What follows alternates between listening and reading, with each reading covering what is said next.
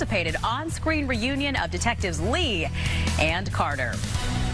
Well, thanks for joining us for Good Day Atlanta. Stay connected to Fox 5 around the clock. Like our Fox 5 Atlanta Facebook page. Follow us on Twitter and Instagram at Fox 5 Atlanta and subscribe to our YouTube channel.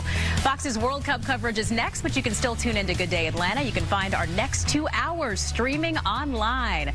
Just go to the live page of our website, fox5atlanta.com. You can also find us on Tubi. Look for Fox 5 Atlanta in the live TV section and stream Good Day Atlanta on the Fox 5 Atlanta YouTube channel. So we'll see you soon.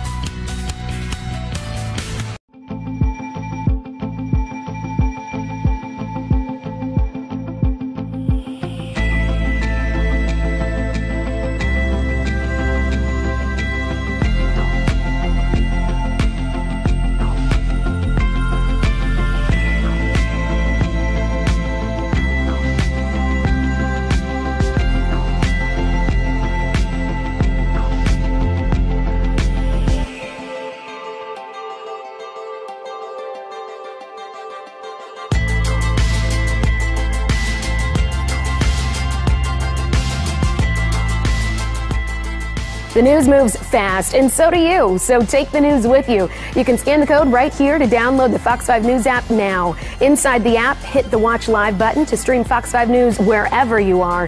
Get alerts for the biggest stories and the latest news headlines, weather coverage, sports breakdowns, even I-Team investigations. So what are you waiting for? Scan the code now and take the news with you. Download the Fox 5 News app now.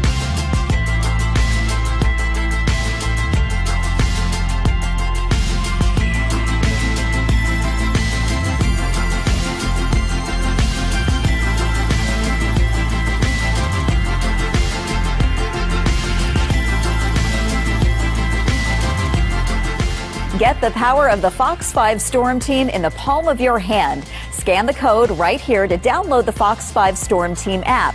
Inside the app, you'll find everything you need to plan your day and keep your family safe.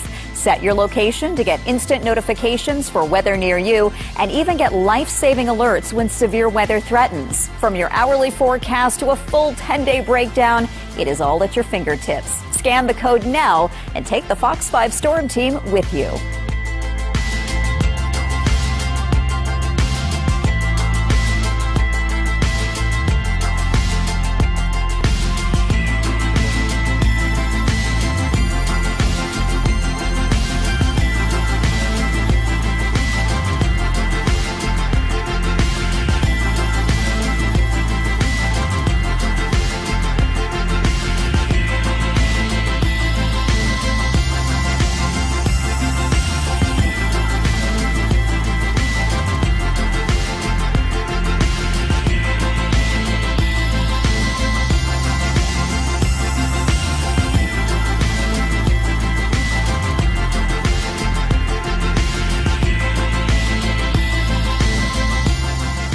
Get news from Fox 5 and Good Day Atlanta 24 7 with email newsletters. It's the news you want delivered right to your inbox.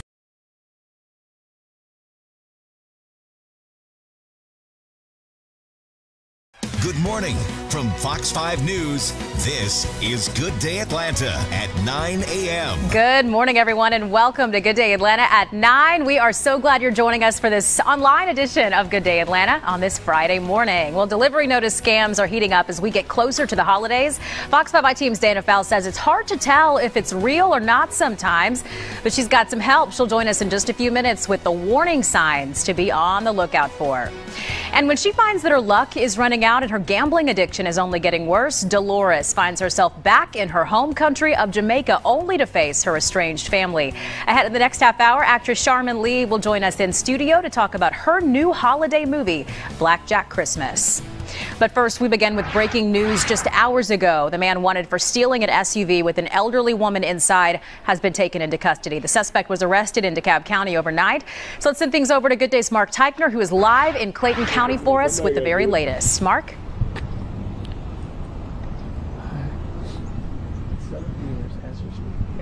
Hey, we are uh, sitting here waiting to get uh, briefing from police. At this point, we haven't been told uh, any information about the arrests that were made as far as the, the location within DeKalb County, the name of the suspect, and or what charges he might face. But we do know uh, that there is one very relieved family out there. I'm just relieved that she's all right now. Philip McCurry picks up his mom, putting an end to an hours long ordeal. Got my mama back. I thought I lost her. It all started Thursday afternoon in Jonesboro. Shirley McCurry sat in the passenger seat of this SUV while her nurse went into a convenience store on North Main Street. Locked the car, but my mom must have unlocked the car. Surveillance video shows a man dressed in light colored clothing who appears to be talking on his cell phone. He checks out the SUV, walks over. As the passenger window rolls down, the man gestures toward Shirley, gets behind the wheel, and drives away. The guy carjacked the car with my mom in it. Hours went by with no sign of either Shirley or the SUV.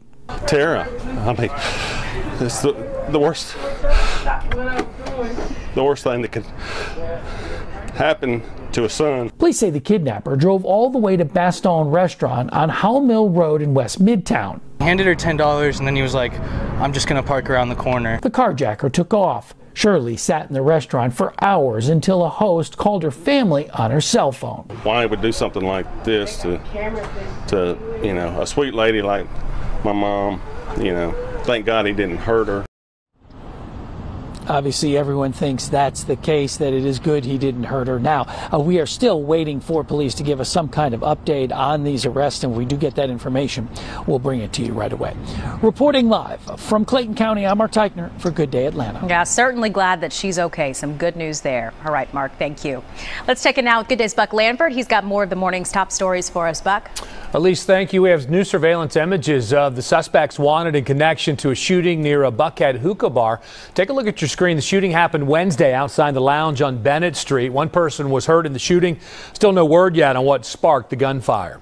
One of the two victims gunned down in the shooting near Atlantic Station will be laid to rest tomorrow. 12 year old Zyion Charles died from his injuries after a shootout on the 17th Street Bridge nearly two weeks ago.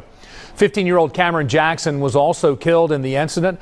Charles' loved ones were, will hold a funeral tomorrow afternoon at the First Iconium Baptist Church on Moreland Avenue. That's in southeast Atlanta. In their efforts to address youth violence, members of Atlanta's Public Safety Commission say they want to hear from you. They will hold a community meeting for residents to suggest strategies. It's set for 6:30 on Tuesday night at Atlanta City Hall. Well, the tragic shooting has forced Atlanta police officers to set up cameras at Atlantic Station in real time. They have been granted access to the development's private security cameras. Atlantic Station had the choice to allow this because it is a private development. APD hopes to work with Atlantic Station's private security in the future to prevent another tragedy like the 17th Street shooting. Well, new this morning, we're getting new images of WNBA star Brittney Griner as she returned to U.S. soil just hours ago. She arrived in San Antonio, Texas after her release from a Russian prison where she was held for nine months after her arrest for having cannabis oil in her luggage. While Griner's release is being celebrated, the Biden administration, though, is facing some tough questions about the terms of the deal. The White House failed to win the release of other Americans like Paul Whelan, who have been in prison for years and none of whom generated the same level of attention as Griner. But the Biden administration says their options were limited. Our choices was uh, Brittney or no one at all. Bringing home one American or no American at all. And while we have not yet succeeded in securing Paul's release, we are not giving up. We will never give up. The prisoner swap solidified the release of one of the world's most notorious arms dealers, Victor Bout. A Fox 5 News alert now on overcrowding at metro area animal shelters. The problem is so big, they're putting out an urgent call for adoptions while making the process easier and more affordable. Good Day's Lindsay Tuman gives us a look at what can be done about this. Local animal organizations I spoke to say they've seen this kind of situation before where they're really filled to the brim with animals, but it's never gone on for this long, and that's really what's creating this tipping point.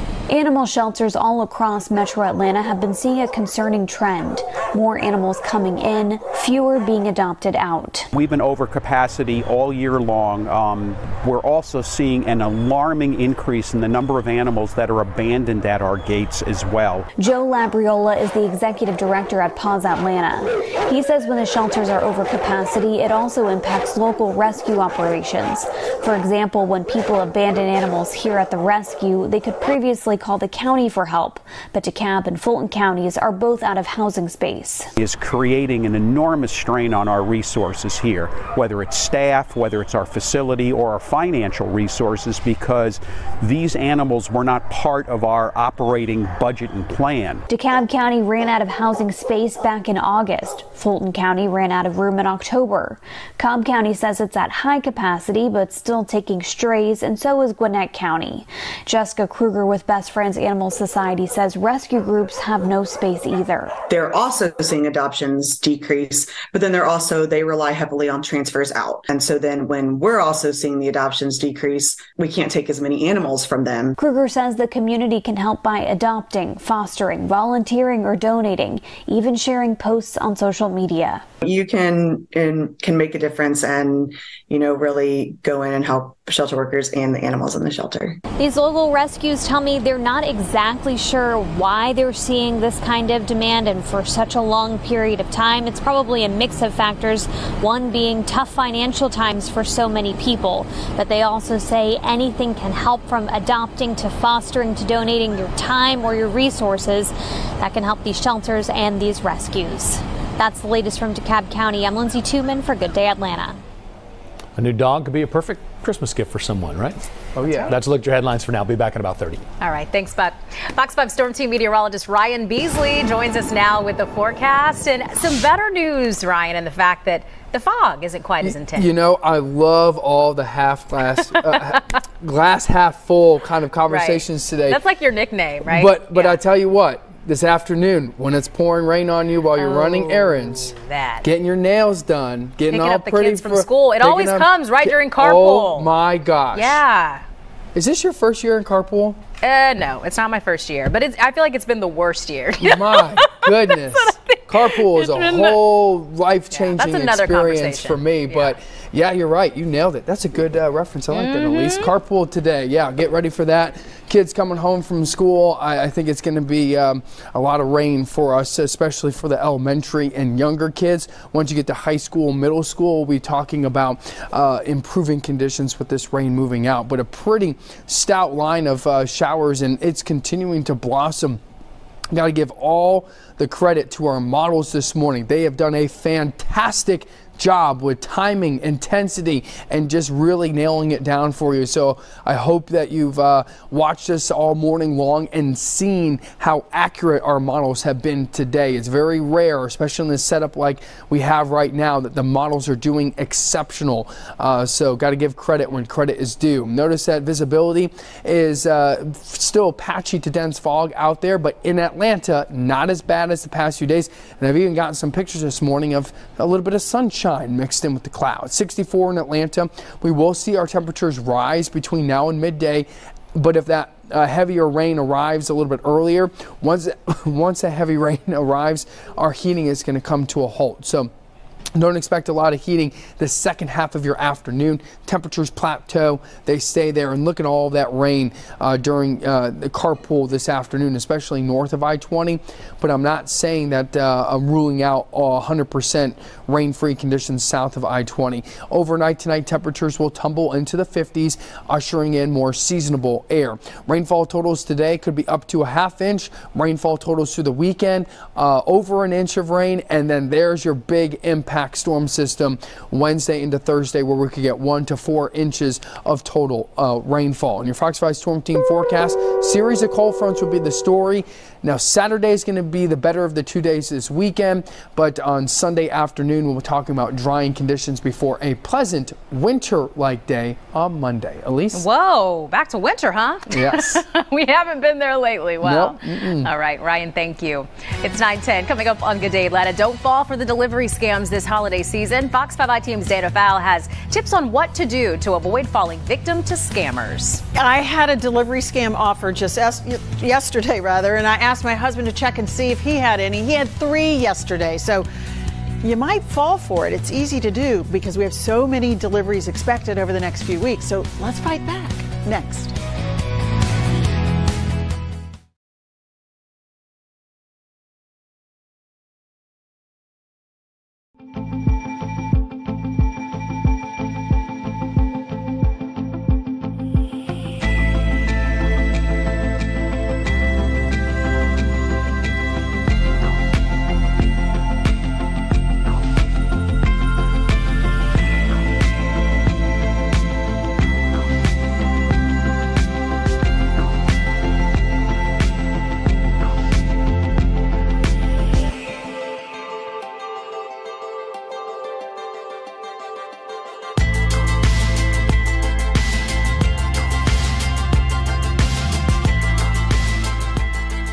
News moves fast, and so do you. So take the news with you. You can scan the code right here to download the Fox 5 News app now. Inside the app, hit the Watch Live button to stream Fox 5 News wherever you are. Get alerts for the biggest stories and the latest news headlines, weather coverage, sports breakdowns, even I-team investigations. So what are you waiting for? Scan the code now and take the news with you. Download the Fox 5 News app now.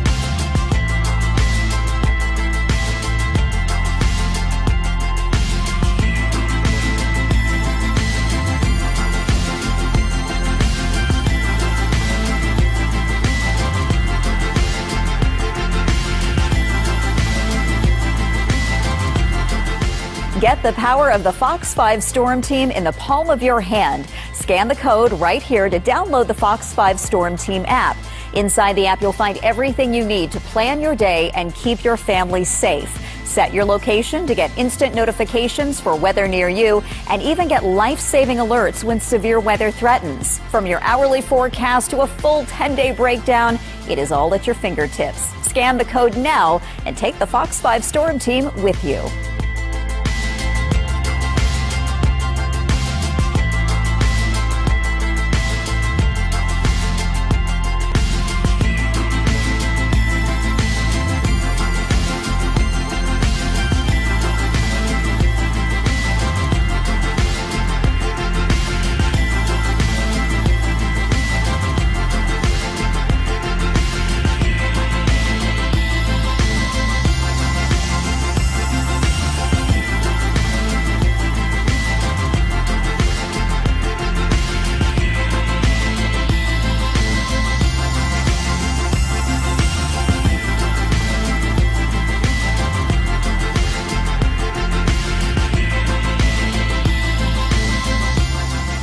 Get news from Fox 5 and Good Day Atlanta 24 7 with email newsletters. It's the news you want delivered right to your inbox. The morning brief gives you all the top stories to start your day. And the GDA download delivers a daily recap of trending news, celeb interviews, recipes, and more. Those gifts from the front door, but Fox 5 I Team's Dana Fowle says those packages lead to yet another type of theft. Oh, goody. Yeah, yeah. they're just coming at us from all directions, and not, but I'm here to tell you, you know, where they are. Yeah. Okay, there are some some thieves who use the simple knowledge that we're all about to get overwhelmed with packages to create some confusion. And I know it almost caught me. It was just yesterday. No matter who we ordered from, most of us track the package through an app, email, maybe a text. So it's not unusual to get a notice in those places to let you know it's coming or maybe it'll be late.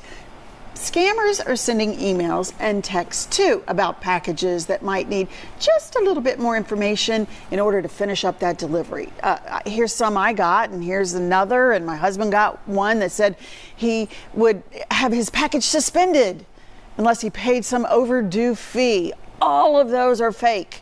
But how can you tell? Well, the FCC and the BBB remind us that the scam often asks for you to click on a tracking link or they leave a voicemail, want you to call back.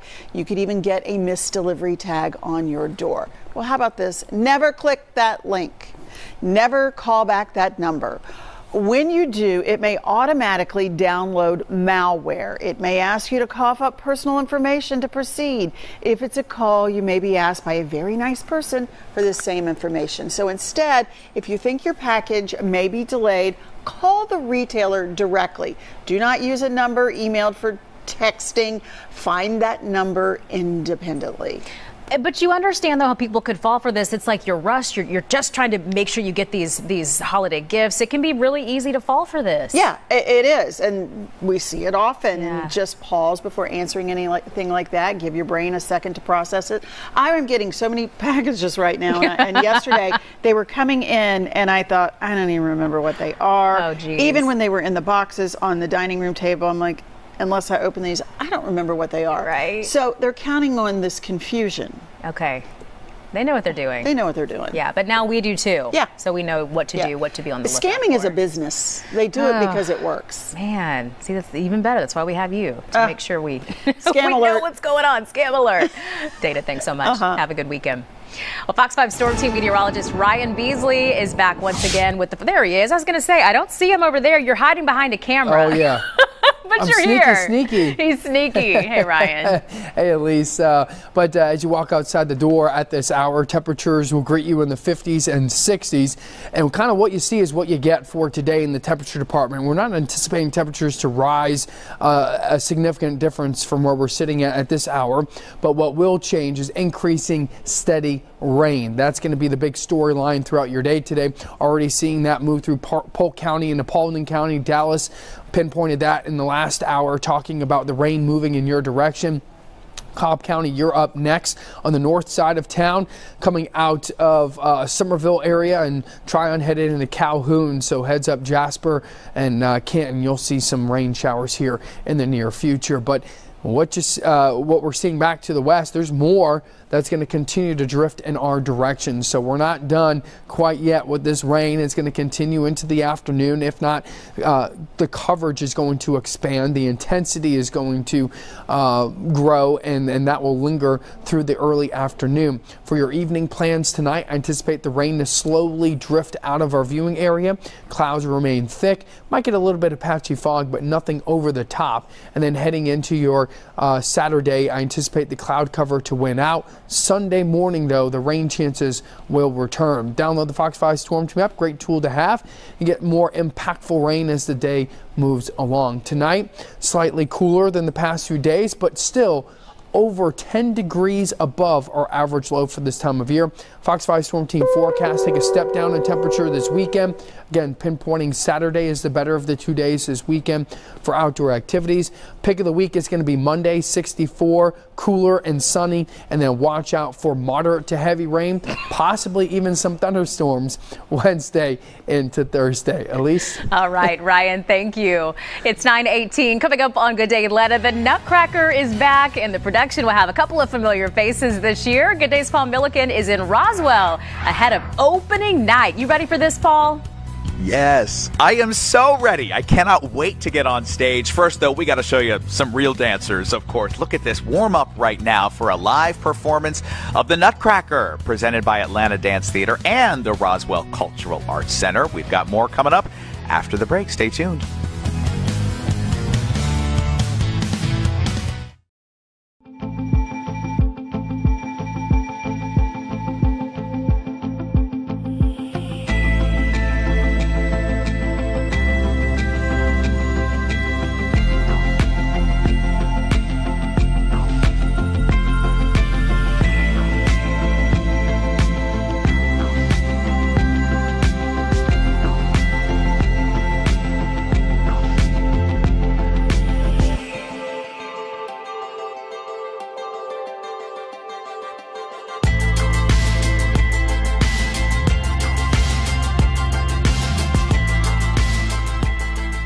News moves fast, and so do you. So take the news with you. You can scan the code right here to download the Fox 5 News app now. Inside the app, hit the Watch Live button to stream Fox 5 News wherever you are. Get alerts for the biggest stories and the latest news headlines, weather coverage, sports breakdowns, even I-Team investigations. So what are you waiting for? Scan the code now and take the news with you. Download the Fox 5 News app now.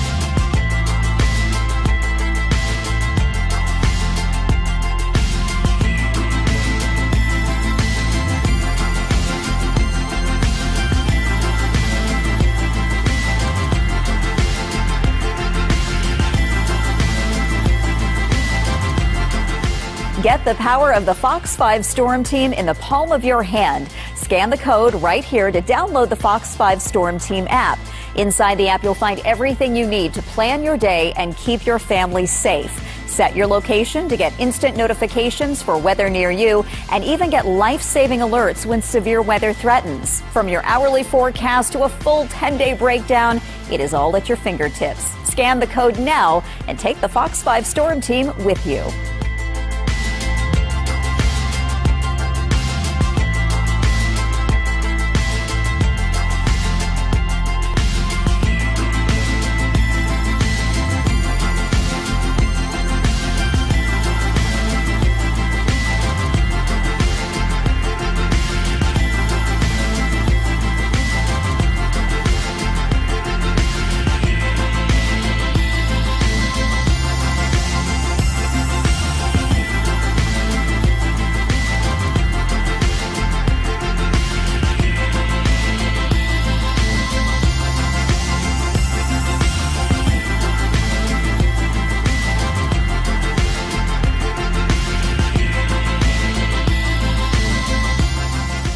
Get news from Fox 5 and Good Day Atlanta 24 7 with email newsletters. It's the news you want delivered right to your inbox. The morning brief gives you all the top stories to start your day. And the GDA download delivers a daily recap of trending news, celeb interviews, recipes, and more. Our few holiday traditions as magical as seeing a production of the Nutcracker and Atlanta Dance Theater will once again stage the ballet classic this weekend at the Roswell Cultural Arts Center.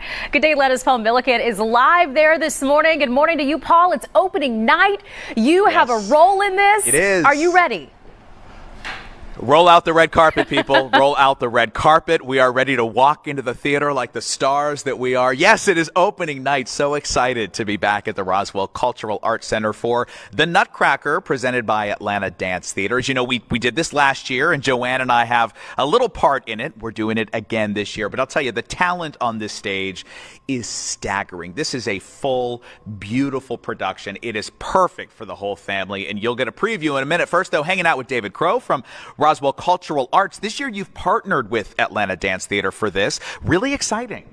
Yes, yes. Um, Roswell Cultural Arts Center, we present artists from all over the yeah. world, um, as far away as Nova Scotia and South America. Wow. But we do recognize the investment that local arts groups like Atlanta Dance Theater have made for the community, and we want to invest in them as well, and that's why we partner with them. I love that. And really quickly, I'll say this is a beautiful venue, too. You must be really proud of what you have. Yes, she's old, but we keep her up. You do, absolutely. You know, I feel like you're you're talking about me. Look, I'm old, and I'm somehow being propped up on stage stage again. David, great to see you. you. And we have a special guest in the house. Now, here's the thing, Elise. You don't often see Joanne Feldman when she's not at work. But when she's not at work, she's got a crown on her head because, darn it, she deserves it. Hi, Joanne. And sexy ringlets, too. I'm loving the look. And by the way, in the Nutcracker, this is my wife right here. This is my wife, and we are the Lord and Lady of the Manor. How you feeling about opening night, Miss Joanne? I think I'm more nervous than the dancers are. How are you feeling? I feel exactly the same way. They're up there warming up, having a great time, and we're like, wait, what was that one step that we that we do? did last year and we should know by now? You know, we probably should have rehearsed like the whole year to keep it up, right? You didn't?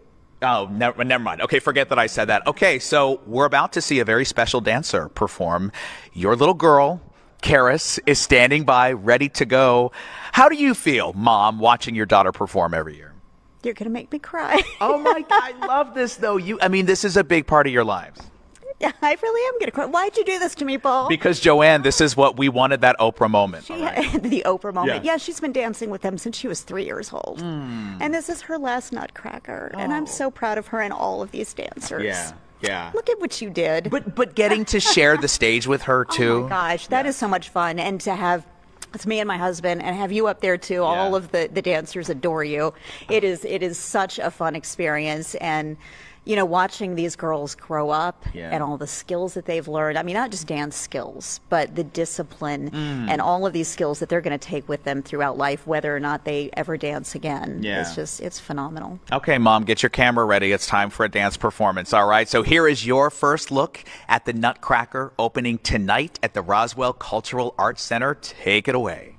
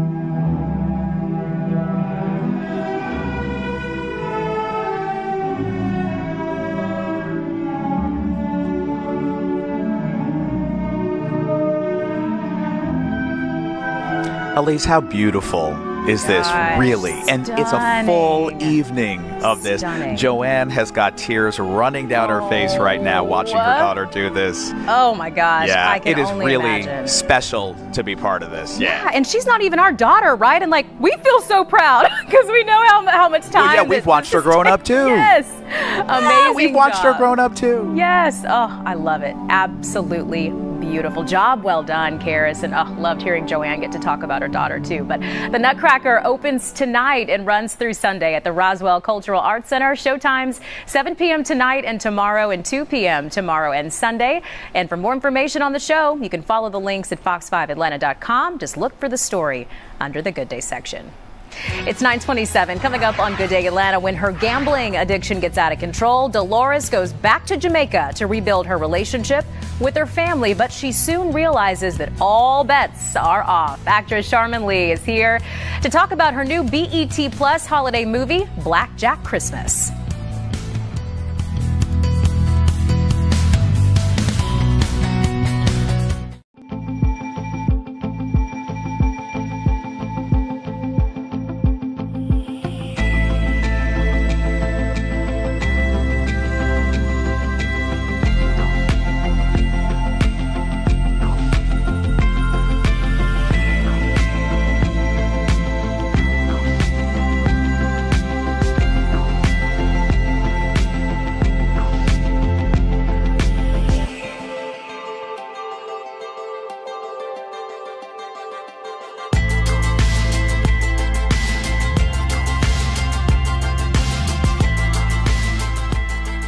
News moves fast, and so do you. So take the news with you. You can scan the code right here to download the Fox 5 News app now. Inside the app, hit the Watch Live button to stream Fox 5 News wherever you are. Get alerts for the biggest stories and the latest news headlines, weather coverage, sports breakdowns, even I-Team investigations. So what are you waiting for? Scan the code now and take the news with you. Download the Fox 5 News app now.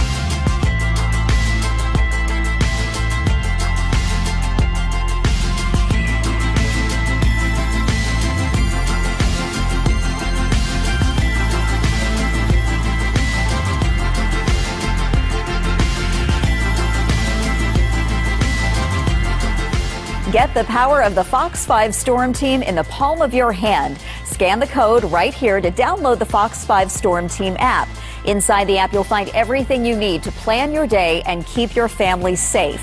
Set your location to get instant notifications for weather near you and even get life saving alerts when severe weather threatens. From your hourly forecast to a full 10 day breakdown, it is all at your fingertips. Scan the code now and take the Fox 5 Storm Team with you.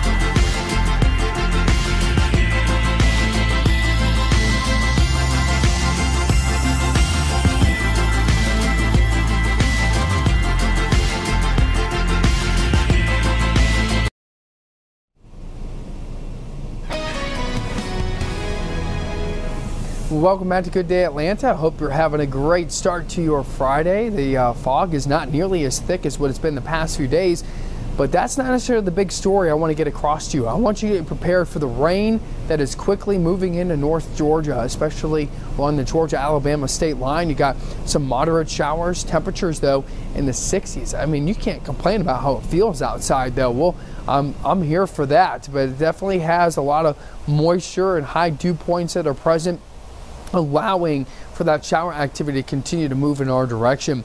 You do have some reduced visibility, but again, a lot of that is few and far between compared to the last few days where it was just a blanket of fog all across North Georgia.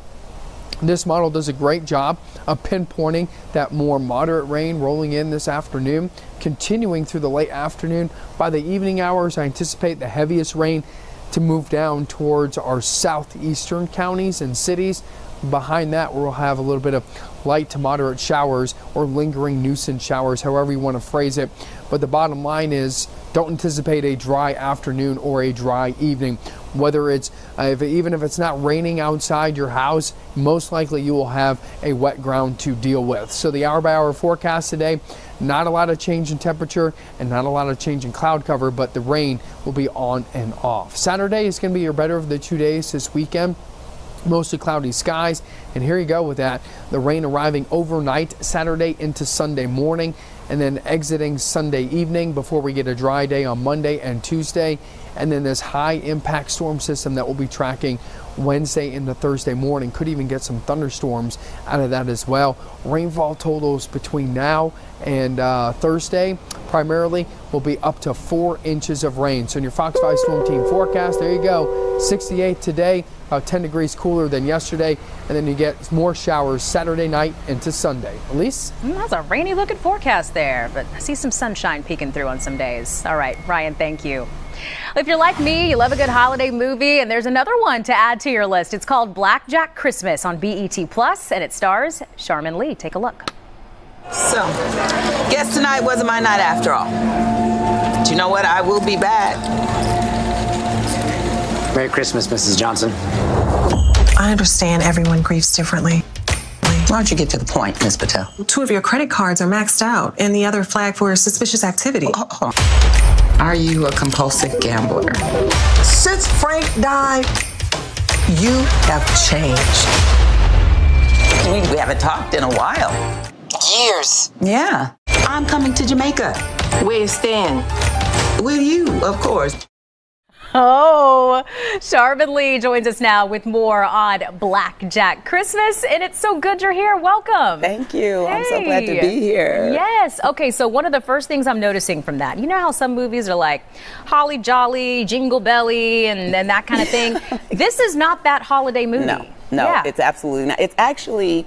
Did you, did you know that Die Hard was a Christmas movie? They say. They yes. say exactly. Yes, they say. It's that. It's I just gotcha. a really good movie that happens to take place around Christmas. Perfect way to describe it. Yeah. Perfect. So, I mean, it's dealing with something serious, right? Like your character has a gambling addiction. She has a serious gambling addiction. Um, she is an immigrant mm-hmm. from Jamaica mm-hmm. and there's a different kind of love, you know, when you marry somebody and they become your partner and your family, mm-hmm. right? So she lost her husband and gambling was their fun thing before. I gotcha. But then it became her destructive thing, okay. if you will.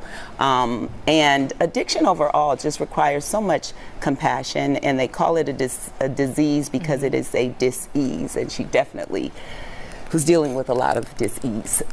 Sure, you know? yeah. And yeah. I mean, it seems like it even even in the clip, it, it kind of catches Dolores off guard, right? Like how deep that she gets into it, and, and just the issues that that stem from this. Yeah, for sure. I mean, to be honest, what family doesn't or hasn't dealt with addiction. All families. I, right. Yeah. Personally, mm-hmm. two of my brothers mm-hmm. have been taken as a result. So finding that, uh, the truth in that mm-hmm. wasn't very hard you I'm know. Sure, and then at the same time, it also reminds you, or reminded me, to be grateful for the siblings that I still have left, which is why Dawnn and I, Dawnn Lewis, was amazing to work with. Yeah. And our sisterhood began immediately. Like mm-hmm. on day one, I told her, I was like, you're gonna like me?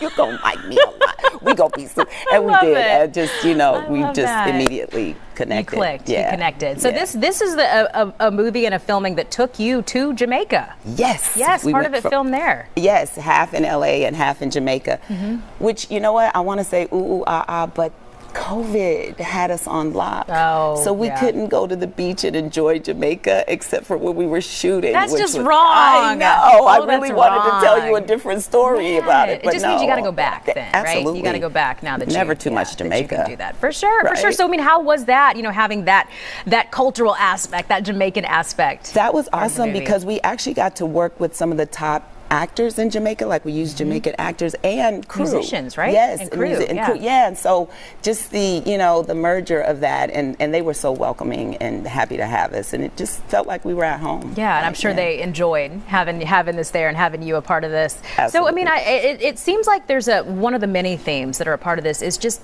family. Yeah, I mean, that's the thing that ultimately I guess everyone can relate to is that we all have family drama. Mm-hmm. um, but we also only have a short time to be here, and we don't know mm-hmm. how long we're going to be here. And so it's a matter of getting over it. Yeah. You know what I mean? And it's so and, hard, right? But it's such an mm-hmm. important message, something that so many of us need to do. It is. Yeah. And hopefully this season is about that. You know yeah. what I mean? People forgetting the bad stuff and mm-hmm. coming together. So you mentioned Dawnn and that you two had a, a great connection. Yes. Her, her, sister, for those of you just tuning in, yes. her sister as a part of the film, but with the director, who you said was also the writer of this, Victoria. Yes. Now she's that? like a sister in real life. Mm-hmm. Um, first of all, she wrote the story, which I'm just amazed by how her mind works.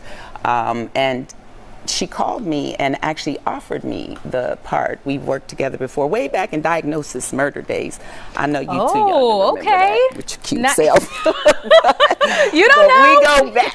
Um, okay. Your mom probably. Anyway, um, um, but but she's directed me before and she actually called me uh, not long after my father passed, and she offered me the role. And I was like, absolutely. And, you know, I was telling her about the passing, and she felt guilty. She was like, oh, I'm so sorry to call you about this. I was like, no, you have no idea what a blessing mm-hmm. this is.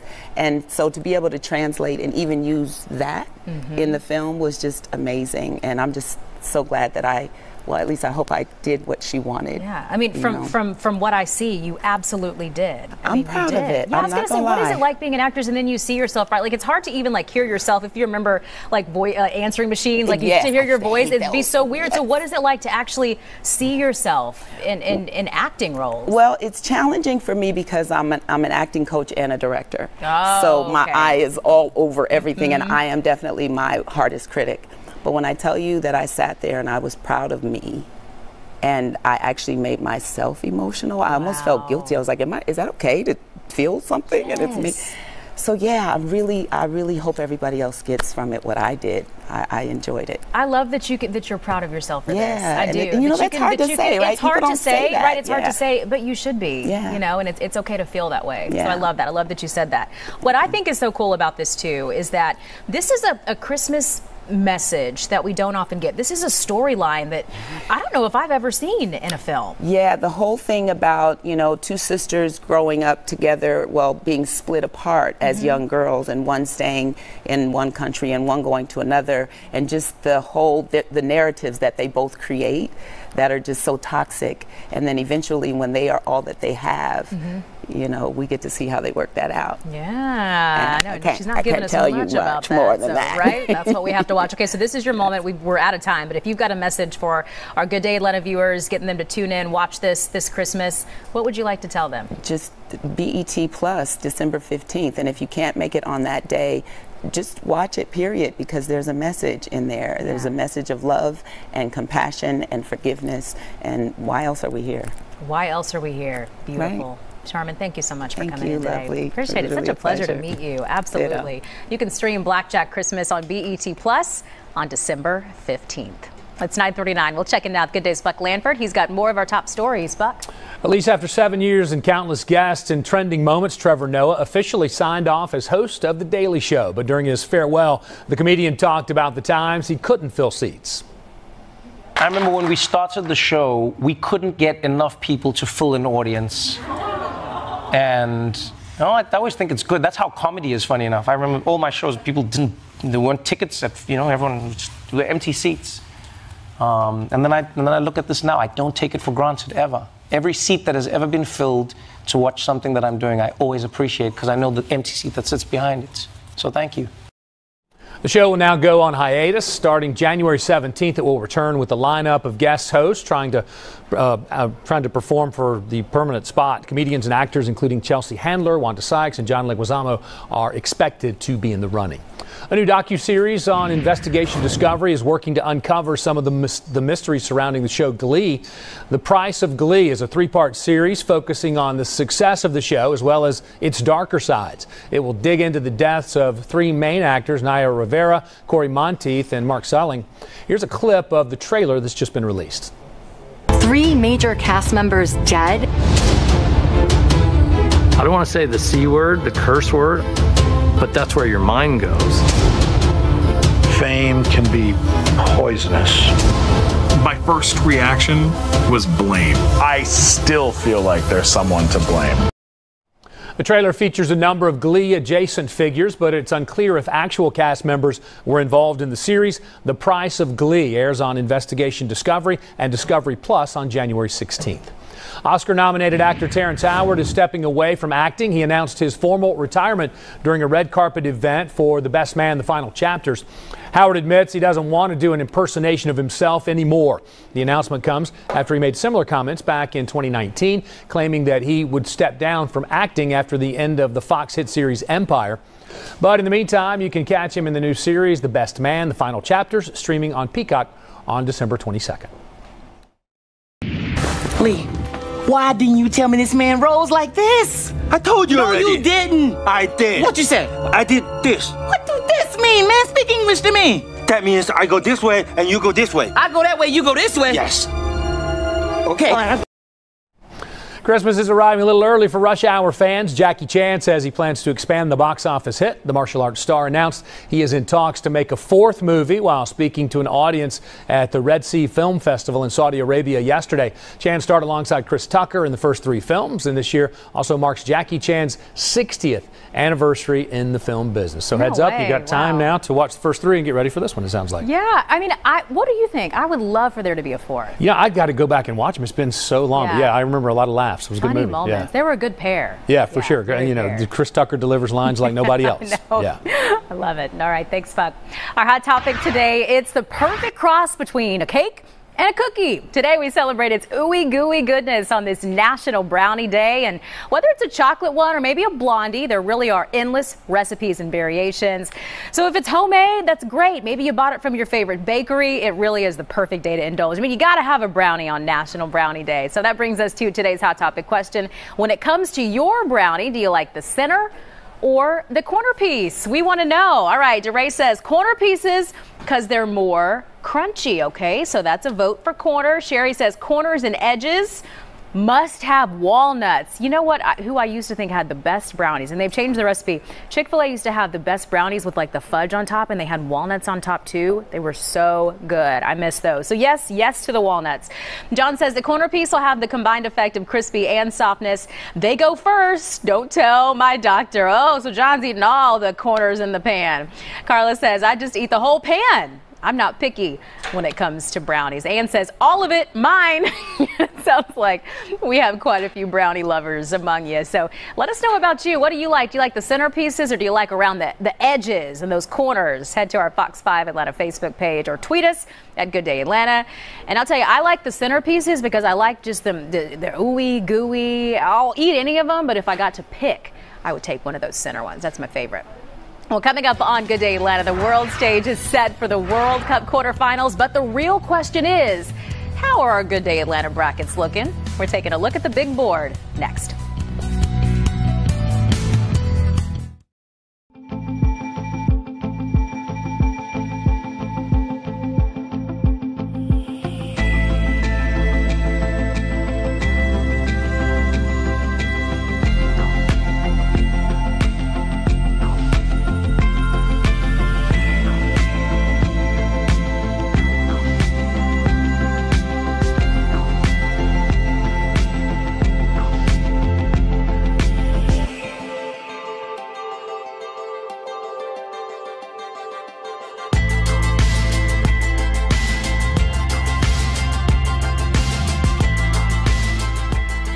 The news moves fast, and so do you. So take the news with you. You can scan the code right here to download the Fox 5 News app now. Inside the app, hit the Watch Live button to stream Fox 5 News wherever you are.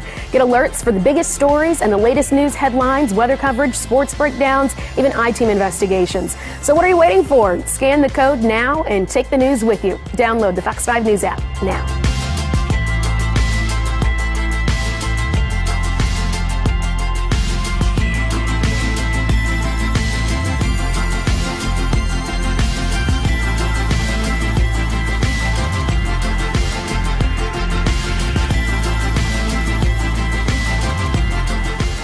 Get the power of the Fox 5 Storm Team in the palm of your hand. Scan the code right here to download the Fox 5 Storm Team app.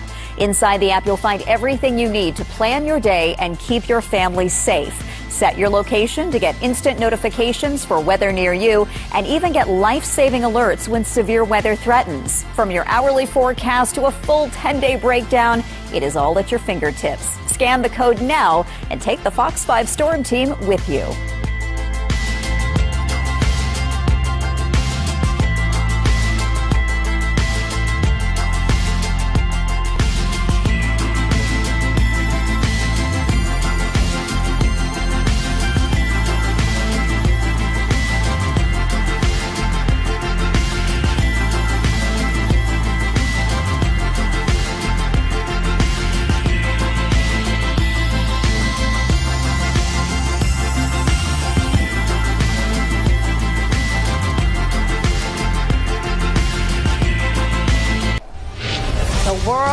Quarterfinal coverage is underway now, and Croatia and Brazil. There she is.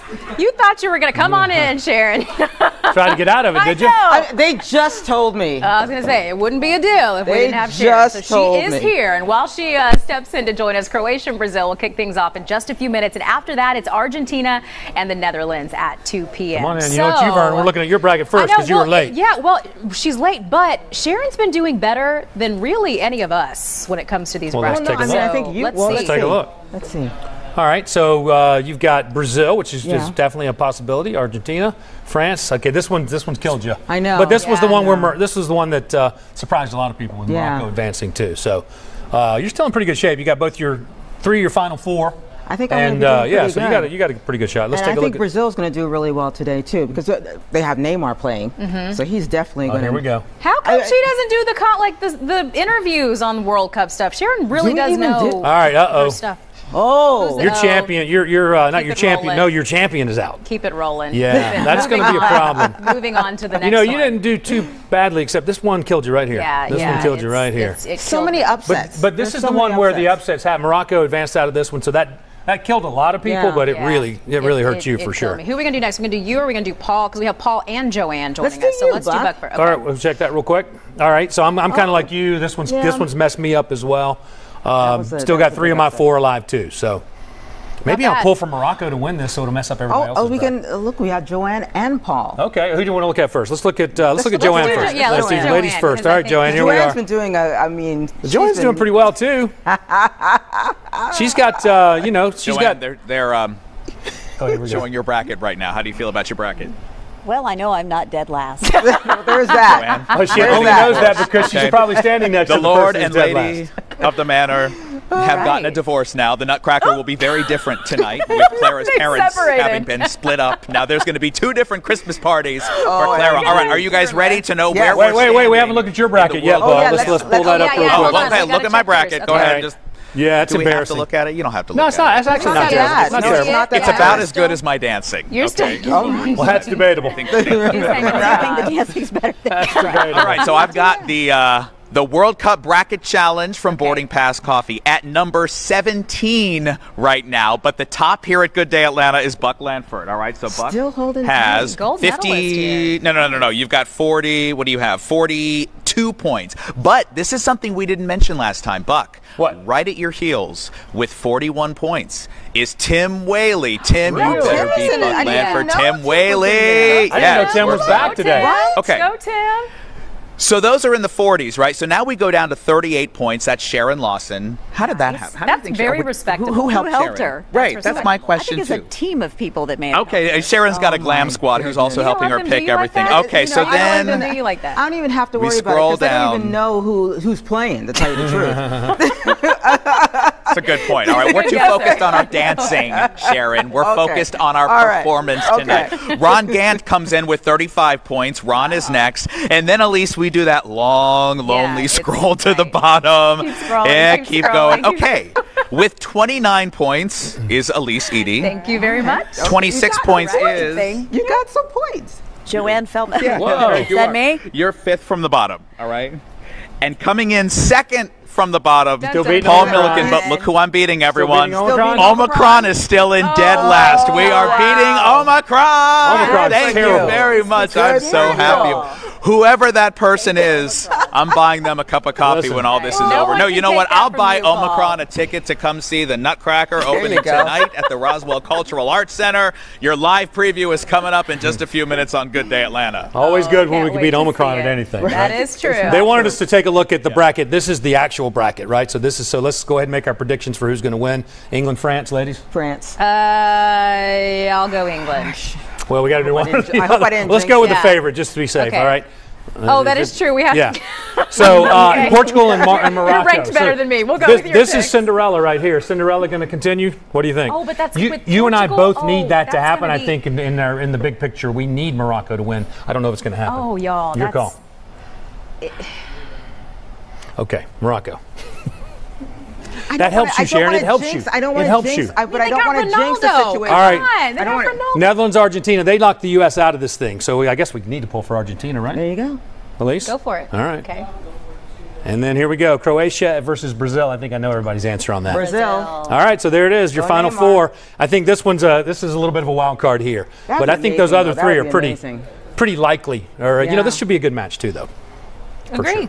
Cool. We'll see. All right. We'll see how we do. As long as we beat Omicron, we're good.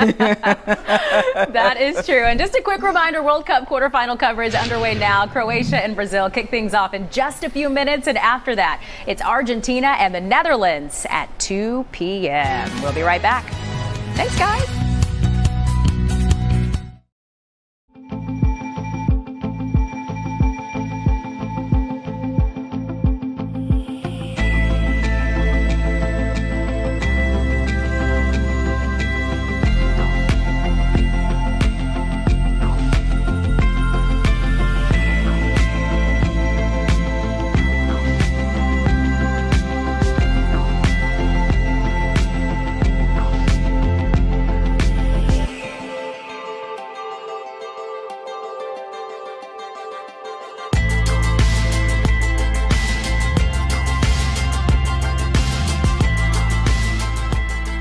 The news moves fast, and so do you. So take the news with you. You can scan the code right here to download the Fox 5 News app now. Inside the app, hit the Watch Live button to stream Fox 5 News wherever you are. Get alerts for the biggest stories and the latest news headlines, weather coverage, sports breakdowns, even I-Team investigations. So what are you waiting for? Scan the code now and take the news with you. Download the Fox 5 News app now.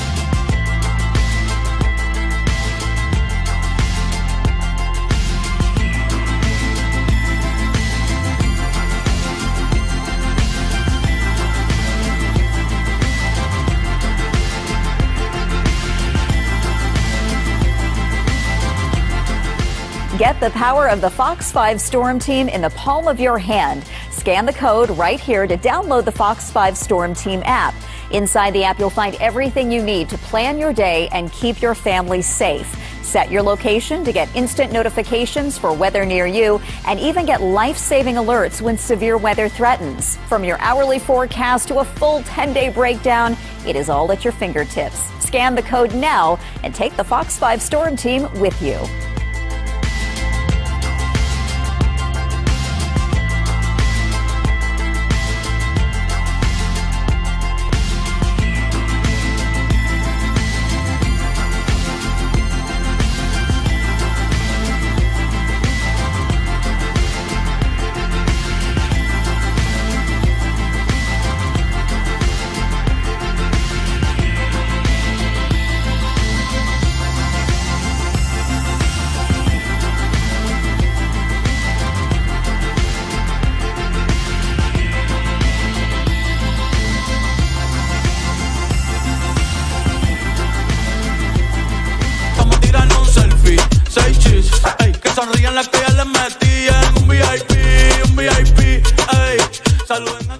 Bad Bunny says he is ready for some well deserved rest in 2023. The global superstar announced he plans to take a break next to focus on himself. Bad Bunny says he plans to focus on physical and emotional health and to really enjoy all of his achievements. And wasn't he like the most streamed artist on Spotify? Something like that. It was some big honor that, yeah, he is, he deserves a break. He's been working hard for sure.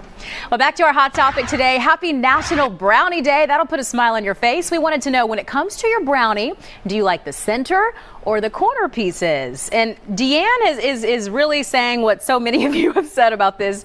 Any piece that I can get a hold of is her message. And like I said, we're getting countless comments of y'all saying, all, all of the above. Haynes says, edges only. Nobody better lay a finger on my edges. I mean, people who like edges, y'all really, really are into the edges. I'm center all the way. I'll eat the middle of that brownie and probably leave the outside for you. Dennis says, doesn't matter to me as long as they're rich and gooey. Cake like brownies aren't brownies. Ah, okay. Shane says Custom Cake Studio in Georgia has the best brownies I've ever had.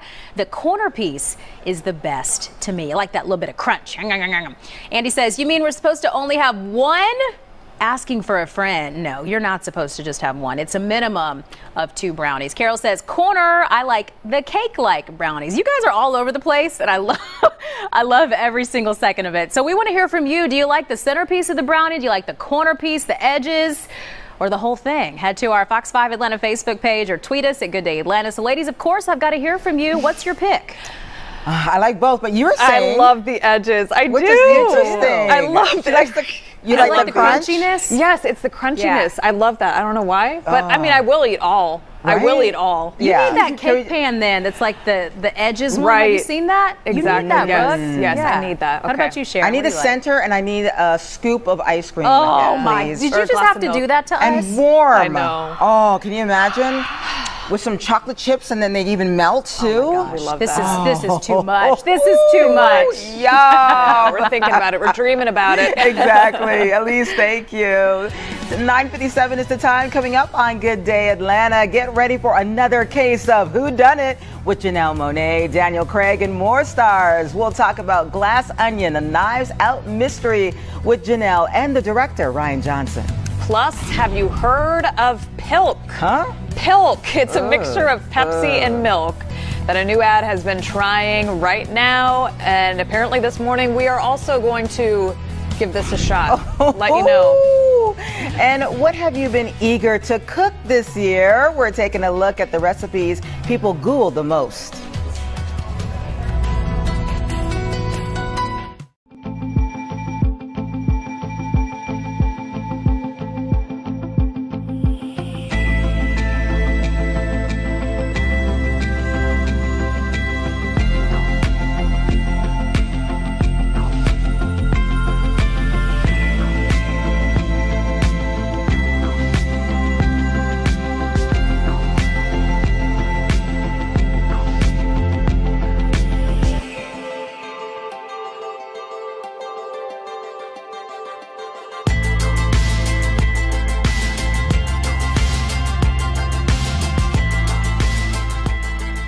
News moves fast, and so do you. So take the news with you. You can scan the code right here to download the Fox 5 News app now. Inside the app, hit the Watch Live button to stream Fox 5 News wherever you are. Get alerts for the biggest stories and the latest news headlines, weather coverage, sports breakdowns, even I-Team investigations. So what are you waiting for? Scan the code now and take the news with you. Download the Fox 5 News app now.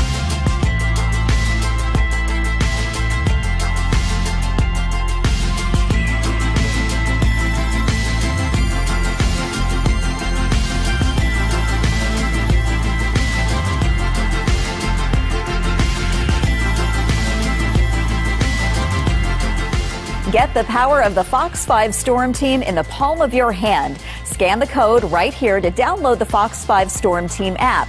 Inside the app, you'll find everything you need to plan your day and keep your family safe. Set your location to get instant notifications for weather near you and even get life saving alerts when severe weather threatens. From your hourly forecast to a full 10 day breakdown, it is all at your fingertips. Scan. From Fox 5 News, this is Good Day Atlanta at 10 a.m. And good Friday morning. Welcome to our online edition of Good Day Atlanta at 10. The World Cup is airing right now on Fox 5. Thank you for joining us. I'm Brooks Honor. And I'm Sharon Lawson. Joanne has the morning off, and here's what's coming up this hour. You must be really great at Clue, huh? I'm very bad at dumb things. Ticking boxes, running around, searching all the rooms. It's just a terrible, terrible game. Bad at dumb things. It's another guest to find out who done it in the upcoming movie Glass Onion Knives Out Mystery. Singer and actress Janelle Monáe is part of the star-studded cast. Janelle and director Rian Johnson right here in the studios. Plus this. minute you're standing here, you're feeling like a knucklehead trying to separate bottles from soap. The next minute you realize you're saving lives. That guy. It's Mhm. a tough job, but somebody has to do it. The Discovery series Dirty Jobs returns with a new season. I sat down with show host Mike Rowe to talk about what you can expect. And got pilk? oh my goodness. It's a unique drink mix of Pepsi and milk that actress Lindsay Lohan has folks trying. In case you haven't done so yet, apparently we're going to try it ourselves. Hmm. okay, right? Hmm, indeed. But first, let's get a look at this morning's top stories with Good Day's Alyse Eady. Alyse, good Bottoms morning. up, ladies. You can come join us. Yes, Why come come on, join us? Give it a shot. Sean take this. All right. Ladies, thank you. And we begin now with some breaking news. Just hours ago, the man wanted for stealing an SUV with an elderly woman inside was arrested. The suspect was arrested in DeKalb County overnight. Good Day's Marc Teichner has more on the ordeal. Well, that arrest certainly will bring some closure to this family, but one thing that has them very relieved is that their mom is home, safe and sound. I'm just relieved that she's all right now. Philip McCurry picks up his mom, putting an end to an hours long ordeal. Got my mama back. I thought I lost her. It all started Thursday afternoon in Jonesboro. Shirley McCurry sat in the passenger seat of this SUV while her nurse went into a convenience store on North Main Street. Locked the car, but my mom must have unlocked the car. Surveillance video shows a man dressed in light colored clothing who appears to be talking on his cell phone. He checks out the SUV, walks over. As the passenger window rolls down, the man gestures toward Shirley, gets behind the wheel, and drives away. The guy carjacked the car with my mom in it. Hours went by with no sign of either Shirley or the SUV. Tara, I mean, it's the, the worst, the worst thing that could happen to a son. Police say the kidnapper drove all the way to Bastogne Restaurant on Howell Mill Road in West Midtown. Handed her $10 and then he was like, I'm just going to park around the corner. The carjacker took off. Shirley sat in the restaurant for hours until a host called her family on her cell phone. Why would do something like this to, to you know, a sweet lady like my mom? You know, thank God he didn't hurt her. At this point, we haven't been given any kind of update about the arrest, where in DeKalb County it took place, when it happened, and the name of the suspect and what charges he or she could end up facing. If we get that, we'll let you know right away. Reporting from Clayton County, I'm Marc Teichner for Good Day Atlanta. Well, one of the two victims gunned down in the shooting near Atlantic Station will be laid to rest tomorrow. 12-year-old Zyion Charles was killed after a shootout the, on the 17th Street Bridge nearly two weeks ago. 15-year-old Cameron Jackson was also killed. Charles's loved ones will hold a funeral tomorrow afternoon at the First Iconium Baptist Church on Moreland Avenue in southeast Atlanta. And to address youth violence, members of Atlanta's Public Safety Commission say they want to hear from you. They'll hold a community meeting for residents to suggest strategies. That's set for 6:30 Tuesday night at Atlanta City Hall. Well, new this morning, we are getting new images of WNBA star Brittney Griner as she returned to U.S. soil overnight. She arrived in San Antonio after her release from a Russian prison where she was held for nine months after her arrest for having cannabis oil in her luggage. And while Griner's release is being celebrated, the Biden administration is facing some pretty tough questions about the terms of the deal. The White House failed to win the release of other Americans like Paul Whelan, who's been in prison for years, none of whom generated the same level of attention, though, as Griner. But the Biden administration says their options were limited.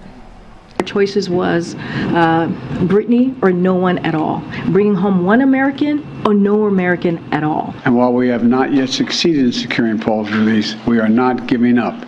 We will never give up. The prisoner swap solidified the release of one of the world's most notorious arm dealers, Viktor Bout. Now to a Fox 5 News alert on overcrowding at metro area animal shelters. The problem is so bad, they're putting out an urgent call for adoptions while making the process easier and more affordable. Good Day's Lindsay Tuman gives us a closer look at what can be done about this. Local animal organizations I spoke to say they've seen this kind of situation before where they're really filled to the brim with animals, but it's never gone on for this long, and that's really what's creating this tipping point. Animal shelters all across metro Atlanta have been seeing a concerning trend. More animals coming in, fewer being adopted out. We've been over capacity all year long. Um, we're also seeing an alarming increase in the number of animals that are abandoned at our gates as well. Joe Joe Labriola is the executive director at Paws Atlanta. He says when the shelters are over capacity, it also impacts local rescue operations.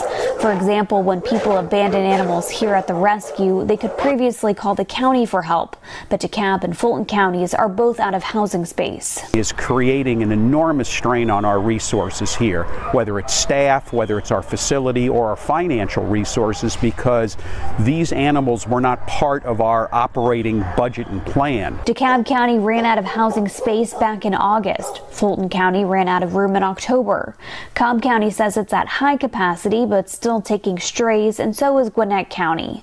Jessica Kruger with Best Friends Animal Society says rescue groups have no space either. They're also seeing adoptions decrease, but then they're also, they rely heavily on transfers out. And so then when we're also seeing the adoptions decrease, we can't take as many animals from them. Kruger says the community can help by adopting, fostering, volunteering, or donating, even sharing posts on social media. You can and can make a difference and, you know, really go in and help shelter workers and the animals in the shelter. These local rescues tell me they're not exactly sure why they're seeing this kind of demand and for such a long period of time. It's probably a mix of factors, one being tough financial times for so many people. But they also say anything can help from adopting to fostering to donating your time or your resources that can help these shelters and these rescues.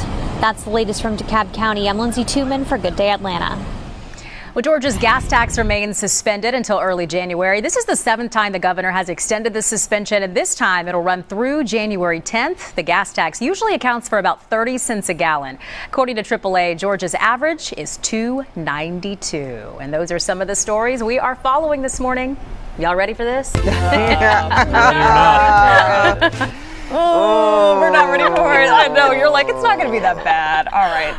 well, it's 10.07, and we've got Buck and Alyse here for this. Mm-hmm. They're this, so excited for this stellar segment. topic that we have. It's a strange drink concoction that we're trying, getting attention because of a holiday commercial that stars Lindsay Lohan. So the drink is called Pilk with a P. It's a mixture of Pepsi and milk. Lohan and the beverage company joined forces for the ad, encouraging people to add Pepsi to the milk that they leave out for Santa. Now, this drink, as you can imagine, it has mixed reviews on social medias.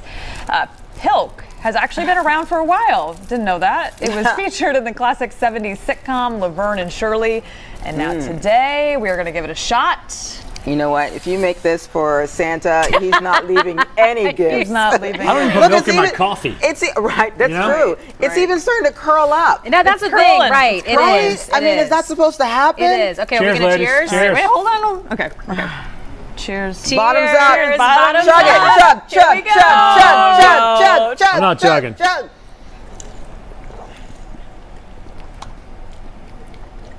I, I mean, you know what? It's not as bad as I thought it would be. It just tastes like a melted float. Yeah, or like a creamy mm, yeah. Pepsi. Mm-hmm. Yeah. Like Yes, a cream soda. or soda. like a cream. Yes. Okay, this is this wasn't as bad. I was uh, giving this a bad rap. It It's wasn't as fine, horrible. but I'll I mean, probably yeah, never I'm drink it not again the gonna- rest of my life. Ever. But it's Right. fine. I don't no, hate it's it. not good. Yeah. It's I not don't good. hate- And Okay, I'm so- not a Pepsi Sure, it's person. not- I know, not it's like it's not Pepsi- good. I'm not Pepsi. Pepsi. I'm I'm I'm Team Coca-Cola. So maybe if it was Coca-Cola, but then you'd have You to change Well, the name and everything. Too, I also so. don't know. No, That's not not bad. terrible. I don't know what the ratio was that they mixed. Is it 50-50? Is it Right? because it I'm not tastes quite sure. it's more of a We're not in here Pepsi flavor to It's- me than yeah. the Pepsi's stronger than the milk. Maybe I that's think we just It's almost like just a splash of milk. Like they almost yeah. just did like just. so I'm a wondering what the, the wonder what Laverne did. You know? You know what? I wonder. Yeah. I wonder. I'm gonna go watch. I'm gonna I'm gonna binge it all weekend and try to figure Let it out. us know. We'll have an answer by Monday. I'd say like maybe like a six out of ten, which to me, but Wow. to you, I feel like it's That's- a a different. high Well, I'm not a milk person, and I'm Not a not. a, Pepsi, I'm definitely not a Pepsi person, so what, like a one? Or a half. Okay. You were you were not half even gonna do it. You're I like, I'm was not doing I'm not doing yeah, it. You were, No, you were not it- interested at all. It wasn't that bad. It wasn't that bad. Yeah, I'm- we've had worse. Okay, I, I will retract my earlier statement that I, I was very concerned about trying this and it wasn't bad. Well, what happened to like that mimosa thing that they were talking about before? Like, why couldn't we try that? Right, why wasn't that on. brought I to mean, us in studio? Why do we have to have pills? Like, right, right. whose idea was that? And, and why not we Pepsi? So many. I mean, why not Pepsi? I mean, pill. You know, you could go either way with that. Pepsi? Milk and it's Pepsi? That even, yeah, Pilk. Pilk. It's Pilk. You got to have Pilk. Yeah, that The whole That's thing is hot- just hot topic for the whole thing is just horrible. The The whole thing. The whole thing is just horrible. It's a big no for Sharon. Our executive producer, don't do this again. She stopped in on the way to work just just for this Like, moment. a Right? lot of effort was put into making You know this happen. Can we get bagels and coffee next time because we did this for you? Or the mimosa. Chick-fil-A. Right? Right, the mimosa right. that they're- the, the, The minis? The kit, the mimosa kit. Can we want the try that, please? Perfect time. time. I'm glad you guys tried it. Yeah, we tried it. Coming up on First Good and last Day. time. First and last, Never right. again. Well, Trevor Noah has signed off for the final time on The Daily Show. We'll hear his final words. But first, get ready for another case of Who Done It with Janelle Monáe, Daniel Craig, and more stars. And we'll talk about Glass Onion, a Knives Out mystery with Janelle and the director, Rian Johnson, next.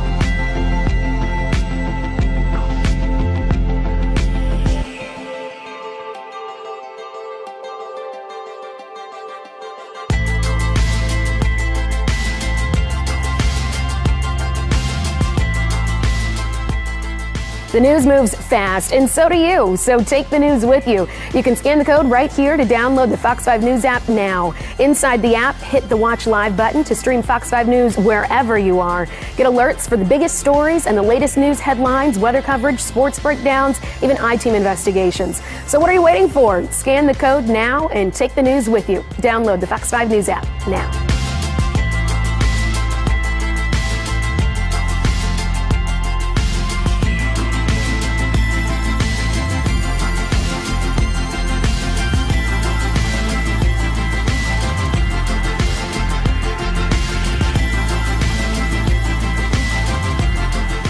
Get the power of the Fox 5 Storm Team in the palm of your hand. Scan the code right here to download the Fox 5 Storm Team app. Inside the app, you'll find everything you need to plan your day and keep your family safe.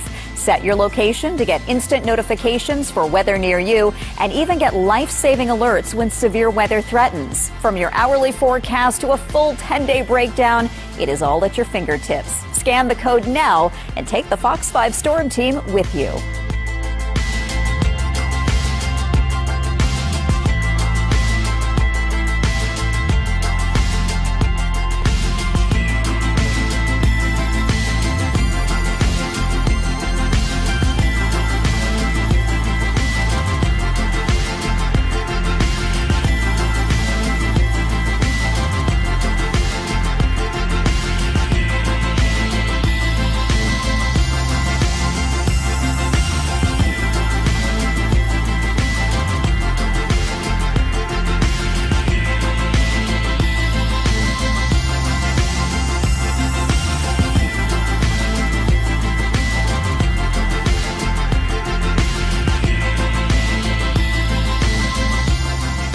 Get news from Fox 5 and Good Day Atlanta 24 7 with email newsletters. It's the news you want delivered right to your inbox. The morning brief. Characters, progressive politicians, and a whole lot more.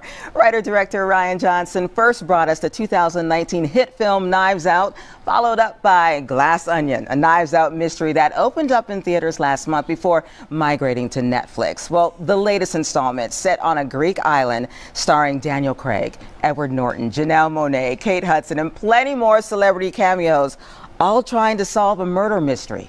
Take a look. Can you spot the other thing? The real thing this group has in common? Andi, come on. Oh, Lionel. Everybody knows who Lionel works for. That's no secret. And we know who bankrolled Claire's campaign. But when nobody, nobody would touch Birdie with a 10 foot pole because she went on Oprah and compared herself to Harriet Tubman in spirit. Who do you think she This is great. This is great. Joining us right now, Oscar nominee, writer director Rian Johnson, and actress and Grammy nominated singer rapper Janelle Monáe. Good morning to Good both morning. of you. Thank Good you so morning, much Atlanta. for joining us, right? right? Oh my goodness. This is great. This really is great. And let's talk about it because Daniel Craig returns in this series now and he is actually playing the fictional detective. So tell us a little bit more about the series and about this particular one now, the second one, and uh, the murder mystery. Yeah. Well, let's start with you, Rian. Well, this all comes out of me growing up loving Agatha Christie, Mhm. loving the good whodunit, Yes. loving the good mystery, and also loving those movies I was watching when I was a kid of the Agatha Christie movies that had the all-star cast Mm. and they're big, fun, kind of set in beautiful places murder mysteries, and that's kind of what we're trying to do here. And we were just watching, Janelle, your character, Cassandra Andi Brand. So tell Yeah. us more about playing her. It looked like a lot of fun. Oh, too much fun. Right? Too much fun. Um, I mean, I just have to just thank Rian over and over again, being the writer, being the director, trusting me with this role. This character is mysterious, smart, brilliant, big ideas, but complicated past with the rest of these uh, these folks, these characters. A lot of drama. I mean, set in Greece. Uh, I had Oh, an opportunity goodness. to really just go honestly to the next level as an actor because of this role. So I'm so thankful. And, and you know, it's really incredible too because we have all of these A-list actors that were present on this, uh, Rian. How was it? Was it, it was it a challenge to have them all really in one big setting right mm-hmm. there and to mm-hmm. shoot all of it right there? Yeah, Because I they're not different. They're not set up in different places. Yeah. We had them all in one particular room at one time. Well, you got a group of actors like this. You got Edward Norton, you got mm-hmm. Janelle Monáe, you got Daniel Yes. Craig, you got Kate Hudson. You want to get them all in the frame, and everybody. That was a cool thing. Every one of these people are like big movie stars who have carried their own movies, and they come together in this movie, and they're really an ensemble. They really all work together and click, and, and that was cool to see work on the frame. And he couldn't be more cool. Like never lost his cool. I'm like all these personalities. Yeah. But no ego. Everybody was there. Sure. Like we want to do right by the script. They just we just wanted to have fun, and we did. He created curated such a fun family vibe Yeah. for us. So it was just so so easy and fun coming in every day. and this was your first time being on it as well, too, right? Yeah, being in This the- particular one. Yes. Oh, series, oh, yeah, but I was a fan of the first one, Yes. and I was a fan of anything Rian has put out. I was like, if he calls me for a three-second car commercial, I don't care what it is. It's a yes. So when you got that call, Yeah, oh, I. were you just like, really, this is happening? This is really happening. And we're going to Greece. Oh, we're going to Greece. Get me, get me out of here. Like I threw, I, I, was, I had been on my couch for a while because you know things were being canceled. It was the, at the at the pandemic was happening. A lot of people didn't understand how to do big productions, and um, you know just trying to figure it all out. And, and Mm-hmm. so for this to be the one thing that I got to do, returning back, um, honestly was a dream. And what do you think about? I mean, we have so many uh, genres out there, but there's something about the who done it murder mystery mm. that I mean every generation just I mean they just it just resonates with them. What do you think mm. that is, Rian? I think it's just an incredibly fun genre, the murder mystery. You got all these varied suspects, and they all kind of like want to kill each other, and it's fun. It also, like you said, that's the thing. I remember growing up watching those movies with my whole family, being a kid, Yeah. and I think it's and that's what we're aiming for here. Also, something the kids, the adults, and also the older people in the family, everybody's gonna enjoy it together, and I mean that's that's a treat. And just the background too. I was just looking. I'm like, I'm just captivated. Oh. just looking at the Yeah. scenery as well. I mean, was that you're, you're thinking like, oh. where should I put this? Hmm. Yes, well, I was hmm. I was writing it in lockdown during 2020, so I was Oh, sitting yes. at home and like a lot of us, Wishing uh, you could travel. I was like, fade in Greek islands. Let's see, let's see if this works.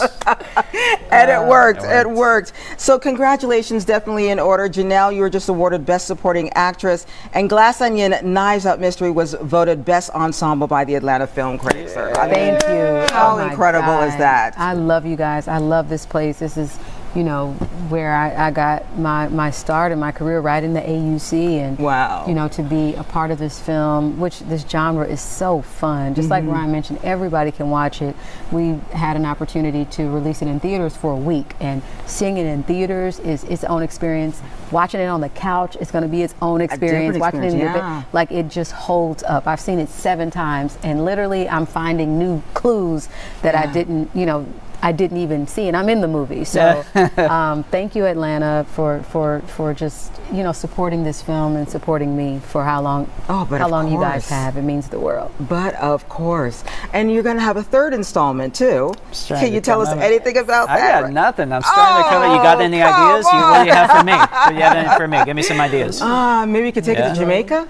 Jake, Ooh, oh, what? well, I we were just talking Okay. about Jim. That's You a good idea. I might have to get some plastic surgery and become because you know none of the actors get to come back to the. I know, it's a whole new Oh, cast it's gonna be every a Whole new cast, whole new scenery. But maybe you put a But I'm gonna- mustache on. You could probably do think that. I'm Fake gonna get a mustache and like some makeup. I have yeah. to because if we go to Alright. Jamaica, I'm Yeah. going. Well, I know I look a little patois if you want me to come. Ooh. Okay, bring it down. I love Let's do it. I would. Oh my! Could you just imagine? Well, you know what? We know that you wear so many different hats, but we love you as a singer, rapper as well Thank too. And we understand that you have another project that's coming out in the new year. Ooh, you know, I I will say after shooting this film, I got really inspired to work and and to have something to say and a lot to celebrate. So yeah, just be looking forward next year, 2023. You know, it's float season. It's it's it's really you know staying floating in gratitude and uh, being present, being present in all that we do.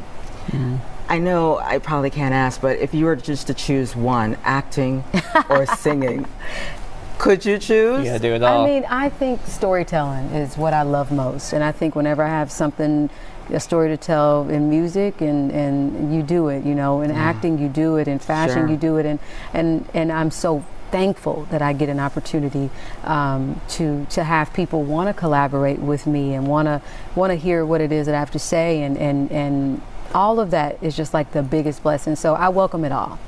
And definitely you're a creative, so that was the best way of saying it as well.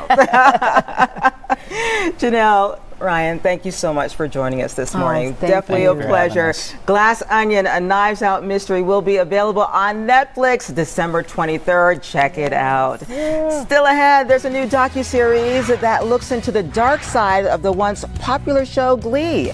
And what have you been eager to cook this year? We're taking a look at the recipes people Googled the most in 2022.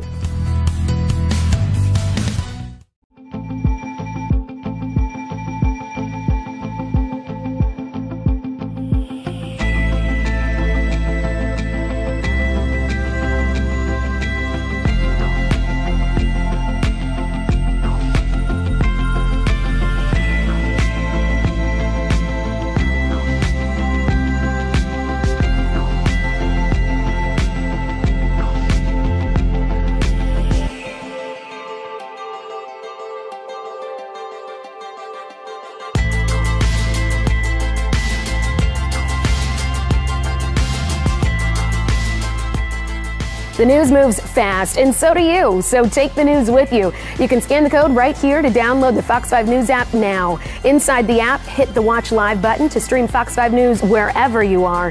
Get alerts for the biggest stories and the latest news headlines, weather coverage, sports breakdowns, even I-Team investigations. So what are you waiting for? Scan the code now and take the news with you. Download the Fox 5 News app now.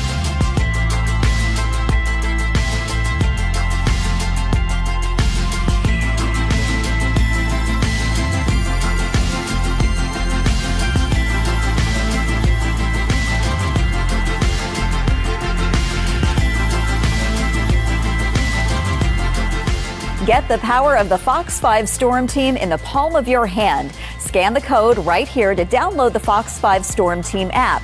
Inside the app, you'll find everything you need to plan your day and keep your family safe.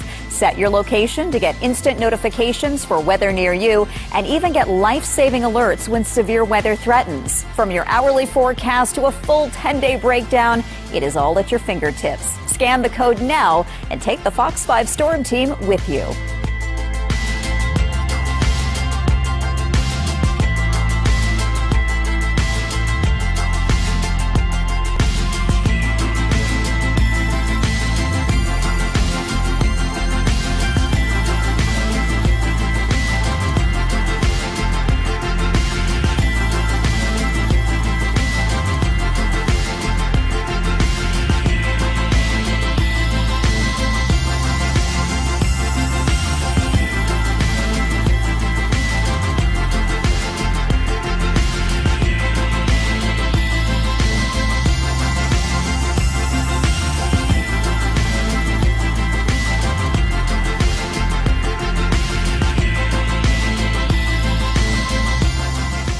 Get news from Fox 5 and Good Day Atlanta 24 7 with email newsletters. It's the news you want delivered. Happened, but it did. After seven years and countless guests and trending moments, Trevor Noah officially signed off as host of The Daily Show. And last night, he gave fans a farewell and talked about the times he couldn't even fill the seats.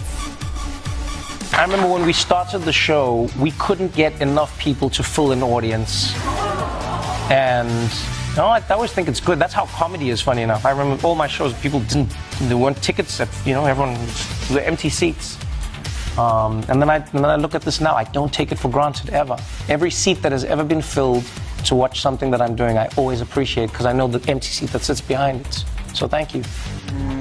Wow. Emotional too, right? Yeah, I mean, things have changed a lot. The Right? show will now go on a hiatus, and starting January 17th, it will return with a lineup of guest hosts trying to try out for that permanent spot. So comedians and actors, including Chelsea Handler and Wanda Sykes, are expected to be in the running.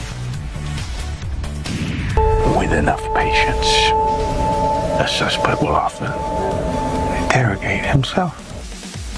Netflix releasing this trailer to the gothic murder mystery The Pale Blue Eye, starring Christian Bale. He plays a veteran detective who teams up with a young Edgar Allan Poe to solve the mysterious death of a West Point cadet in 1830s upstate New York. It arrives in select theaters December 23rd and will be available to stream on January 6th. Well, hip hip hooray! The popular Prime Video series Harlem is coming back for a second season. Fans should expect to see classic cast members as well as some new additions.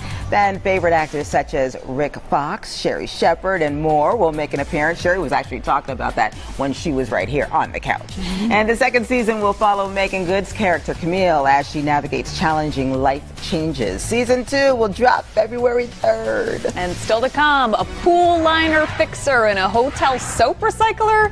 yeah, that's just some of the work that will be highlighted in the new season of Dirty Jobs. We spoke with host Mike Rowe about the premiere. But first, let's check in with Good Day's Paul Milliken. Hey, Paul. Yes, welcome one, welcome all to my Christmas party. Good morning. How's everyone feeling this morning? Yay! It is opening night for the Nutcracker here at the Roswell Cultural Arts Center, presented by Atlanta Dance Theater. And there she is. Clara has got her beautiful Nutcracker, and she's about to go on a magical journey. We've got your first look at the show coming up.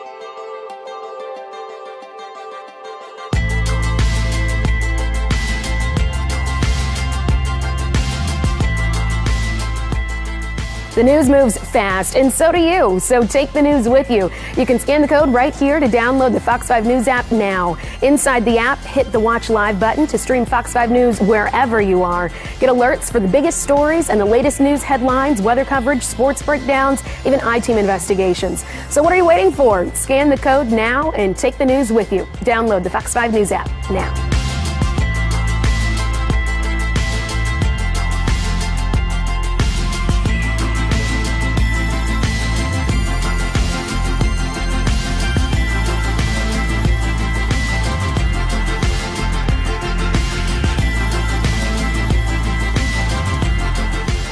The power of the Fox 5 Storm Team in the palm of your hand. Scan the code right here to download the Fox 5 Storm Team app. Inside the app, you'll find everything you need to plan your day and keep your family safe. Set your location to get instant notifications for weather near you and even get life saving alerts when severe weather threatens. From your hourly forecast to a full 10 day breakdown, it is all at your fingertips. Scan the code now and take the Fox 5 Storm Team with you.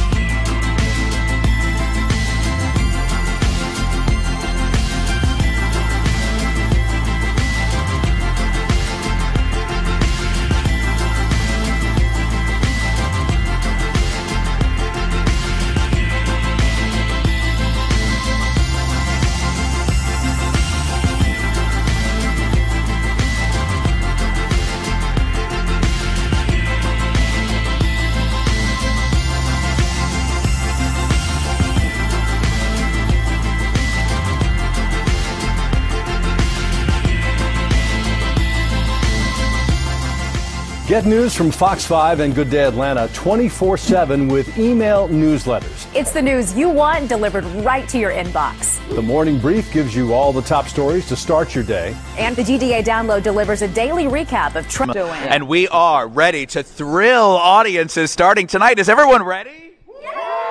Yes, it is opening night for the Nutcracker presented by Atlanta Dance Theater. Joanne, how are you feeling?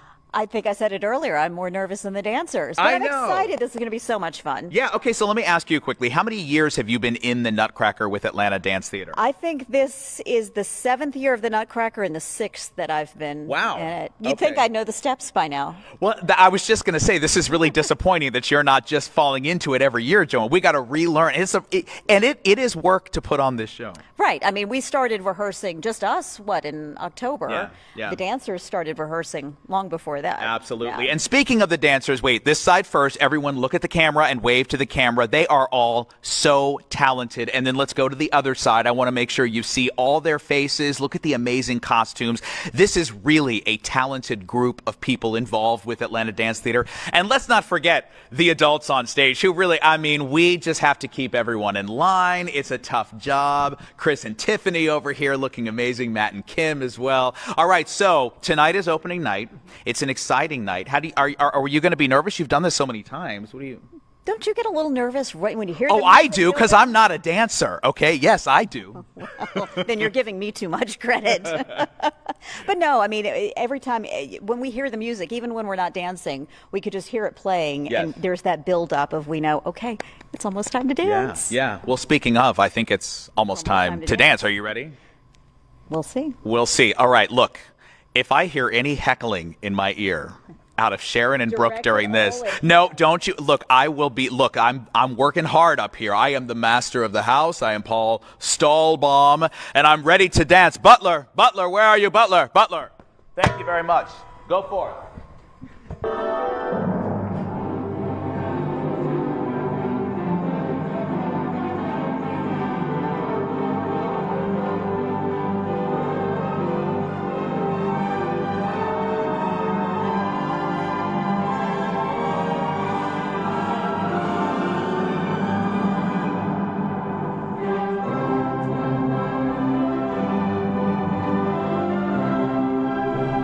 Can at least step, you know. I can step. mean, he could step forward. That's good. One, two. Three, four. One, two, three, four. One, two. We should go got- in No, the audience and hold signs. Just, just like one, two, three, four. He's- just to help him out. But Joanne looks stunning, she looks doesn't elegant. she? She yes. is graceful. She is beauty. She is grace. She, is everything. everything. Yes. Everything. Everything. We will Paul, go for No, oh, don't skip too much. I don't want him to break Paul, Paul, anything. Paul. I don't want to break anything. All right, he's off. He's off the camera. That's good. That's good. Woo, that was amazing, Joanne. you are. I are can hear awesome, every Joanne. word. I You're expect aw- that Oh, out wait, of Sharon he Lawson. hear that? Brooke Did he- Zauner, you are in so What- much what are you talking about? I, You know I what, heard Paul? We are still recovering from you not bringing us anything yesterday. Drop the mic. Thank Whoa. you. That part. Did not bring us a I that I have no thing. response to that except to say, "Come and see the Nutcracker, everybody. We open tonight." as long as you're taking me to dinner. Great job. Yes. They did a great Oh, job. and- Wonderful. They are great, and that is a great show. Bravo, If bravo. If you haven't seen the Nutcracker, you've got to. It opens tonight and it runs through Sunday at the Roswell Cultural Arts Center. Showtimes are 7 p.m. tonight and tomorrow, and 2 p.m. tomorrow and Sunday. For more information on the show, you can follow links on fox5atlanta.com. Just look under the Good Day section, and you can see two of our very own Yeah, right? stars, World renowned. world renowned. according to Paul. Yes. Well, new this morning, Google is releasing the most searched recipes of the year on its platform, and topping the list is sugo, which I've never heard of. Oh. Apparently, this is uh, a tomato-based pasta sauce. Other recipes Googled users searched for are mango pie. Huh. Ah, and marry me chicken. And marry me chicken is a sandwich recipe from model Bella Hadid. Also made the list after going viral on TikTok. Huh. I Wow. have never searched for Is that- any of those. Uh, It's almost like the pilk It's right. It's very unusual. that sauce, though, I'm kind of interested in that. I like a, I like a. Just Google pasta. it, and then you can find out how We'll to do find it. out. There you go. All right. Well, Mike Rowe is putting on his gloves again ahead of a brand new season of Dirty Jobs, the fan favorite show. It ended back in 2012, but it will make a triumphant return to Discovery later this week, even diving into the world of a hotel soap recycler. Take a look. And in a hotel one night, I called the front desk and asked what happened to the bar of soap and bottle of shampoo when I was done with it. And they said it was thrown away. So I did some research, kind of did some math, figured out if all uh, hotels were throwing their soap away, we were throwing away millions of bars of soap every single day out of Every day. hotel. Every day. It's mind boggling. Uh, but the real aha. Well, that's an interesting one. So we recently sat down with Mike Rowe to talk about what else we can expect for this new season. Talk about like why bring it back. I mean, I know it's a favorite, but what was kind of the thought process, or did somebody approach you about, hey, we should bring that back? Well, you know, in in a way, it never really went away. I mean, we we stopped filming back in 2012 and started filming again a year and a half ago, and. Um, a lot of people are surprised to hear it's coming back because they've been watching it every single week for the last 20 years. You know, we, we, we just did so many that it's it never really went away. But as to why I agreed to bring it back. You know, I said I was done. I we, we we'd done 300. I swore I was out. Uh, it was the lockdowns. It was the fact that essential work became headline news. And I think in a lot of people's minds, Dirty Jobs was sort of the granddaddy of essential working shows. So many shows came out of Dirty Jobs over the years. And so, uh, you know, on social, thousands of people said, Mike, don't be a knucklehead. Bring the show back. It's good for the foundation that you run today. It'll give you a reason to talk about the things that matter to you. And it was fun. Who, who doesn't want to have fun? Yeah, I love it. Yeah, and we will talk about the foundation in just a moment, but I would imagine after this, you know, 10 years since you've filmed a quote unquote dirty job or you've gone on the scene somewhere, uh, there has been a lot of changes in the job market. There are probably new quote unquote dirty jobs. So, what was that like? Was it difficult to find like new jobs to film? No. Um, you know, I, I worried back in 2005 when we went into the second season that I might be running out of ideas. Um, and then I encouraged the viewers to write in with ideas. So and ever since then, we've been inundated. Uh, Dirty Jobs is programmed uh, not by the network or by the production company. It's literally programmed by the viewers. All the ideas you see this season came from my Facebook page. People just write in. Hey, Mike, uh, it's the dirtiest pool in America. My dad and I are going to clean it in one day. Come on out and help us.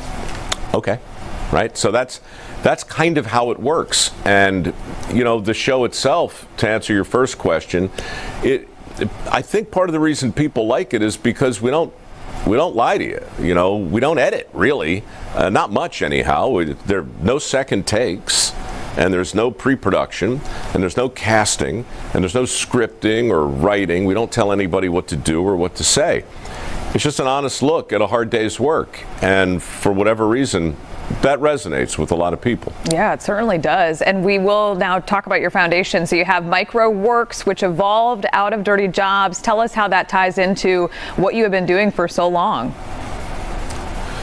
Well, that thing started back in 2008 on Labor Day, and I started it because it was obvious that even though a lot of people were unemployed in those days during a recession, there were a lot of companies who were struggling to recruit people to do the jobs that did exist.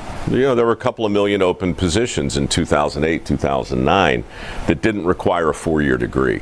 So I wanted to make a more persuasive case for those jobs. And today, not much has changed except it's worse. You know, we've got 11 million open positions, seven, eight million people sitting on the sidelines, and just a ton of opportunity that I, I don't think people completely understand.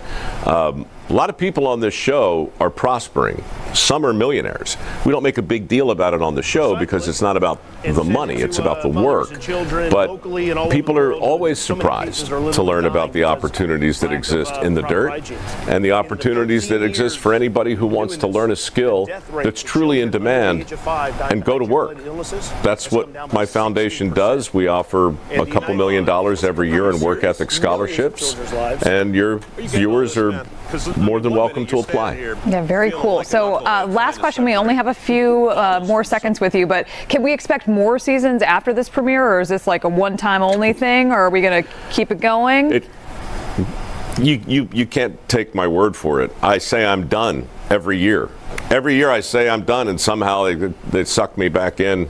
Viewers write in. So I, I'll do the show for as long as people are enthusiastically programming it for me or until I break. Whichever happens first, right? Well, Mike, thank you so Whichever much. Whichever happens for, first. Exactly. Thank you for being here. Glad to have you with us, and it was great talking to you. You too, Brooke. I appreciate it. Uh, thanks so much for Mike for joining us for that segment. Dirty Jobs with Mike Rowe premieres Sunday night on Discovery Channel.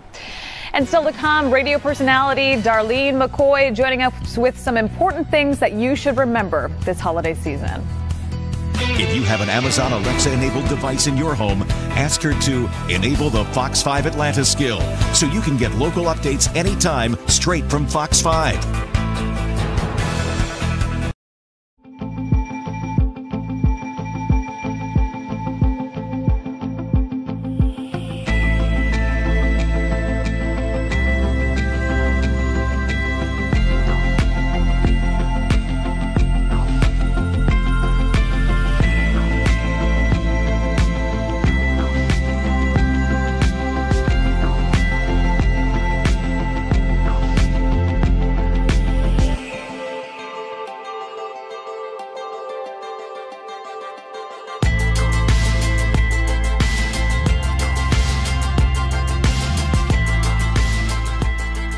The news moves fast, and so do you. So take the news with you. You can scan the code right here to download the Fox 5 News app now. Inside the app, hit the Watch Live button to stream Fox 5 News wherever you are.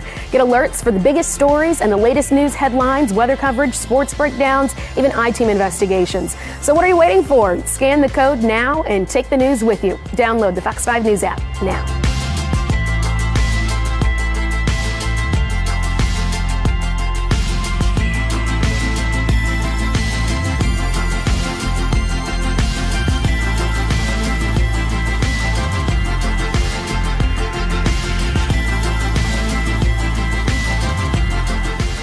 The power of the Fox 5 Storm Team in the palm of your hand. Scan the code right here to download the Fox 5 Storm Team app.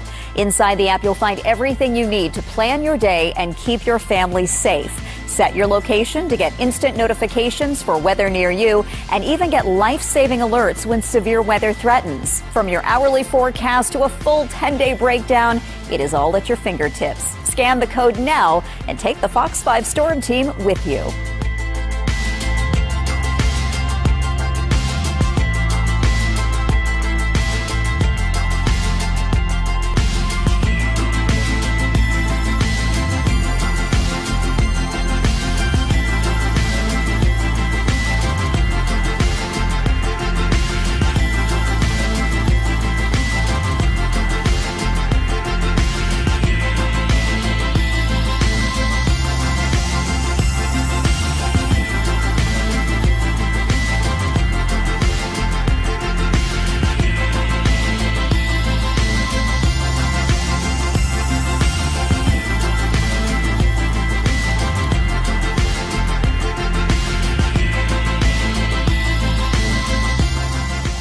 Get news from Fox 5 and Good Day Atlanta 24 7 with. Good morning. I'm Brittany here at Pike Nurseries. Christmas is just a few weeks away, and if you're struggling to come up with some gift ideas for folks on your Christmas list, I've got some great ideas here for you for all the plant and garden lovers in your life. Or if you're the plant and garden lover, here's some great ideas for dropping subtle hints to your family. Uh, first up, let's talk about house plant lovers. If you've got a houseplant aficionado in your life, here's some great ideas. You want to get get them like a collector's item plant, something rare, something unique like this really beautiful Cebu blue here. Also, all the fun, all the little things that they need to support. Potting soil, here's a moisture meter. This is really good for just taking the guesswork out of how much water to give your plants. Obviously fertilizer to keep them looking really beautiful and then a watering can. Not only is it functional, but it's just really pretty as well. Next up, if you're an outdoor garden lover and you're if you've got one of those on your list, we just took a nice, really uh, great glazed ceramic pot here and just filled it with some really great stuff that'll make their life easier. Knee pads, got to protect those knees when you're in the dirt there. Gloves, protect their hands. Hand tools like a um, like pruners here just to make their life easier. Seed packets, these will come in really handy come February. Soil, fertilizer, uh, seed starting kits, lots of great ideas that you can put in a glazed pot for somebody who loves outdoor gardening. Next up, do you have a bird lover on your list? Here's a fun idea. So we took a cute basket, added some bird seed, bird feeders, topped it off with a cute little decorative bird. Could add a bird house as well. So lots of really cute, fun little ideas. And then lastly, we don't want to forget the kiddos as well. So here's a fun basket. We filled it with lots of toys that are just garden inspired, just to really get them interested in the great outdoors, right? So we've got a little bug catcher here, a little bird, like a butterfly net, um, a little gardening kit so they can tag along with you while you're outside picking flowers or weeding, a magnifying glass to look at bugs, a seed starting kit, lots of fun ideas. So uh, that should help you figure out the rest of your Christmas list and get your shopping done so that you can spend some time with your family and friends and just relax and enjoy the rest of the holiday season. And on behalf of everybody here at Pike Nurseries, Merry Christmas!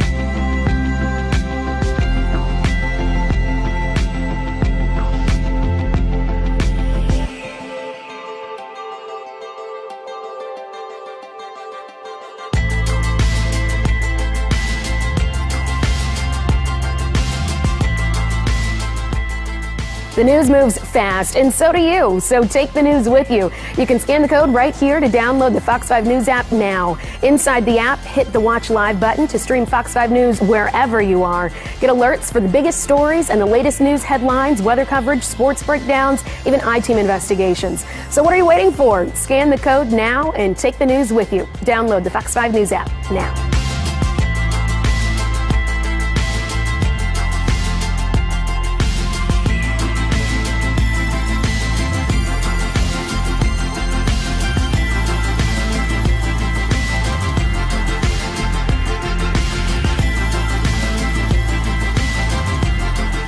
Get the power of the Fox 5 Storm Team in the palm of your hand. Scan the code right here to download the Fox 5 Storm Team app. Inside the app, you'll find everything you need to plan your day and keep your family safe. Set your location to get instant notifications for weather near you and even get life saving alerts when severe weather threatens. From your hourly forecast to a full 10 day breakdown, it is all at your fingertips. Scan the code now and take the Fox 5 Storm Team with you.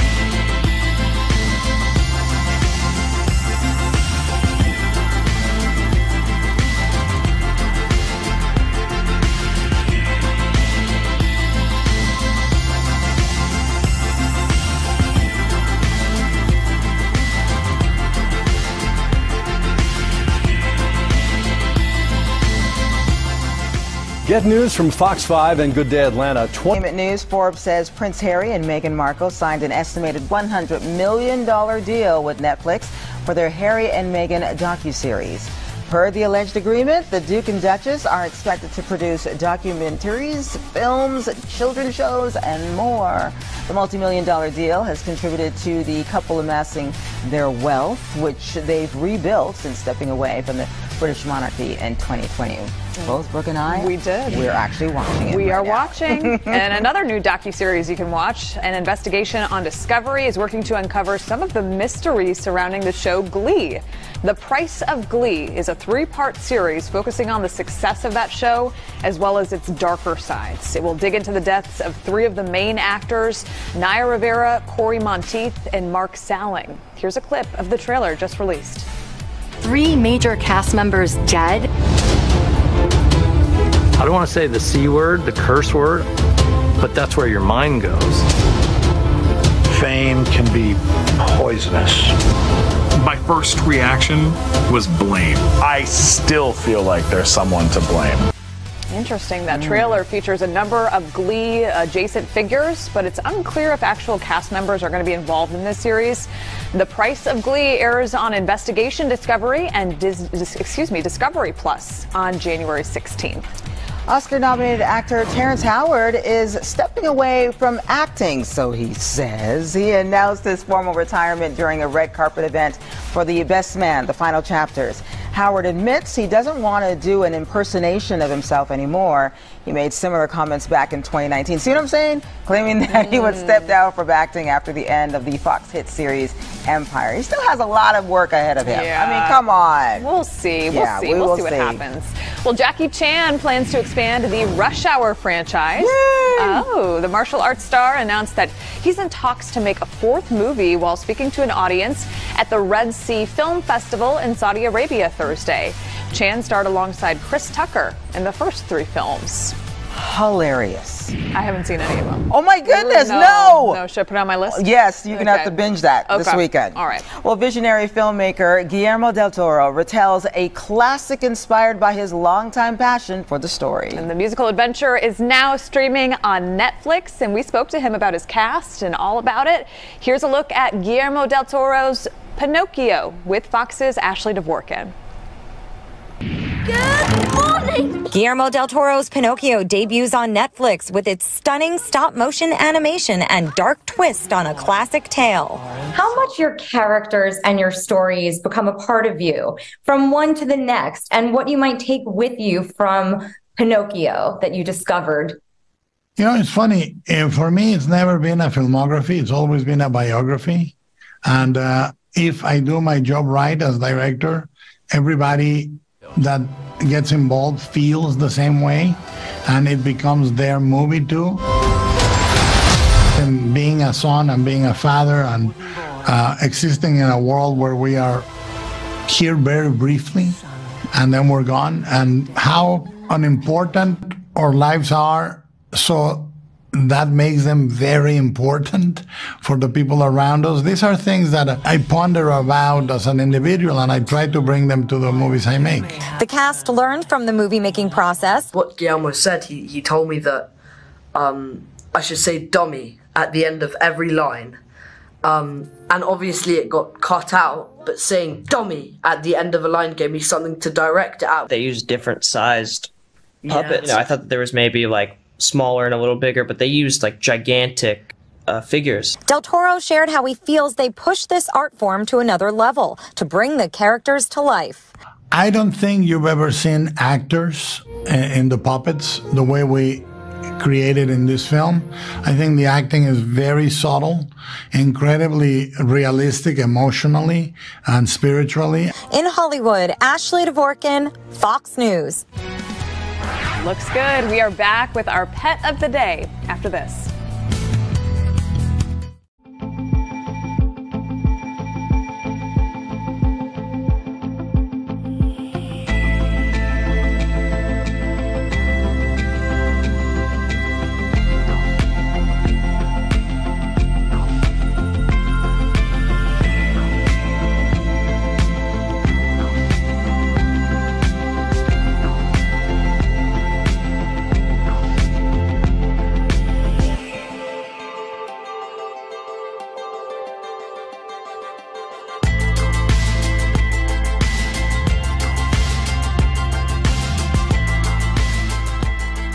The news moves fast, and so do you. So take the news with you. You can scan the code right here to download the Fox 5 News app now. Inside the app, hit the Watch Live button to stream Fox 5 News wherever you are. Get alerts for the biggest stories and the latest news headlines, weather coverage, sports breakdowns, even I-Team investigations. So what are you waiting for? Scan the code now and take the news with you. Download the Fox 5 News app now.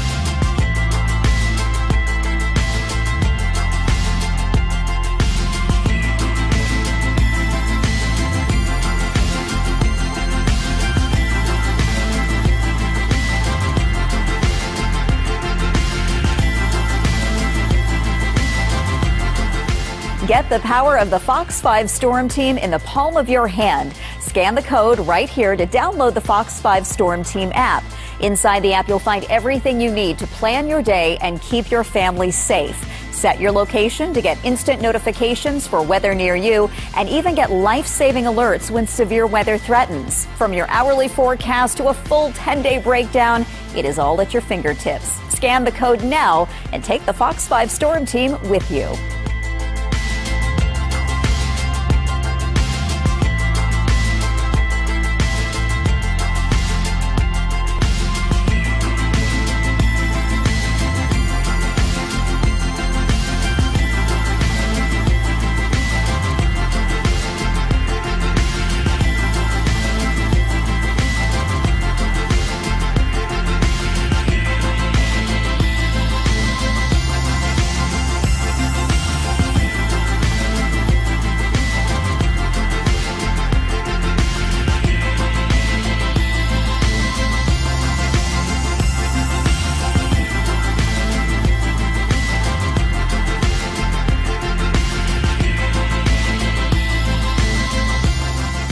Get news from Fox 5 and Good Day Atlanta 24 7 with email newsletters. It's the news you want delivered right to your inbox. The morning brief gives you all the top stories to start your day. And the GDA download delivers a daily recap of trending news, celeb interviews, recipes, and more. You can also get breaking news when it happens. And contest alerts to give you the best chance at winning big. All things Fox 5 right to your inbox. Sign up now at fox5atlanta.com slash email.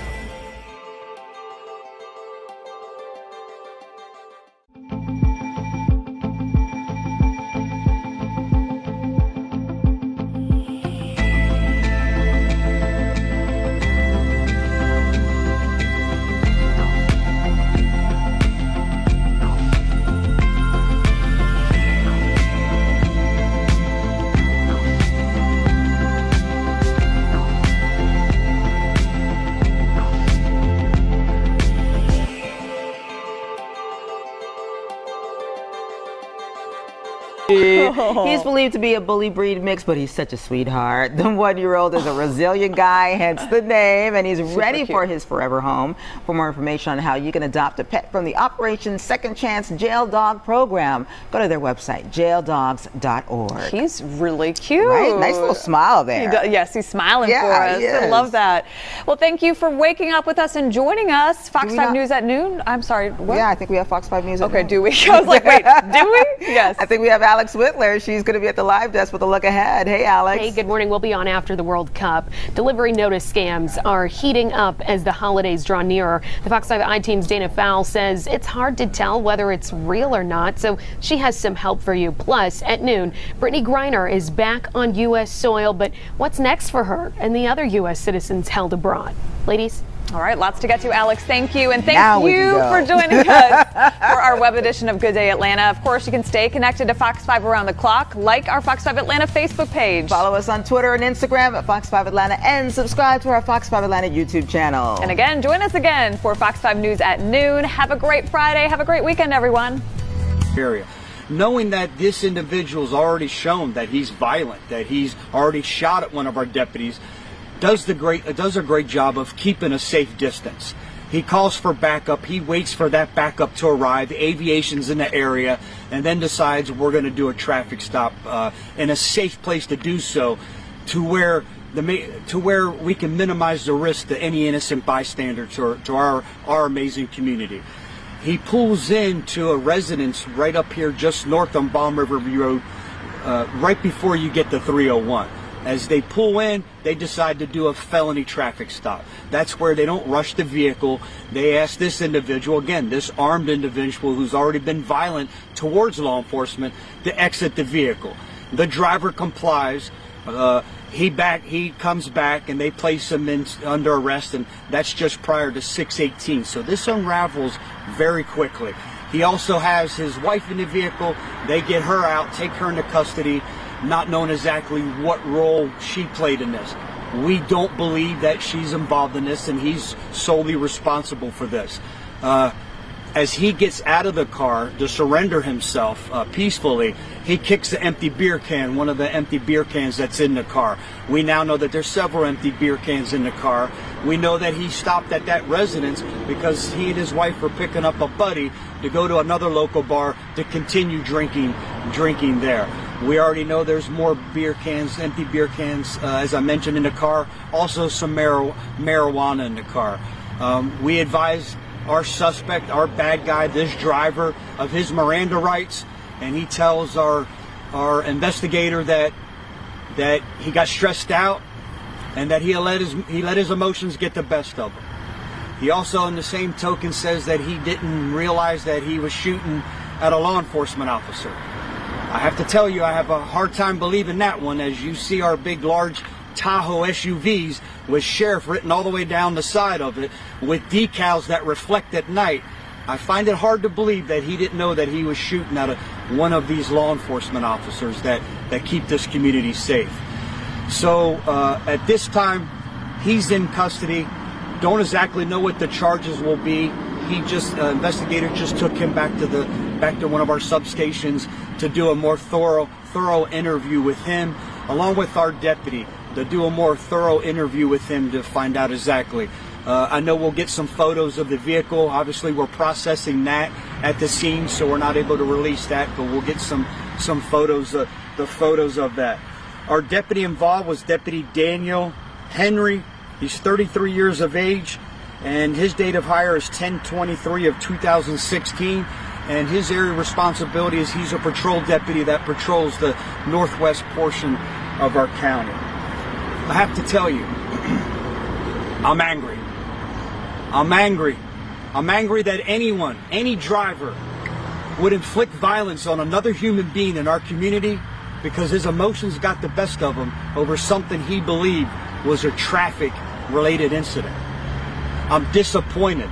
I'm disappointed that any member of our Tampa Bay community would shoot at a law enforcement officer. The same law enforcement officer that's out here protecting this community. And I have to tell you at the same time, I'm grateful. I'm grateful to God that this deputy wasn't injured. And after probably a lengthy interview and a long night for this deputy, he's going to be able to go home to his family and his loved ones. What questions can I try to answer? How far was the shots fired to where the car veered off and pulled over, Sheriff? You have to speak up. I'm how far sorry. was the distance where the actual shot was fired to where the car stopped and pulled over? uh, uh, wh- when he shot, he was just passing. Uh, so our driver, the bad guy in the green Saturn, the driver was here, and he was simply passing the car uh, as he shot.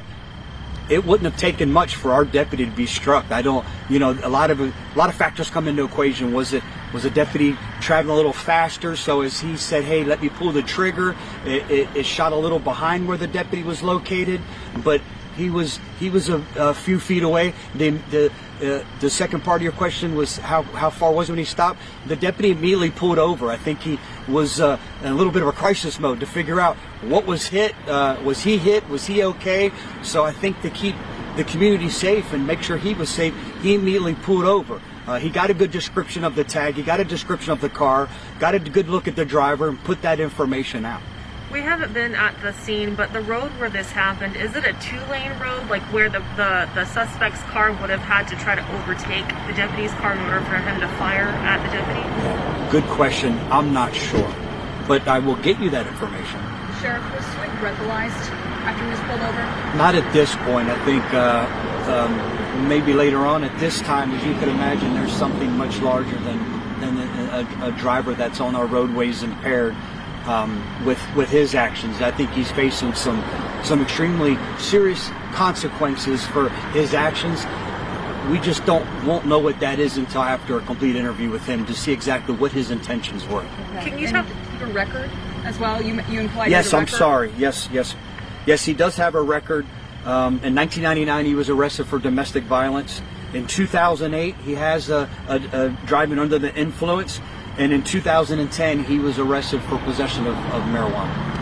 Can you talk a little bit about um, the road rage aspect of this and like the incidents that you all handle here in Hillsborough County? How how often does this happen? Too frequently, we see it too often. Uh, I think I could probably ask all of you the same question, and you guys drive this this large county, and it probably happens to you too often. I don't know what it is that drives individuals to that point of emotion, to that point of angry that they would inflict violence simply because they get upset over something they've seen or experienced on a road. And most of the time, it wasn't intentional. It's not intentional. The, the roads are busy. This individual was driving well below the speed limit. You know, so there's no doubt that the deputy was rapidly approaching him, but still at a safe distance. There was no reason for the brake checking. The deputy still, I think, it, in my mind, attempted to de-escalate the situation by saying, "Listen, obviously he's an angry driver. Let me just drive around and continue to continue to head to the house." And the firearm that was used, is it owned by the suspect? How did he get it? Is, That's that's a great question. Uh, how did he get the firearm? Is he licensed to have the firearm? Was it concealed? That certainly will come out in the investigation. Like I said, these are extremely preliminary details, but that's questions that we're going to ask. Does should, he's not a convicted felon that I can see, so he's permitted to, to be in possession of that firearm. Um, but again, was the firearm stolen? There's a lot of questions that now we need to ask why he had a firearm. Last question. He certainly won't have a firearm after this. And you mentioned that the deputy uh, or the traffic stop was a safe traffic stop. How was that kind of different considering the circumstances from what would normally be a traffic stop? Yeah, instead the difference is instead of just a traffic stop where they get behind a car and stop it, there were several cars. It's it's the way they strategically deployed a safe distance, and they don't go rush in the car, walk up to the car. They have the occupants in the car come back to them. They've already known that he's already shot at a law enforcement officer. They already know that he's a violent individual, uh, maybe an impaired and violent individual, whatever else he may have been experiencing. Uh, uh, mentally at this point. So the safe thing to do during a felony traffic stop is have everybody come back to the deputies, and, and again that that was done um, peacefully uh, resolved, and, and again with occupants taken into custody without without any type of uh, further incident. Thank you, Sheriff. All right, scary situation there, no doubt, uh, that played out uh, yesterday evening in Florida, in the Tampa area. You're watching live now from Fox, everyone. We are going to slide away for a first uh, break here of the hour. You are seeing a Dow that uh, right now just relatively flat, just up about uh, nine points there in the green. We'll look at it all day for you right here on live now from Fox, taking that quick two minute break.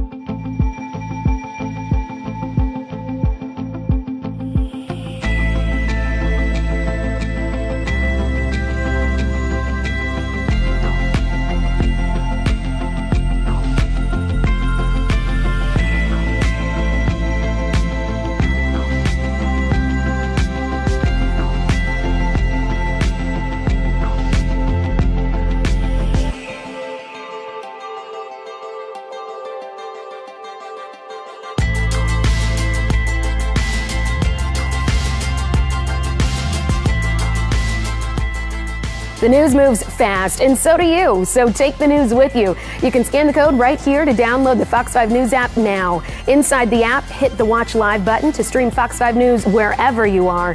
Get alerts for the biggest stories and the latest news headlines, weather coverage, sports breakdowns, even I-Team investigations. So what are you waiting for? Scan the code now and take the news with you. Download the Fox 5 News app now.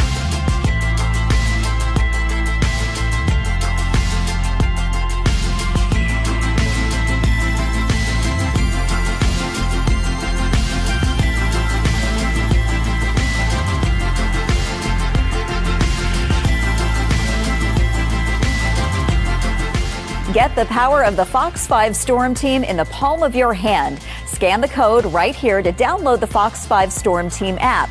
Inside the app, you'll find everything you need to plan your day and keep your family safe. Set your location to get instant notifications for weather near you and even get life saving alerts when severe weather threatens. From your hourly forecast to a full 10 day breakdown, it is all at your fingertips. Scan the code now and take the Fox 5 Storm Team with you.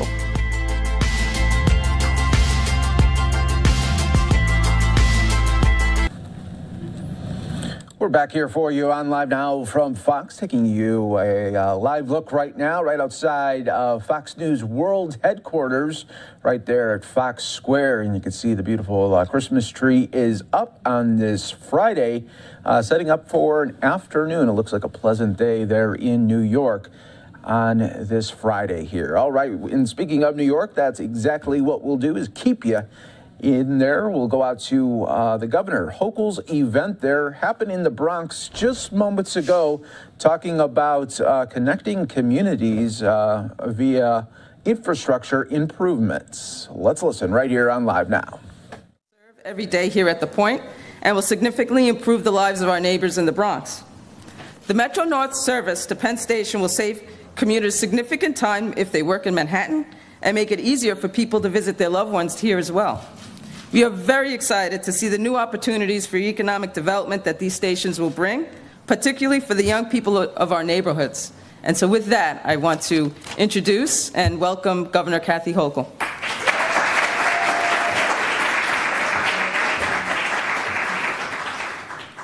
Uh, good morning, everyone. Boy, a lot of energy out there. Someone told me they thought it was cold today.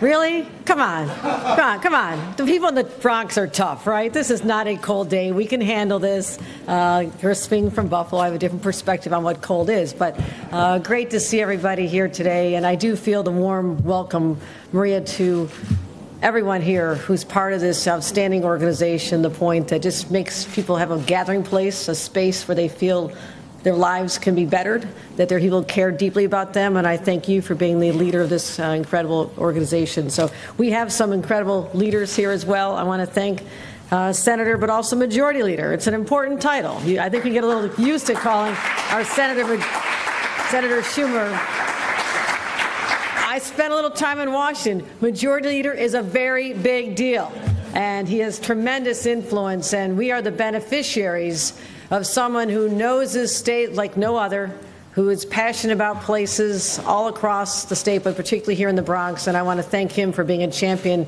of this community, but also of the infrastructure projects that are federal state partnerships which is my polite way of saying keep sending us the money and we'll be happy to spend it, Chuck Schumer. So thank you very much. And another partner in the Congress, Richie Torres, who we've met many, many times talking about how we can work together to help the people of his beloved district uh, have a better shot in life. And I, and I appreciate the passion you bring to your job and uh, look forward to deepening our friendship in many years to come. Congressman Richie Torres.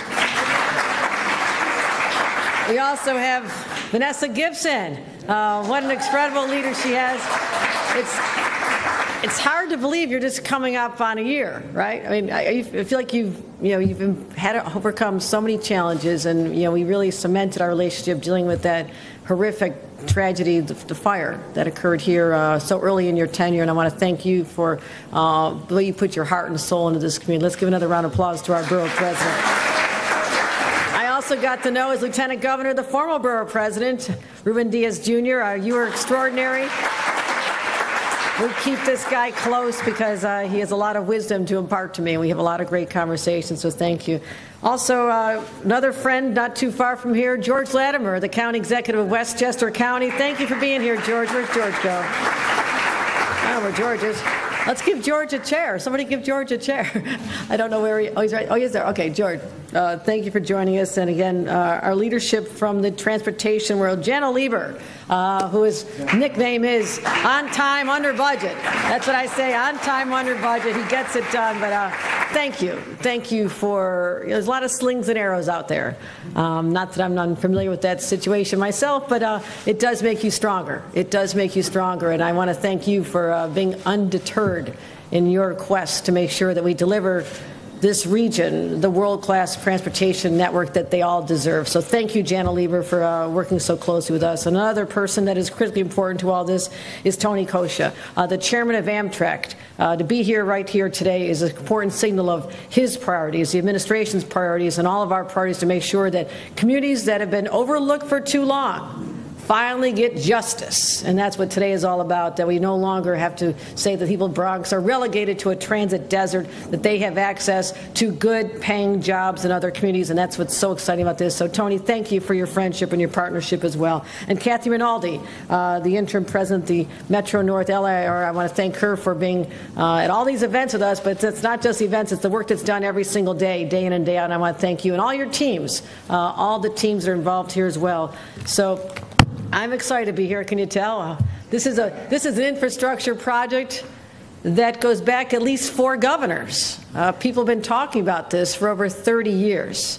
And most of you look too young to remember all this, but uh, it's been a long time and a long time coming. A lot of people have lived here, been raised here, died here, and never had a chance to really understand what true freedom is all about freedom to be able to have access to transportation without having most of your life confined to walking and taking a bus and taking another train, another train and trying to figure out a way to get to the jobs that are there. All it took was a simple linkage that was missing for so long. And so uh, we've been talking about this a long time, but today things are happening. And projects like this really do have an impact on people's lives very profoundly, very profoundly. And to me, infrastructure is all about connections. That's why, since I became governor a short time ago, um, it's all I talk about.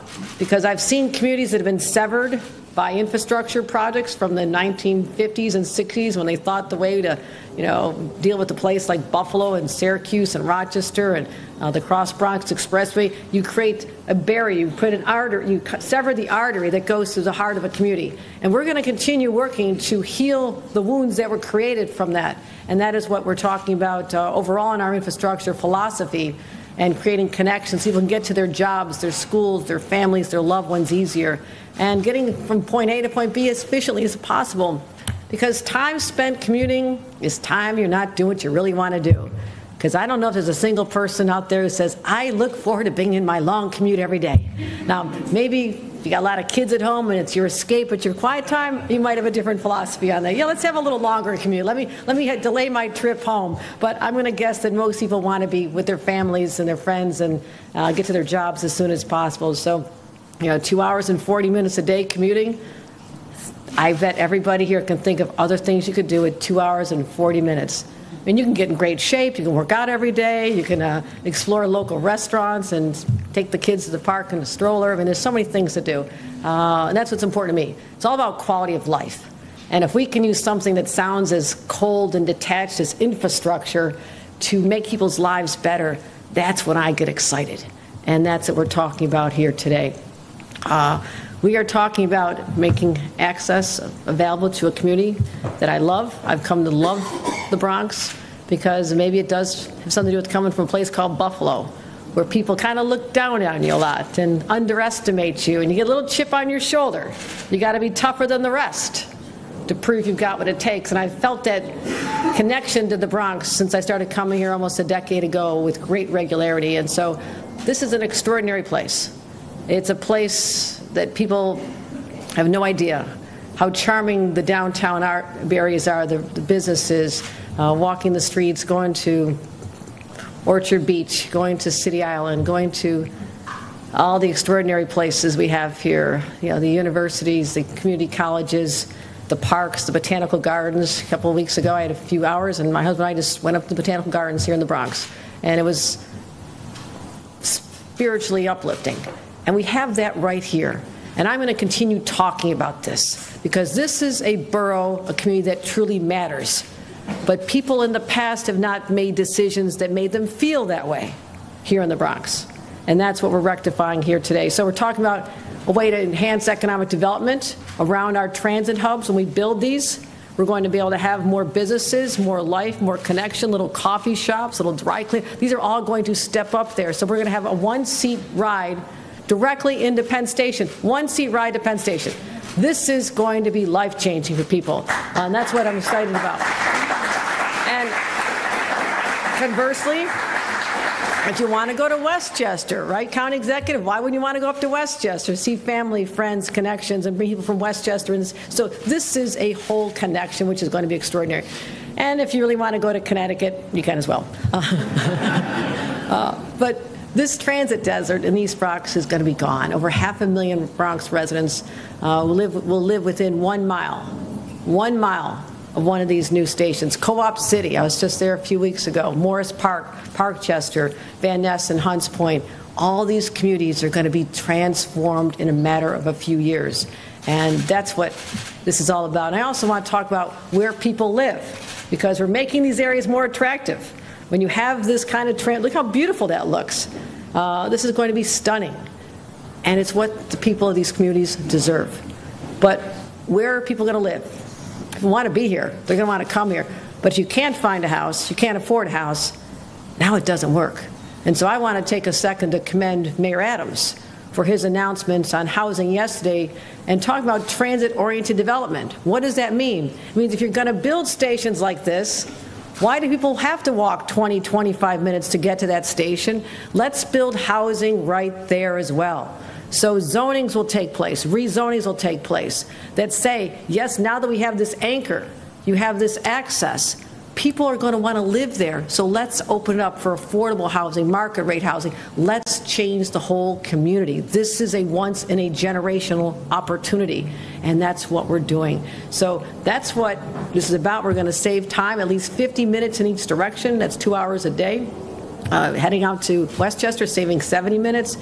And also, promoting. This will give an opportunity for people who want to be educated here. Come to our community colleges, come to our colleges, come on up here.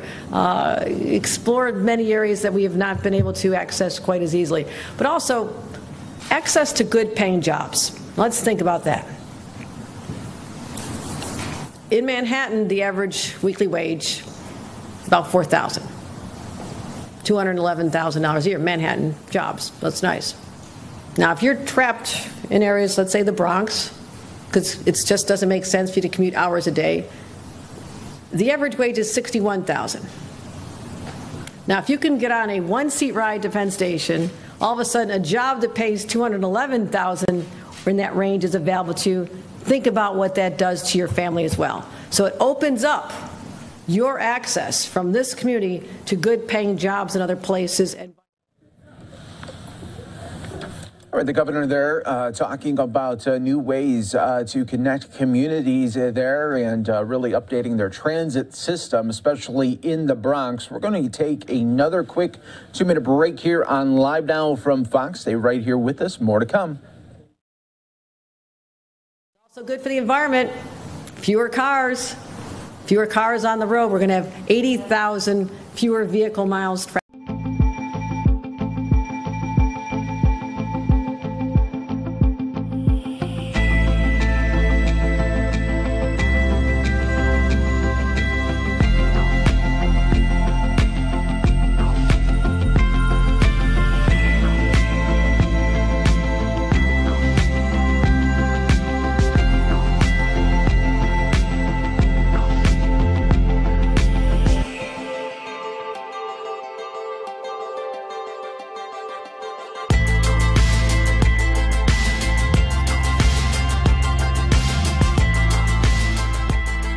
The news moves fast, and so do you. So take the news with you. You can scan the code right here to download the Fox 5 News app now. Inside the app, hit the Watch Live button to stream Fox 5 News wherever you are.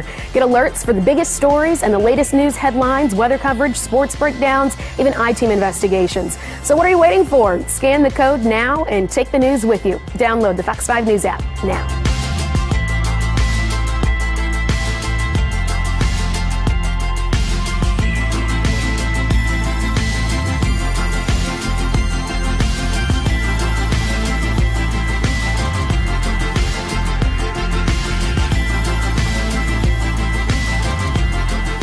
And even get life-saving alerts when severe weather threatens. From your hourly forecast to a full 10-day breakdown, it is all at your fingertips. Scan the code now and take the Fox 5 Storm Team with you.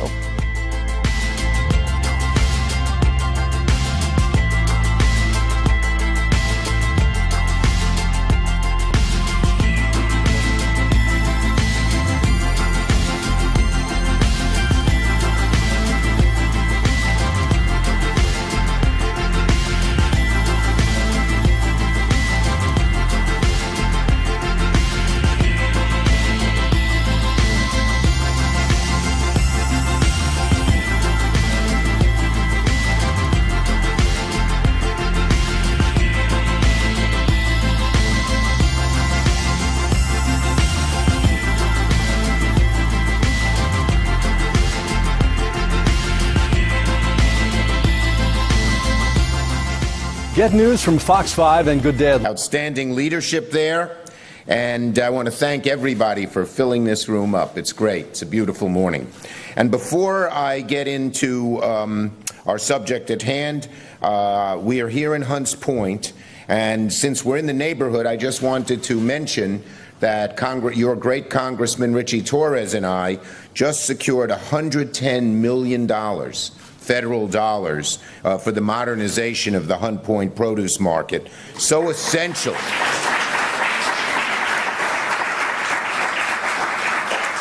This is essential for the food supply of all of the New York metropolitan area. But one of the beautiful things about it, three quarters of the workers there live south of the Cross Bronx Expressway. These are community people benefiting from this great project. Um, it's, and guess what? All of the jobs are union.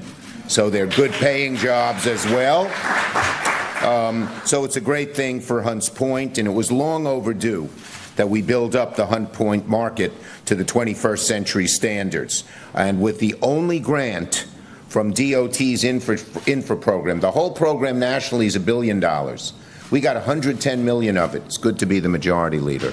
Um, uh, Hunts Point will now have a great opportunity. Now, on to the subject today Penn Station access. It means two big things. One, the East Bronx will no longer be a transit desert, finally. And second, people from the Bronx and Westchester will be able to go directly to Penn Station. We had it all, you know, the original plans. If you're from Long Island, you could only go to Penn Station and not Grand Central. If you're from Westchester in the Bronx, you could only go to Grand Central, not Penn Station. But with East Side access, something I've worked long and hard on, and this great project, we straighten that mess out. And wherever you live in the metropolitan area, you can go to either station. And that's a huge thing for our transit. First, I want to thank everyone who worked so hard with me on this project. Of course, our great governor, Kathy Hochul, our outstanding rising star. Well, he's a star already. He's not rising anymore. Richie Torres represents this district. Uh, Congressman Alexandria Ocasio Cortez, who represents, well, we don't have the map up there. I told Richie, one of the things about being governor that's better than senator, I'd rather be senator. They can make all those nice charts and pictures and have the people to do that. Well, these beautiful, but she represents the, the two northern stations there.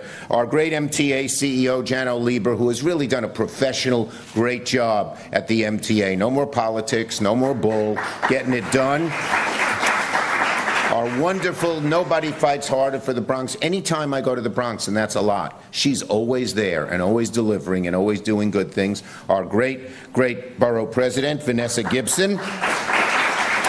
And I might add, following in the footsteps of our great, great former borough president, who's here because he cares so much and started out on all this and worked with me on this project, Ruben Diaz Jr. This is a metropolitan area project. A whole lot of East Westchester, of the eastern half of Westchester County is affected, and George Latimer is somewhere around here. I don't know where he is, our county executive. Thank you. He does a great job there. And we have our local officials who have really helped. Senator Luis Sepulveda is here. Uh, Sepulveda is here, and three of our wonderful council members, Rafael Salamanca, Amanda Farias, and Marjorie Velázquez. And this project's so big, it covers all of their districts, even though they're all over the Bronx, these three districts. So that's a great thing.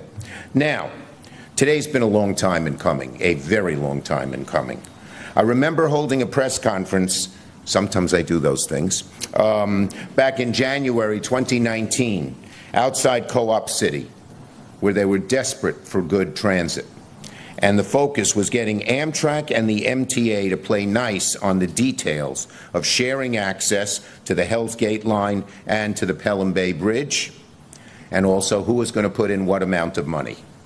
So thankfully, I was able to bring the MTA and Amtrak together. We hashed out the details and overcame this huge hurdle which had stood in the way of making this project occur. Tony Coscia is nodding his head. I said, I get Amtrak a lot of money. Let's have some of it for this project. And Janno, same thing with the MTA. And so uh, we got that done to arrive at this day. the groundbreaking of the Parkchester train station, one of the four new Metro North stations on that beautiful. Can we put that, even though I'm a senator, can we put that up? Let's put that nice picture of all those nice stations up. Um, uh, the one seat train ride for the South Bronx and parts of Westchester to Penn Station and the west side of Manhattan. This means a lot of things, as the governor outlined reduced travel time, greater job opportunities, and a more resilient and interconnected regional rail network. So, why is this important? Tra there's a big equation that's not up on this chart. See, if you're not the governor, they don't listen to you. Hey, you guys, put up the chart. anyway, it's a Friday. We're having some fun, you know. We elected we elected a great man in Georgia, so we're still on cloud nine. Re-elected. Um, uh, anyway, um, transit development equals community development. Transit development equals community development.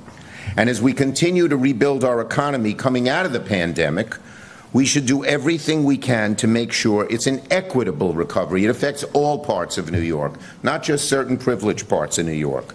That means prioritizing the outer boroughs and communities like the South Bronx that have been neglected for far too long.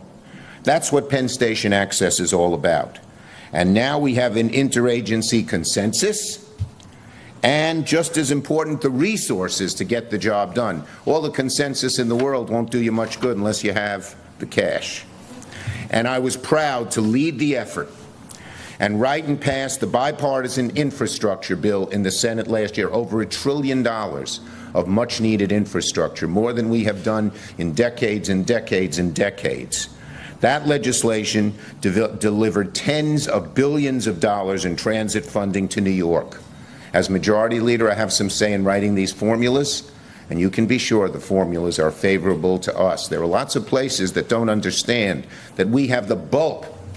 There it is. Thank you, Governor. I love maps. When I was a little boy, my father, he would get home from his little exterminating business at uh, 7.30 at night. And we had already, um, my mom had fed us dinner. And he would we had a map on our wall. My brother and i shared a room and we had a map on the wall. And he would come teach us about things. So i've always loved maps because i associate that with my father. He also by the way when he came home he smelled he smelled of all those chemicals. My sister once sent him a father's day card. You know he passed away a year ago so he's always on my mind. He sent her he, she sent him a father's day card. Dad we're the only family that associates the smell of ddt with love. In any case Thank you for the map. Um, I digress. Uh, so the legislation, as I said, provides tens of billions to New York and tens of billions to Amtrak, which has also been a passion of mine. The money is going to fund the lion's share of this Penn Station access. These federal dollars that you read about last year are now producing real results. Of the $3.2 billion in the project, Amtrak, thank you, Tony Coscia, Amtrak is contributing 500 million, and New York State and the MTA are applying for $2.1 billion from the Federal Railroad Administration's Fed-State partnership. And I have some good news on that last point. It's not only allocating the uh, legislating and passing the dollars, but it's then making sure the agencies get the money out there. So the FRA, the Federal Railroad Administration, recently signaled that Penn Station access would be a, would be a strong candidate for the Fed-State Partnership Program, and they listed, here's how they intend to give out the money, $1.3 billion in their federal, this is just from fiscal year 23's inventory, and the rest will be done in future years. That's a lot of money. So I'm going to be keeping a close eye on them. I watch them like a hawk to make sure they deliver on that allocation, for this is a no-brainer project. We're going to make sure they commit more money moving forward each year to reach the maximum possible federal share for this project, relieving the burden from New York taxpayers, city and state. And that's what happens when we have all the levels of government, you've heard the many people who are here today, uh, aligned on a project that is so strong on the merits.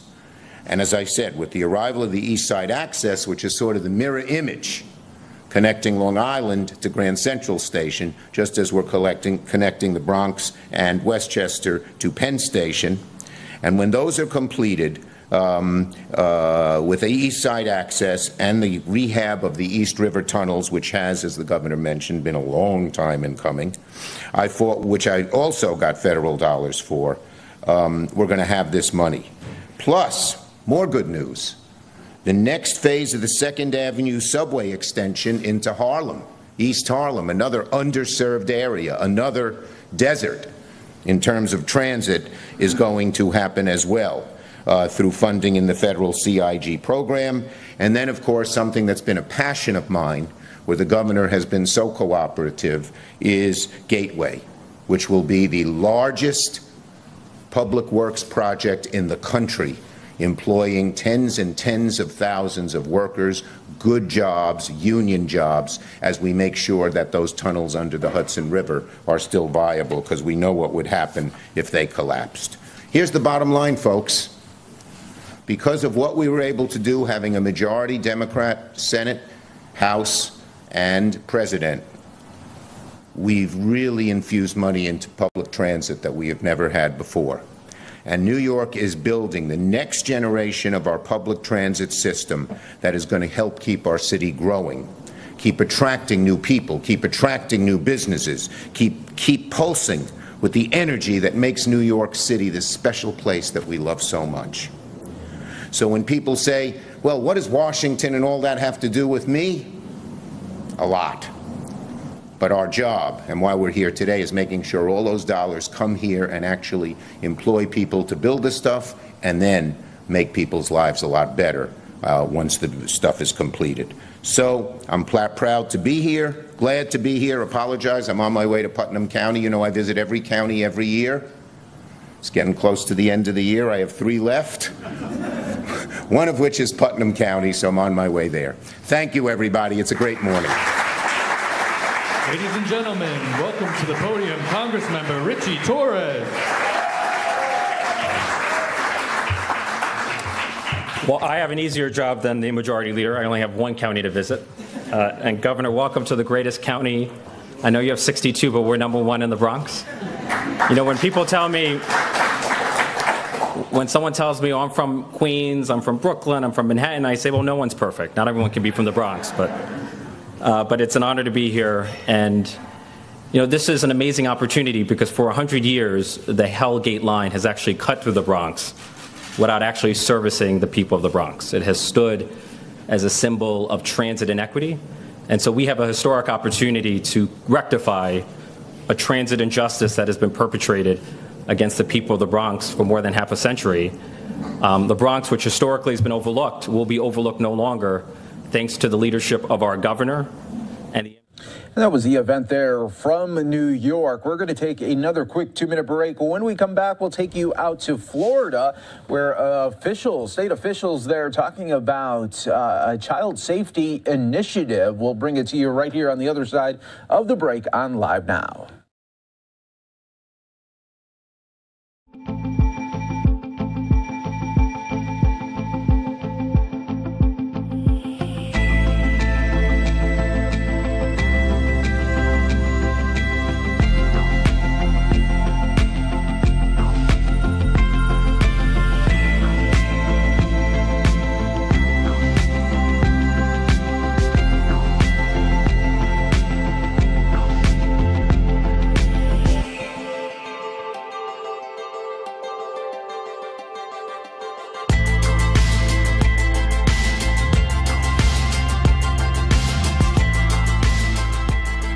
The news moves fast, and so do you. So take the news with you. You can scan the code right here to download the Fox 5 News app now. Inside the app, hit the Watch Live button to stream Fox 5 News wherever you are. Get alerts for the biggest stories and the latest news headlines, weather coverage, sports breakdowns, even I-team investigations. So what are you waiting for? Scan the code now and take the news with you. Download the Fox 5 News app now.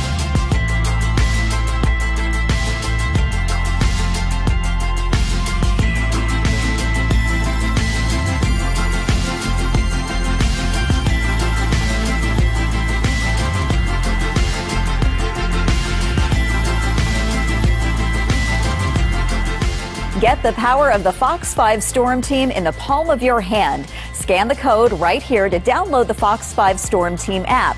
Inside the app, you'll find everything you need to plan your day and keep your family safe. Set your location to get instant notifications for weather near you and even get life saving alerts when severe weather threatens. From your hourly forecast to a full 10 day breakdown, it is all at your fingertips. Scan the code now and take the Fox 5 Storm Team with you.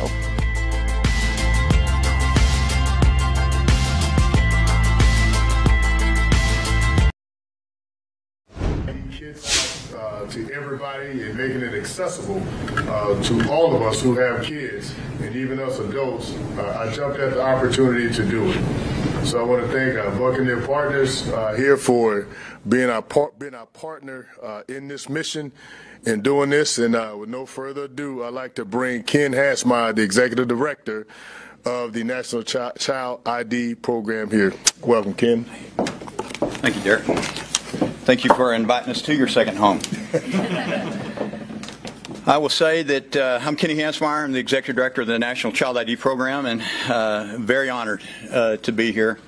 Uh, we've got, uh, we have our fingerprints uh, in Florida uh, through the years. I want to go back a little bit in, in history to uh, explain how we how we've gotten here today. Uh, in 1997, Amber Hagerman was taken in Arlington, Texas, and Amber's mother struggled to find DNA and fingerprint information and took law enforcement uh, five to six days to fingerprint toys, pull hair out of hairbrushes uh, to try to find biometric information. Great things come out of tragedy. This is one of those programs. Uh, and of course the Amber Alert. And so what happened was the American Football Coaches Association, the Association for all NFL and college coaches, uh, saw the need to come uh, to create an in-home fingerprinting kit that we could give out to our fans. And so in 1997, 98 Division One universities participated uh, in handing ID kits out to their fans. And again, we, like I said, we have our fingerprints in Florida. The very first Division One game that we did that year was the Miami West Virginia game, and 27,000 fans got ID kits that they could take home, fill out, keep back uh, in, in, in a safe place in their home in case of an emergency. This does not go into a database. This is a gift of safety.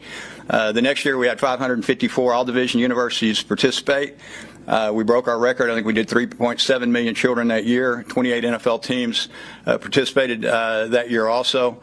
Uh, to date, we're the world's largest child ID program. 81 million ID kits have gone out. Uh, and again, I want to come back to the great state of Florida. Bobby Bowden very competitive. Uh, was on the board of directors when we started the program. He goes, Kenny, I'll be your quarterback coach, uh, and I will tell you that uh, coach is in heaven today. With Coach Schnellenberger, both supported this program mightily, and I guarantee he's smiling from ear to ear. Uh, for what uh, A.G. Moody's picking up the ball, moving this forward uh, after five years of, of, not being in the great state of Florida. Uh, I guarantee you that, Coach, even though you're a Gator, he's uh, he's very very happy and and uh, I will tell you this this is how competitive coach was with this program. When we did our first year the 97 division 1 stadiums uh, we had to give a board report. And so we gave a board report. Coach Bowden of course was on that board and he said Kenny I want to talk to you. Are these numbers correct? And I said yes sir. And he said I'm going to talk to you after the meeting. And coach was upset and he said, uh, he goes, Kenny, are these numbers uh, correct? And I said, what do you mean? He said, the numbers of the 97. He said that, uh, he said, the young man down the road beat me. And I said, coach, I still don't understand. He said, it looks like that I only handed 15,000 ID kits out at Florida State, and Spurrier handed out 25,000. And I said, yes, sir, he beat you in your child ID program. And he said, that'll never happen again. Whatever Spurrier does, you put me down 5,000 more children. so they were competing even in child ID to help protect children. So again, this is an in-home fingerprinting kit. We're here to announce that uh, through a grant, with Florida Power and Light, uh, they have taken care of every kindergarten child in the, in the great state of Florida. And I'll also tell you, I'm, I'm kind of biased to, you can tell I'm got a southern accent, I'm kind of biased to Texas. Uh, we think we do everything bigger and better in Texas. I want to make sure that everybody in here knows I may have to take my driver's license in Texas. They may kick me out. But Florida does it right in everything that you do. You have 67 county sheriffs. You have 67 school districts. Uh, you have great leadership uh, in this in this state, bar none. And uh, I will tell you that Ashley Moody uh, and your governor, bar none, are leading uh, the fight in this country, not only on child safety and human trafficking, uh, but on opioids. Y'all do it right here, and you need to be very, very proud. God bless you. Uh, we're excited. And going, some of the questions may be, well, what about the rest of our children? There's over 500,000 children reported missing every year. Uh, most of those are runaways. I was telling Ms. Glazer uh, about that. Uh, right now, we're going to do our kindergarten children. Next year, what we hope to, to uh, achieve, and we talked a little bit about that, almost uh, 1.8 million ID kits going out to all kindergarten through 12th graders, because again, our runaways fall into our junior high and high schools, and we want to make sure that a parent has something to turn over in case of an emergency. This is a gift of safety. Uh, from the AG's office. Does not go into a database we hope to God it's never used. But if they ever need to turn it over to law enforcement, we want them to have it. I have two daughters that are four and six. Uh, they we did the ID kit when they were four and six. They're now today 24 and 26. Both of their ID kits are still in my Bible today. I thank God I never had to use them.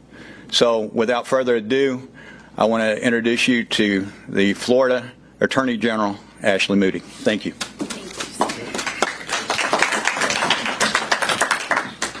Well, today is a great day, a great announcement. I thank the Buccaneers, the Tampa Bay Buccaneers, my home county team, uh, I think America's team, but you know I'm a little biased, for hosting us here today. They are not only focused every week on making sure they have players that are leading on the gridiron, but they have always encouraged, supported players that go on to lead outside of the stadium. There's no better example of that than this man right here, Derrick Brooks, who was not only a hero on the field to so many of us who watched him lead our team to greatness, but remains to be a hero in the lives of those in the Tampa Bay area and improving the lives of children in need and making sure that everyone in our community has an opportunity for greatness. And we're so grateful to you. Thank you. Thank you. And we have so many great partners with me today to announce that every single kindergartner in Florida will now take home with them a child ID kit in which their parents can obtain crucial identification information from physical characteristics, including a photograph, fingerprints, and even DNA, which parents may take and store within their home and keep among their most precious, important belongings and documents, that if tragedy should ever strike and a child go missing, that they have access to that information in a timely way that can be helpful to law enforcement. Many of you know that I am the Attorney General of Florida, but I am also the mother of a school-aged child. I'm also the wife of a law enforcement officer, so you can imagine we have had conversations in our household about how we would be prepared in case of emergency. From a, a meeting place uh, to how we would provide information and work with law enforcement. And through this project, now every parent can have those discussions and make a plan on how to be prepared. Uh, the idea for any parent, myself included, uh, that a child may go missing uh, is unthinkable, unfathomable. But it's, it's something that, that happens in our society, in this nation, and we want parents to be prepared, and we want our children to be protected. According to the National Child Identification Program, more than 800,000 children in America go missing each year. That's one every 40 seconds nationwide. And when this happens, one of the most important factors in reuniting a missing child with the family is being able to identify quickly that child. Law enforcement will need to know what the child looks like, their height, weight, hair color, important characteristics and they've got to have that information and work with those parents immediately. It's a nightmare scenario and one I hope none of our parents in Florida ever have to confront. But this phenomenal team standing with me today will make this process of collecting and storing identification of their children for parents much easier. And I'm proud to stand uh, with all of them as we announced that every single child in kindergarten in the state of Florida, whether you're in a public, private, or charter school, will be sent home with a child ID kit. And remember, and I want to make clear, this is a child ID kit to collect information that will be kept with the parents in the safety of their home. This is not something that will be stored with any entity or any government entity. It's for the parents to lose should the unthinkable happen. In an urgent situation, these kits will help law enforcement quickly find children. So following today's announcement, approximately 250,000 kits will be provided to Florida schools and be sent home free to all parents. We thank Florida Power and Light for making this possible and partnering with our agencies to um, accomplish this important mission. And I'm proud that uh, we have also worked with the Florida Department of Education, the Florida Sheriffs, uh, the Florida School Superintendents, Florida School Resource Officers, along with the American football coaches and the National Child ID program to make this project a success. The parents that will be receiving these kits, uh, please review them. I would like to say uh, I could do this quickly, even had I not helped work with this program and prepare this program. Getting this in my kid's backpack when it when it falls out of the backpack, and you know what that means when you're emptying the backpack at the end of the day and everything falls out. This can be completed quickly with your child and stored with their important documents. I am so grateful that we live in a state with, with law and with the best men and women that wear a badge and serve Floridians. This will help them do their jobs. This will help them help families should the unthinkable happen. So we thank all of our partners, Florida Power and Light, for making this project possible today. And again, we thank the Buccaneers for allowing us to come here and announce this important initiative. We'll call up now the president of the Florida Sheriff's Association, Al Nienhuis.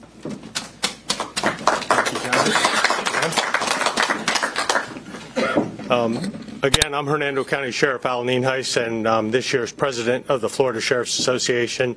And uh, I think I can uh, definitely speak on behalf of my uh, peer sheriffs here in the state of Florida, and even go out on a limb and speak for all law enforcement in the state of Florida. We certainly appreciate uh, the individuals that have already been mentioned here, Derrick Brooks, obviously, thank you for uh, your support of this, and and uh, the Buccaneers organization.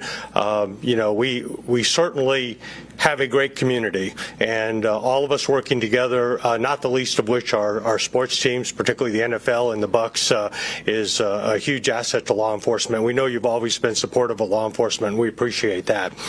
Um, the national ID uh, uh, kit. Uh, the executive director uh, Kenny and I were talking uh, before we came on this morning, or this, yeah, this morning, and um, he happened to mention he's been doing this for 25 years. What a labor of love! So thank you for your dedication to this program. Florida sheriffs, I, I, want to give you a little perspective. The, the general spoke on it a little bit, but um, when the unthinkable happens, and unfortunately in law enforcement, we tend to get a jaded view. We deal with the unthinkable just about every single day, um, and uh, that's what we get paid to do. Is we deal with this stuff so most people don't have to think about it. But if you put yourselves in the shoes of a parent for just a moment, and we respond to their house, um, even though stranger abductions are extremely rare. They do happen, and uh, that is the worst case scenario. And when something like that happens, uh, the parents are certainly not in their right mind. I know I would not be if that happened to my child. And uh, everything is a chore. So being able to get some of this stuff done uh, when you are thinking clearly and something that takes just a couple minutes. And I was looking at the most updated kits. They're they're much easier to use than the original ones. They're not. There's no mess, no fuss. You can fill it out in a few minutes. And as the general said and was said earlier, this is something the parent keeps. Law enforcement doesn't get it to put in some database or anything. It is for the parent uh, if and only if that child goes missing and we're asking questions uh, of the parent that they're not going to be able to process for some time. And when something like this happens, whether it is a runaway or the worst case scenario, a child abduction, uh, time is of the essence. Uh, literally minutes can make the difference between success and failure. And every time we have to put a law enforcement officer towards a resource, uh, no matter how mundane, it takes them away from doing knocking on doors or doing anything else they can do. So trying to go get fingerprints or DNA uh, when something like this is happening is obviously not the best alternative. So having that ID kit filled out that a parent can just hand to the first responding law enforcement officer certainly gets many things off our checklist almost immediately. Uh, so we appreciate the supporters of this and again law enforcement. Uh, it cannot be overstated how much we appreciate this kit uh, if the unthinkable were to happen. And again, very rare, but it could happen. And of course, runaways the same thing, uh, much more frequent, and most of those come home safely. But unfortunately, uh, sometimes they do not. So uh, we do need to be prepared for that. Uh, so without further ado, I'll turn it, uh, the mic over to our uh, local Hillsborough County uh, Superintendent of Schools, Addison Davis. Mr. Davis. Thanks, sir. Thanks, Sheriff. One thing we understand is clear that we cannot do this in isolation. It takes a collaboration. And want to thank Derrick and also Ashley and this entire team that stands in front of you today to be able to signify that safety is and will remain the greatest priority as we, you know, as a collective unit, as community leaders, as civic leaders, we have to do everything that we can in an effort to help parents strengthen their knowledge and their comfort level related to safety. And this initiative does just that. You know, as a parent, Natalie and I, you know, as a, as a father, and my wife and I, Natalie, we used this many years ago for both of our daughters. And we know that as little ones, they loved whether we went to amusement parks, whether we went to events, birthday parties, uh, attended uh, you know, a number of uh, activities that our two daughters were curious and they would they would wander away a little bit. So, you know, this give us we use this identification kit to take with us just in case an undesired situation we were faced with. But I would tell you this, you know, this is part of a comprehensive plan to ensure that safety is in the forefront of everything that we do along the way. And we are so grateful for this initiative. And this is only a part of a, a bigger plan to really make certain that all of our parents have an opportunity to create systematic approach for comfort within their households and their community. One thing we have to understand that law enforcement needs every opportunity to accelerate bringing our little ones back to us as often and quick as they can, and the identification card allows that process to take place. We're so thankful in Hillsborough County that 18,000 kindergarten students will be receiving this identification card in the next few weeks. And we hope our parents take advantage of this and host us in a safe place to create that psychological momentum to allow us to have safety in the forefront. We thank this community for this bold initiative, and we look forward to being partners as every superintendent in the state of Florida and FADS stands united to make certain that this information gets in the hands of our parents to protect our most important assets, which are our students. Thank you. Thank you so much for joining us today for this important announcement, helping us educate those parents who will soon be receiving this home and a backpack and wondering what do we do with this and know how important it is. Uh, and then you take this very seriously, complete this and store this in your home. And we'd be happy to take any questions that you may have at this time. Uh, Miguel from Channel 10 here. Congratulations on your partnership. When do you expect those kits to start arriving in schools? I, you can you can answer that yes, very the, soon. The uh, what's uh, again, y'all uh, y'all had a tough breakdown here. Y'all had a couple of hurricanes come in, uh, had election in the middle of that. y'all did a great job. Uh, that's why y'all lead. I will tell you that even in Lee County. Uh, Lee County just got their ID kits. The ID kits have been uh, are out in every county, out in every school district, waiting to go out. Uh, some of them have already gotten it out. But I will tell you that every county in the in the great state of Florida has their kits. Kenny and Attorney General, you talked about how you hope this also sparks conversations with parents and their kids about safety. Aside from these kids, what kind of information or messaging would you like those parents to maybe stress with their kids? Well, as a mom, I can tell you uh, what I talk to my child about, and that is to be very cautious of those individuals that they do not know and they haven't been introduced to by their families or, or teachers.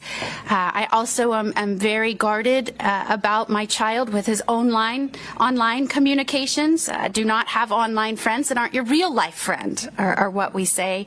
Uh, as we know, and I can tell you from my work in human trafficking, uh, many times uh, the online sites games to social media are often ways that folks we wouldn't want communicating with our children are able to contact them and communicate with them. So parents, uh, it's no longer just who your child will engage with in the real world, uh, walking home for school from school or uh, in other situations. You now have to be increasingly guarded with online activities. So one of my favorite go-tos is please do not speak with or be friends with anyone online who you're not friends with in real life life. Again, uh, Florida leads in providing warnings to parents, uh, to Floridians on how they can protect themselves. We'll continue to do that. Uh, certainly, I was just sharing this with another mother of three prior to this event and was saying, uh, coming into this as a mother of a young child into this role as Attorney General, it's made me acutely aware of how we can do better and being more vocal in offering advice to parents and Floridians on how to protect their families and children. And Attorney General, do you plan to expand these kits to kids maybe older in the future? Is that in the works? That is done in, in, many areas and has been done in the past. Uh, we're working hard to make sure that we, we have the opportunity to expand this program. Uh, today is the announcement of, of hitting the youngest children. If we can hit the kindergartner children, we know that they'll keep those with them as they grow uh, through high school. But certainly it's always uh, our intention and our desire to try and do more as we're allocated resources for parents out there who uh, maybe want to take extra steps outside of just filling out this identification, uh, I know you kind of alluded to maybe limiting who they speak to on online spaces, but there's any extra steps that parents can do to be even more, I don't know, prepared or, or ready for if, if an unfortunate incident were to happen? Thank you. And yes, this is a great first step, making sure you have the identification of your children and that information on hand to be able to quickly provide that to law enforcement. I would also advise parents, you can go to myfloridalegal.com. Uh, we have suggestions to parents on how they can uh, safeguard their children's activity online. We even have um, some information about commonly used apps and games uh, that parents might want to be aware of.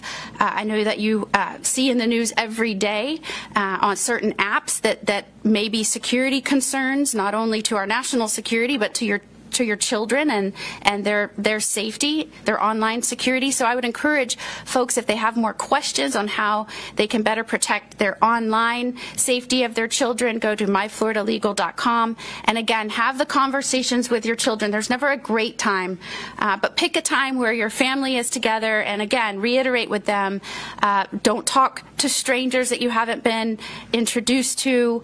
Uh, make sure that they are people, if they approach you, that you have been introduced to by your family or your teachers.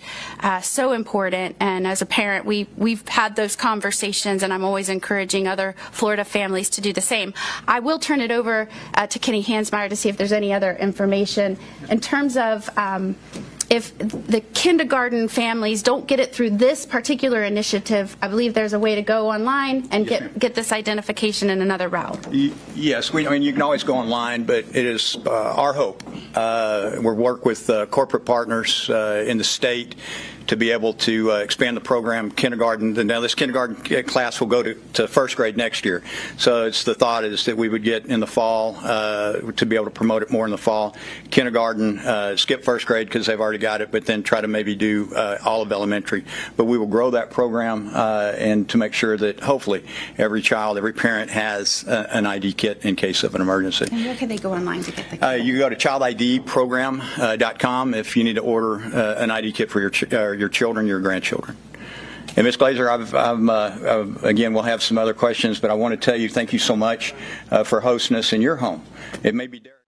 As Florida officials, uh, uh, as well as the Florida Attorney General, coming together to talk about that new child safety program. And uh, we continue to bring you live feeds across the country. We are looking forward to this one in Arizona. This is at a food bank uh, featuring Senator Sinema.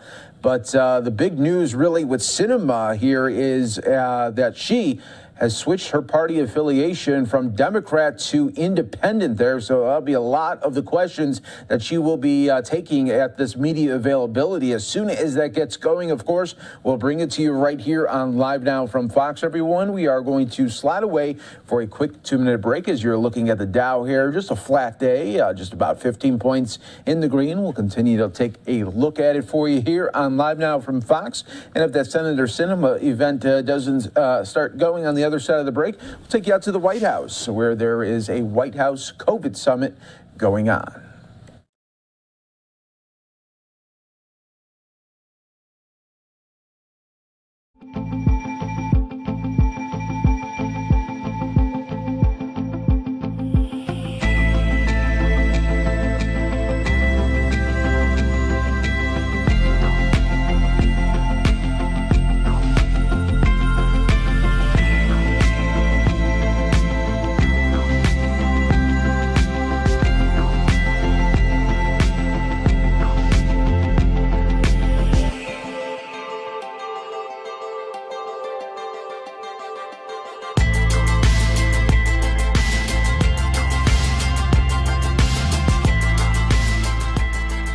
The news moves fast, and so do you. So take the news with you. You can scan the code right here to download the Fox 5 News app now. Inside the app, hit the Watch Live button to stream Fox 5 News wherever you are.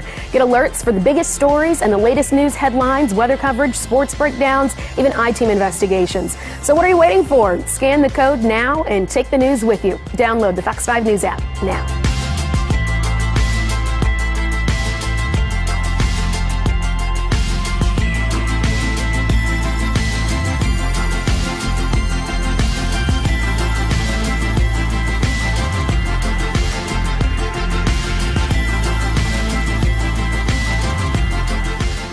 The power of the Fox 5 Storm Team in the palm of your hand. Scan the code right here to download the Fox 5 Storm Team app. Inside the app, you'll find everything you need to plan your day and keep your family safe. Set your location to get instant notifications for weather near you and even get life saving alerts when severe weather threatens. From your hourly forecast to a full 10 day breakdown, it is all at your fingertips. Scan the code now and take the Fox 5 Storm Team with you.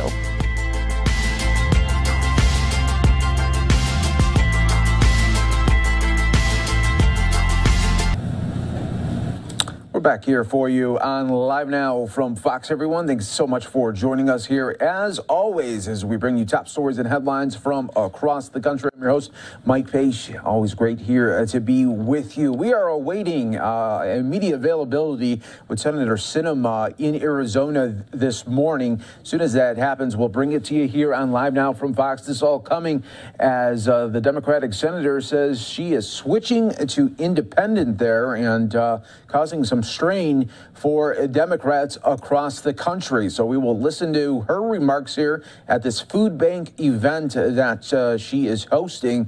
We'll bring it to you as soon as it gets going right here on Live Now from Fox. But I want to go out to the White House for a uh, COVID 19 summit. This may be the last time that we see Dr. Fauci in a uh, federal set, uh, setting because he is retiring at the end of uh, the year here. Let's listen right here on Live Now from Fox. So that's why we need an update, uh, updated vaccine because it targets the virus that's out there. The second issue is that immunity can wane over time. This is why people need an annual flu shot because the virus changes and your immunity changes. Well, in the same way as we've seen waning immunity against COVID, getting that updated bivalent vaccine is the single most important thing you can do to make sure immunity is up to date and that you can fight the virus that's out there. Dr. Fauci, do you want to add anything to yeah, and just to underscore the important point, a lot of people ask us, well, you know, I got measles vaccine, I got polio vaccine. I never had to get another vaccine of the same type. Why do we need to do that? And it's just exactly what Dr. Jha said. Other vaccines of the other types give you immunity that's lasting in decades and sometimes a lifetime. Unfortunately, that's not the case with COVID. So we've got to keep up with that virus and keep up with the waning immunity. When we do that, we're going to wind up being safe. That's the reason why you need your updated COVID booster. So, Dr. Fauci, I'll go back to, uh, to, you with one of our first questions from our members who says, I got boosted, but I still got COVID. How is another shot going to help me from getting COVID again? Well, that's a great question. It relates to the prior question. Even if you've gotten COVID and you've gotten vaccinated, again, the immunity that protects you against the possibility of getting infected three, four, five months later mean you've got to keep your body defenses up to date. When you do that, you dramatically diminish the possibility of getting infected and also importantly dramatically diminish the, po- the possibility that you're going to get seriously ill requiring hospitalization. And if you got the COVID, how soon after you've had COVID should you get another booster shot? It's a great question, Joanne, and um, great question to whoever asked. All right, we will go back to this in a little bit here, but I do want to go out to Arizona. We do have Senator Sinema addressing the media here after making the decision to switch to the independent. Let's listen. At the United Food Bank out in Mesa, you know, folks have heard me talk about this over and over again, but as a kid who was hungry sometimes, I think it's incredibly important to make sure that we're thinking about others, families who might be struggling, particularly during this holiday season. So I know you want to ask about politics, but I want to give a I want to give a plug for the United Food Bank, and I'd encourage folks to go online to unitedfoodbank.org and make a contribution of cash or volunteer, or even donate some food to help families during this holiday season. Gotcha. All right, let's go with the Univision. Uh, so let's go to uh, Title 42, expanding the Title 42, and uh, uh you're proposing sort of uh, sort of like something to legalize all the dreamers out there. Can you talk about that and just what, sure. that, what would that mean for all the dreamers you know, who are here illegally? Well, the immigration crisis is always top of mind for Arizonans. We live every day with the administration's failure to solve this crisis. So I'm working right now with my colleague Thom Tillis of North Carolina on a proposal that would both protect and secure our border and provide a path to citizenship to over 2 million dreamers. We all know who dreamers are in Arizona. These are kids who are brought here through no fault of their own, are American in everything but paperwork, and deserve to have the right to be American citizens. Now, I was really proud that Arizona voters just a few weeks ago said that Dreamers could now get in state tuition at college.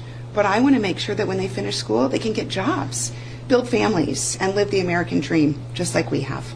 So, Arizonans can expect me to keep working on this challenge. I know it's a tough one, but we're working to break through the partisan gridlock and get something done. 12 minutes.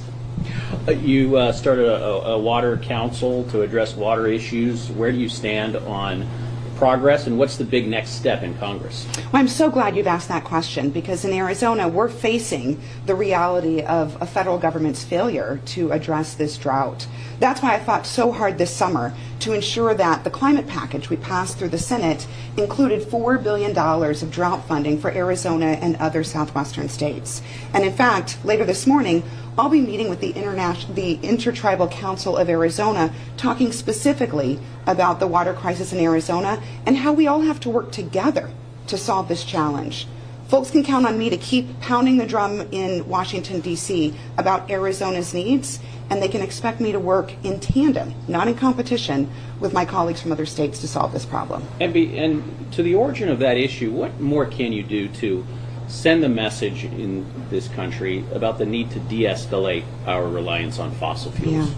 You know, Joe, this is something I've been talking about a lot in Washington. In fact, I expressed my surprise this summer when some of my colleagues put together a historic climate package mm. and didn't include any water funding or even acknowledgement of the drought crisis we face. The reality is is that in order to have a sustainable future, we have to work together. That means relying on older types of fuels like liquid natural gas or uh, fossil fuels, but also transitioning to newer types of fuels like green and clean energy. And of course, in Arizona, we rely on hydropower as well, which is generated from water. So all of these issues work together.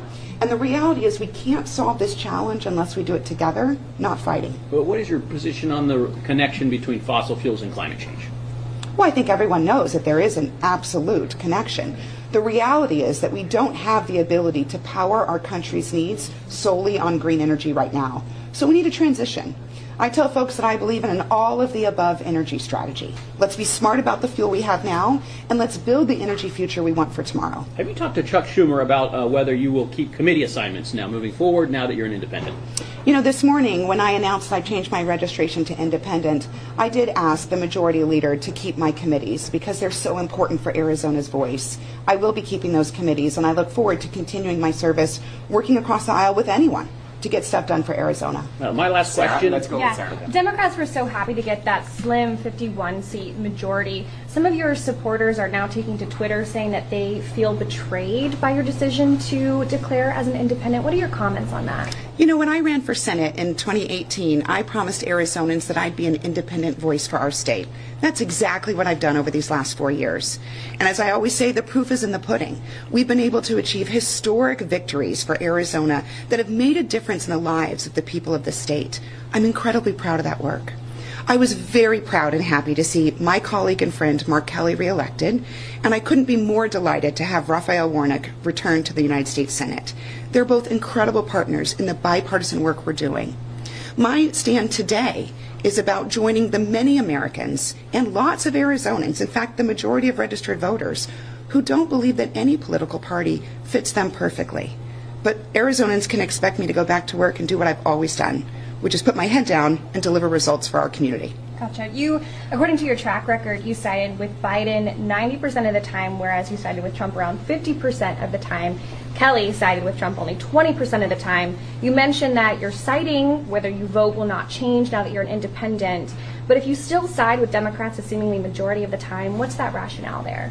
Well, it's interesting that you pose it that way because that's not at all how I think. And I don't think that's how Arizonans think. When an issue is presented in the United States Senate, the first thing I do is try to figure out can I help solve this challenge? What can I do to be a part of the solution? And as I've demonstrated over the past several years, I've been extraordinarily effective at doing so, whether it's the infrastructure bill, historic gun violence prevention, just recently the Marriage Protection Act, and the work that I've done on climate change. I'm willing to work with anyone to get things done. And so I don't think about issues as being Democrat or Republican. And I don't think Arizonans do either.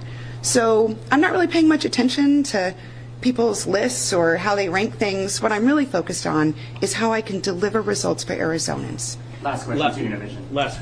I, So, so if this immigration reform gets passed or go- goes, you know, uh, gets uh, forward, what will happen to Title 42 after one year? Well, the proposal that Senator Tillis and I have proposed would allow Title 42 to extend for one year while the administration stands up the reforms to asylum and make some changes to the process so we can secure the border and begin a process of legalization for dreamers.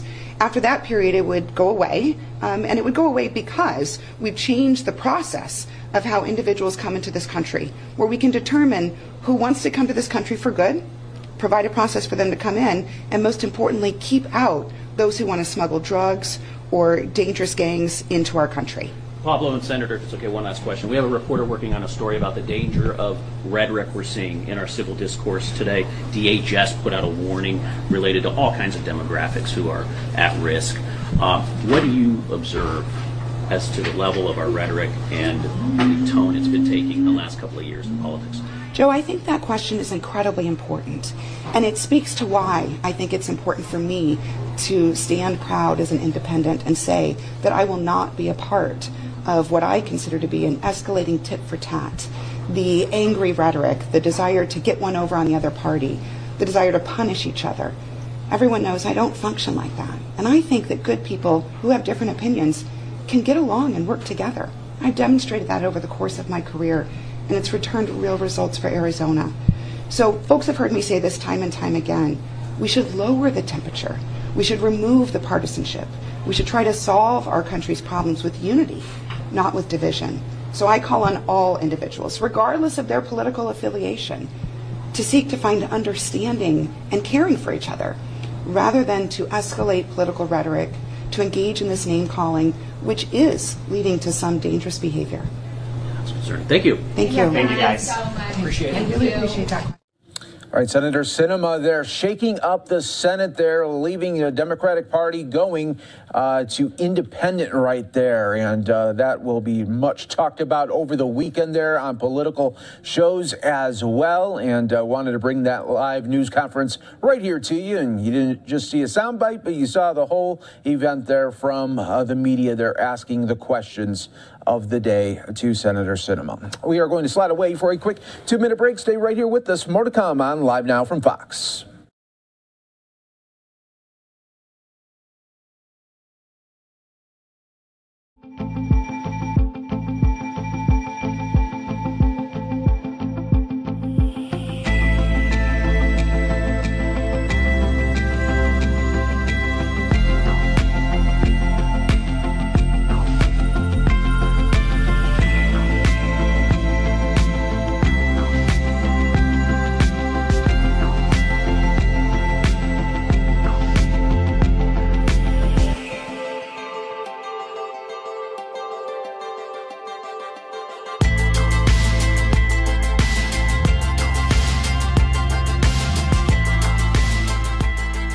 The news moves fast, and so do you. So take the news with you. You can scan the code right here to download the Fox 5 News app now. Inside the app, hit the Watch Live button to stream Fox 5 News wherever you are. Get alerts for the biggest stories and the latest news headlines, weather coverage, sports breakdowns, even I-team investigations. So what are you waiting for? Scan the code now and take the news with you. Download the Fox 5 News app now.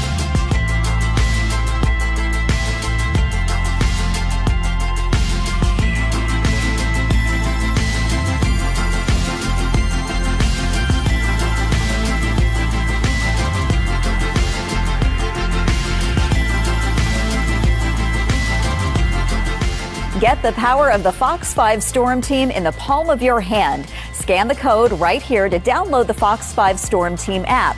Inside the app, you'll find everything you need to plan your day and keep your family safe. Set your location to get instant notifications for weather near you and even get life saving alerts when severe weather threatens. From your hourly forecast to a full 10 day breakdown, it is all at your fingertips. Scan the code now and take the Fox 5 Storm Team with you.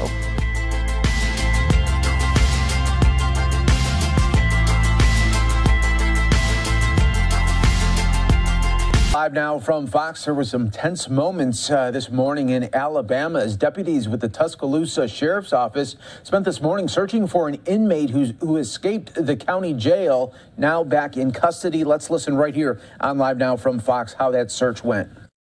When they're on the phone, y'all sound a lot. I missed that. What?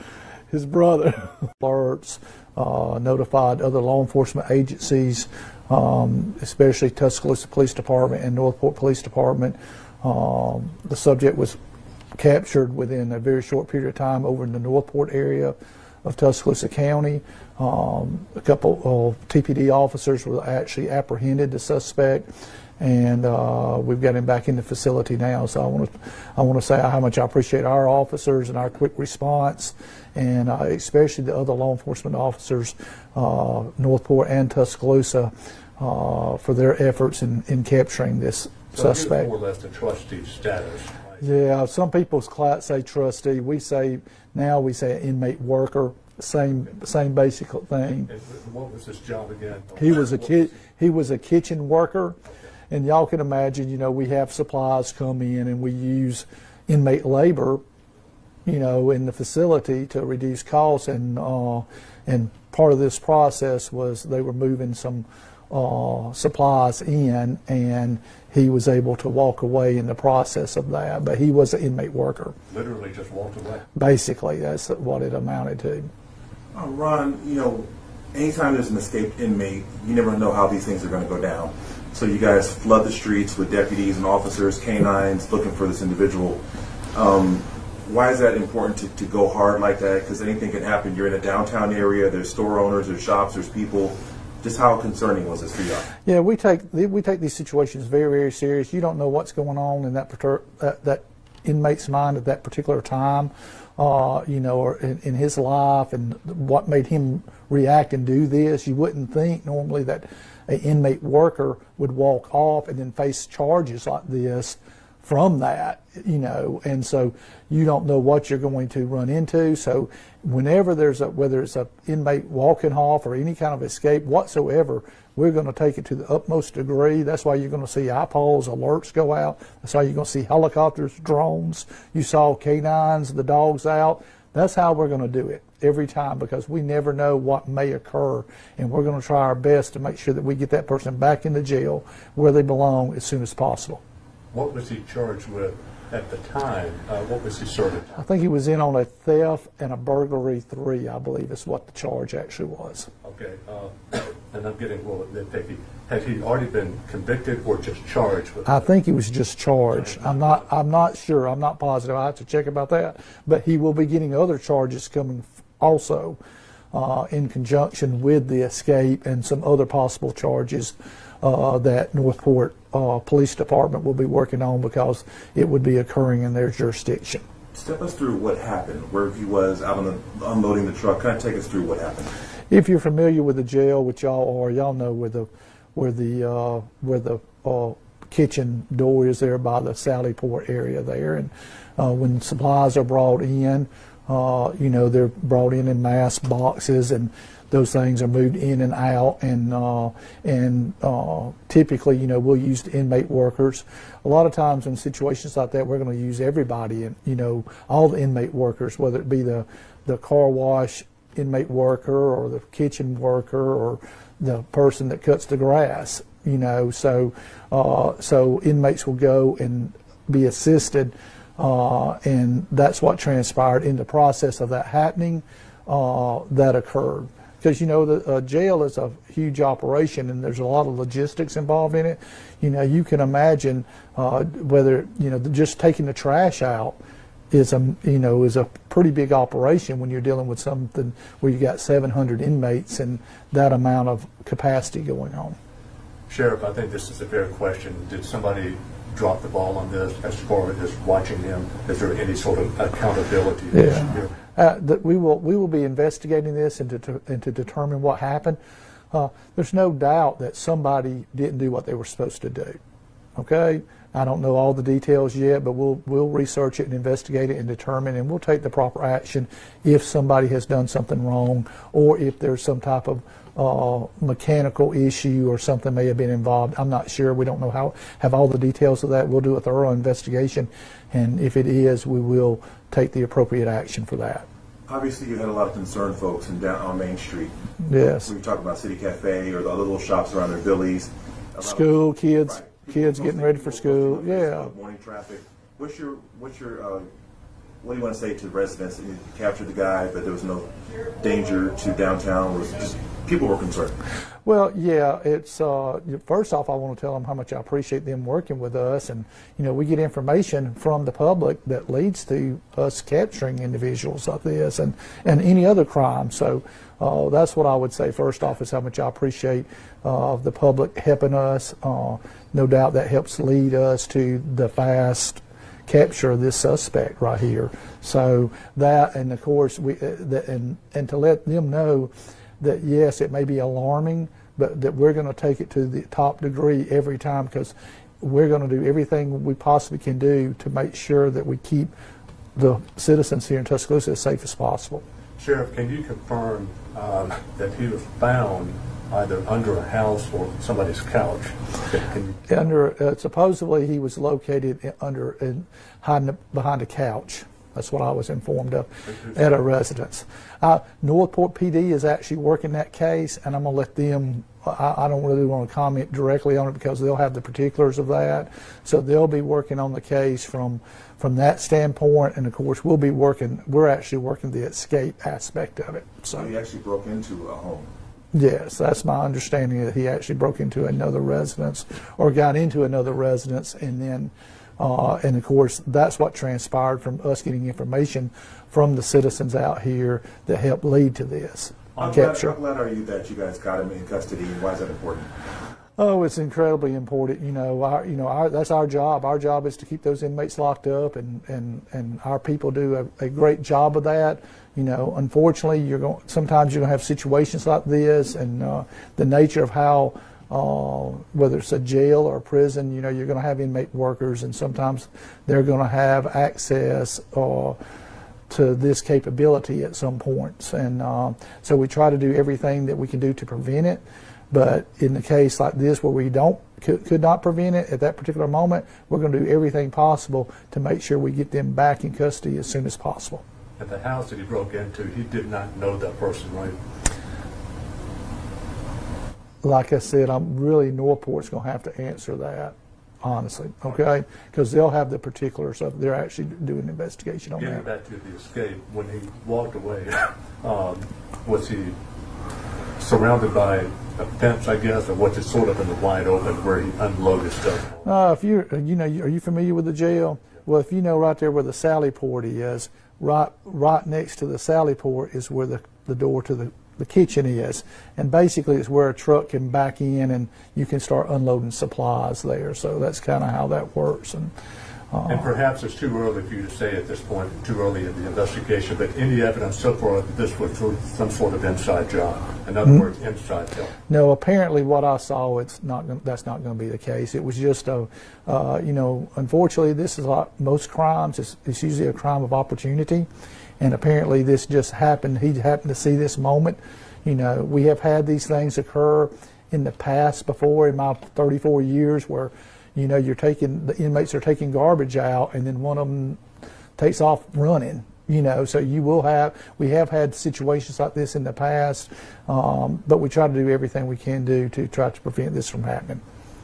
Once a year, how often does this happen with you? Uh, probably, uh, I mean, it, it varies from time to time, but I would say usually, probably in my career, probably once every, um, you know, few years or so, you know. The best story, I'll tell y'all one, not per, per se to put on the air, but when this was the jail here, okay, we had our what we classified as the gas man that worked down right downstairs, you know, where these steps are here. There was a Sally port, okay. He gets some news from his girlfriend or something, whatever. So he decides he's going to leave. So he got in a patrol car and drove. We had a patrol car chasing a patrol car all over downtown Tuscaloosa. Now this is back in the 80s, late 80s. You see what I'm saying? But uh, so you've had situations like that, you know, that's happened. None of it is acceptable. So Talk about this guy's a trustee, you know, on a the best job he could have as an inmate, and decides to walk off. Just how that that's going to be compounded into more charges. How kind of dumb that was. Yes, uh, you know, typically uh, our inmate workers that we have are going to have very minimal charges. I say minimal in the big picture of everything. Um, so they may or may not even probably be going down to prison. They're probably going to get time served in the county jail or, you know, things along tho- that avenue. Um, but like in this particular case, he's going to pick up additional charges that can actually end up to doing way more time or than he would have probably ever imagined or even, even been close to on the original charges. Any idea uh, if he said anything to your officers or TPD uh, when he was arrested? Did he say, okay, you got me? Did he say anything that you know about? No, I know when he, uh, not anything of, of substance. When he came into jail, I mean, I'm, I'm sure he was not very happy, from my understanding, when he got back brought into the jail. So, but that's it. TPD caught him. TPD officers, we had our guys over there in TPD, and I think Northport was getting information, and I think we were tracking him with the dogs, and I think somebody had saw him in a house, and TPD officers. So I really want to give them a lot of credit and tell say how much I appreciate their help, and Northport Police Department. And you know we're blessed here in Tuscaloosa County because all of us work extremely well together. And, I mean this was just an example of this. Hey, this happens. All these entities are coming together. They're all working together, and it leads to the capture of this guy in less than two hours. How many officers would you say were on the scene? you know. I betting altogether, I'm guessing you probably had probably close to 50 officers combined. You know, because you've got unmarked units, you've got the TPD officers, you've got Northport, our officers, you've got our investigators coming in, you've got a lot of people responded. And I'm assuming his trustee uh, status has been. Police Department and Northport Police Department. Uh, It was a wild morning there in Tuscaloosa as they were able to find that inmate there hiding behind a couch and now back into custody. And safe to say that uh, this uh, individual will not be able to have the same sort of perks uh, that uh, they had earlier this week. You're watching live now from Fox, everyone. We are going to take another quick two minute break. Stay right here with us. More to come on Live Now.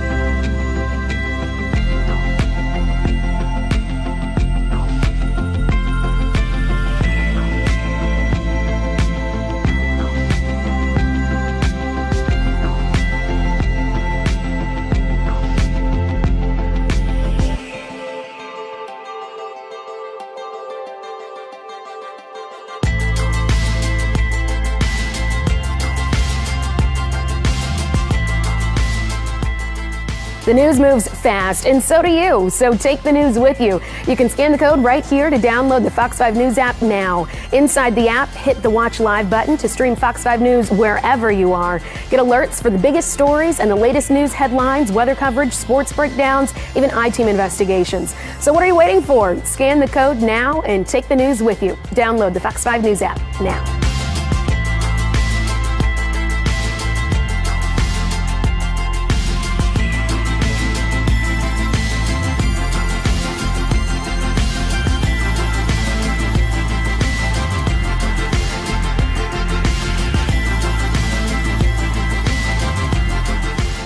The power of the Fox 5 Storm Team in the palm of your hand. Scan the code right here to download the Fox 5 Storm Team app.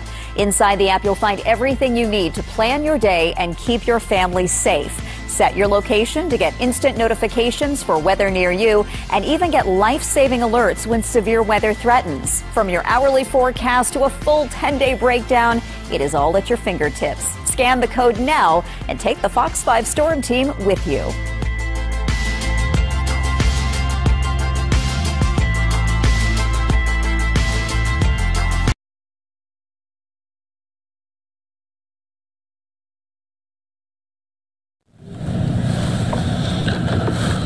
Welcome back, everyone, here to Live Now from Fox, taking you out to Kentucky. The governor speaking right now. Let's listen to this here on Live Now from Fox. Everyone talking about the uh, flooding that was really detrimental earlier this year in eastern Kentucky. Let's listen right here on Live Now from Fox.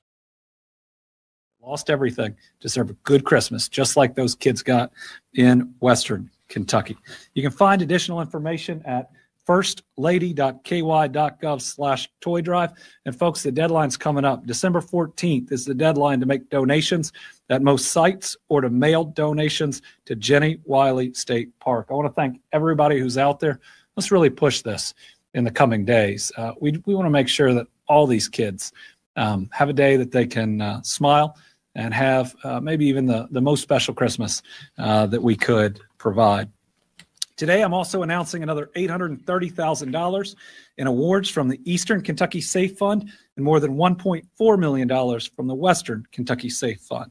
This week, more than $830,000 from the Eastern Kentucky Safe Fund was approved for the Floyd County Fiscal Court to support their local match for FEMA uh, projects.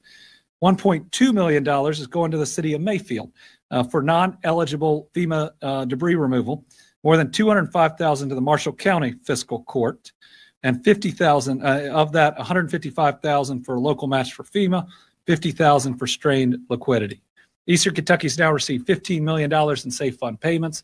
There'll be a lot more, but they've got to basically get the bill and then send it to us. And Western Kentucky's received over 43 million. All right, this next piece is pretty fun. Um, when we launched our cleaner water program, we knew it was going to be uh, special. When you can provide drinking water, uh, reliable drinking water, uh, to people for the very first time, I just couldn't even imagine what it must mean to turn on the tap and that water comes out. The very first project we announced was in Morton's Gap. a town probably about the size of Dawson, maybe a little smaller in the same county, in Hopkins County. And in that city, right outside the limits, um, was a lady who had lived in a place for about 60 years, had never had clean drinking water, and she'd let everybody know about it for the last 10 years. She had pushed and she had pushed. So today, we wanted to make sure you could hear directly from some of the first people through this program, a bipartisan agreement with the General Assembly, um, what it truly means and, and how important it is to families. So you're going to hear from Ruth Baglin and June Vandiver, and um, let's let you hear it in their words. All right, the governor there um, doing this address on a toy drive as well as some aid for flooding victims and uh, delivering uh, clean uh, water to rural areas in Kentucky, everyone. We are going to continue on right here on Live Now from Fox, taking top feeds from across the country. We next go out to, to Florida here. This is in Polk uh, County right now, where we do have Sheriff Grady Judd giving an update on a uh, really uh, crazy story of a traffic stop that uh, had a, uh, the suspect had a lot in the truck there. Charges are possession of a short barreled rifle, two counts of possession of a machine gun, resisting arrest, and altering the serial number of firearms. Let's listen right here on Live Now from Fox. In the vehicle, we break the back window out of the pickup truck. He still refuses to get out of the vehicle. We immediately tased him, and once the taser struck him, he became more compliant. We pulled him out of the vehicle and arrested him. Here's what we learned. He wouldn't identify himself. He wouldn't get out of the vehicle. We saw a handgun. And when we asked him about all this, he said, Well, you know, I'm kind of a sovereign, and I don't recognize state law enforcement. They have no authority over me. This was an illegal stop. Only the elected sheriff has authority, law enforcement authority. Well, he learned before the day was over that he was right. The sheriff's office does have authority, and we appropriately charged him. But he also learned the state troopers have authority as well because they charged him as well. We took him into custody. Tiffany immediately lost interest in wanting to resist any further, so she was simply arrested and taken into custody for resisting. Samuel Doolin is the older brother to one of the Doolins that was arrested as a as a response to the January 6th event by the FBI. It's the same family. Quite frankly, when we got there, he, he showed the hands, but he was not getting out of the truck. We had no right to take him out of the truck because the State Highway Patrol had no right to stop him, no right to arrest him or detain him. Well, he learned differently. So at the end of the day, he's in jail, charged with a lot of different charges. He posted bond and was just about to get out of jail. However, my detectives went and added another charge that you may not be aware of of carrying a concealed firearm because the way he was carrying these firearms was illegal. During our investigation, we learned not only was he carrying firearms, but he had altered the handgun, the Glock, and he'd also altered the AK or the AR-15 so that they were fully automatic. That's another violation of law. So he's picked up several felony charges. It's interesting. He went from no arrest to several very significant arrests with altering guns to be fully automatic. Now he says this is what he told us that he was an Army Ranger and he was just released from the military because he wouldn't take a COVID shot. I don't know if that's valid or not, but I know that's what he told our detectives and deputies. So this is one more example of the Florida Highway Patrol and the Sheriff's Office working together to ensure the safety and security of the community. He had the ability to be very violent, and we just thank God that he didn't pull that gun and start shooting a fully automatic firearm at the troopers before we got there or at us either. But he's in jail, the community's safe. He's facing a lot of serious charges, Because of the relationship with his younger brother and him being under federal charges, we've also notified the FBI. So, in the event they want to tack on any federal charges as well, that's their decision. We won't. We won't make that decision. We can't make that decision. However, he says he has sovereign tendencies, and today he has jailhouse tendencies. You know what I'm saying? So that's our Christmas present to him. Early present. When you don't obey the law, we're going to lock you up. Merry Christmas.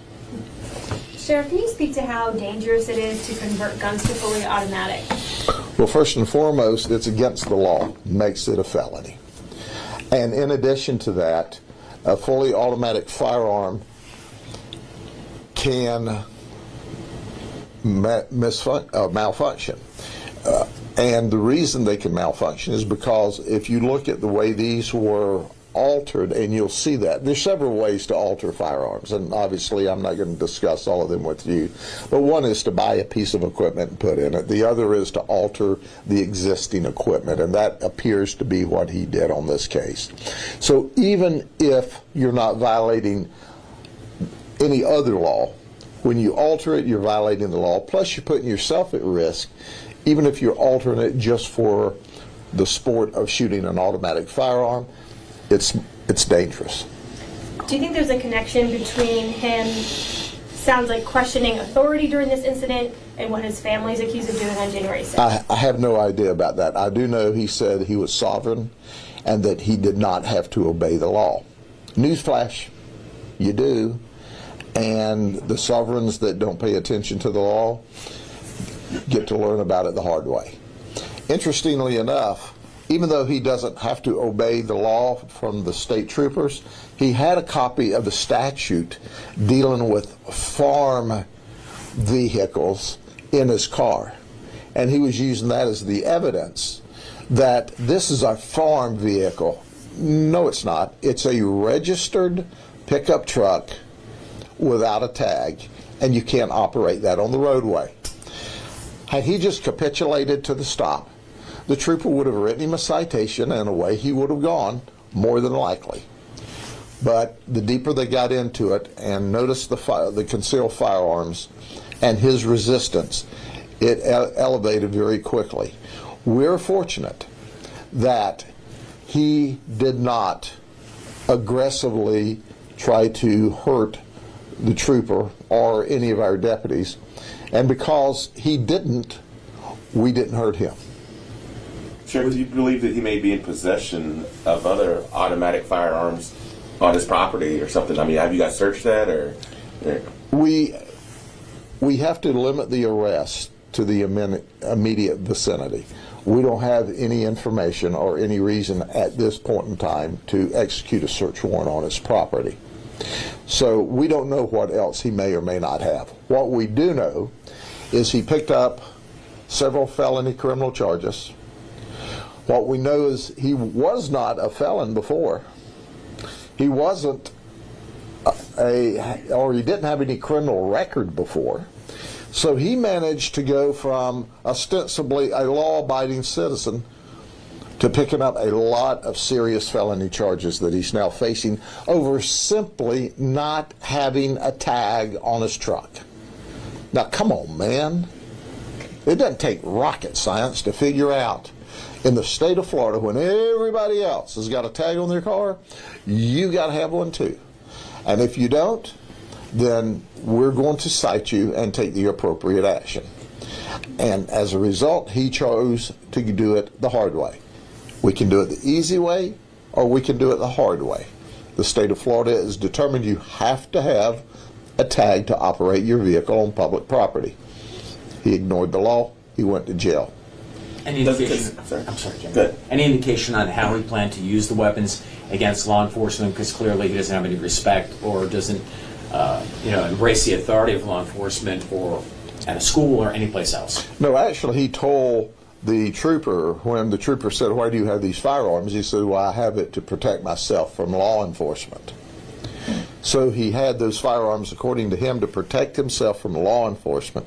He did not pull the weapon out He clearly showed his hands to us. But we find that all of that suspicious. If in fact he was an Army Ranger, my experience is that Army Rangers are top of the line people and wonderful people and heroes. And all of a sudden he goes from Ranger, if that's accurate, to making a fully automatic weapon out of one that's not to protect himself from law enforcement. What you see here is a guy that's got a screw loose, but we tightened it up for him.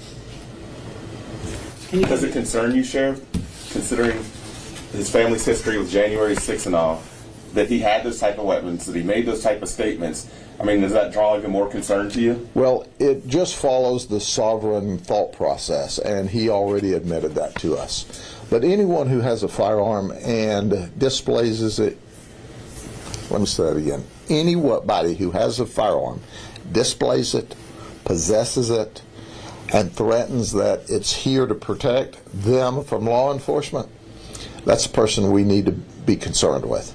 Now, having said that, we saw the polar opposite while we were there in that he completely showed us his hands the whole time and never offered any overt motions to grab the gun. So it's important to point out that he cooperated in the sense that he showed us his hands, but he wasn't getting out of the car.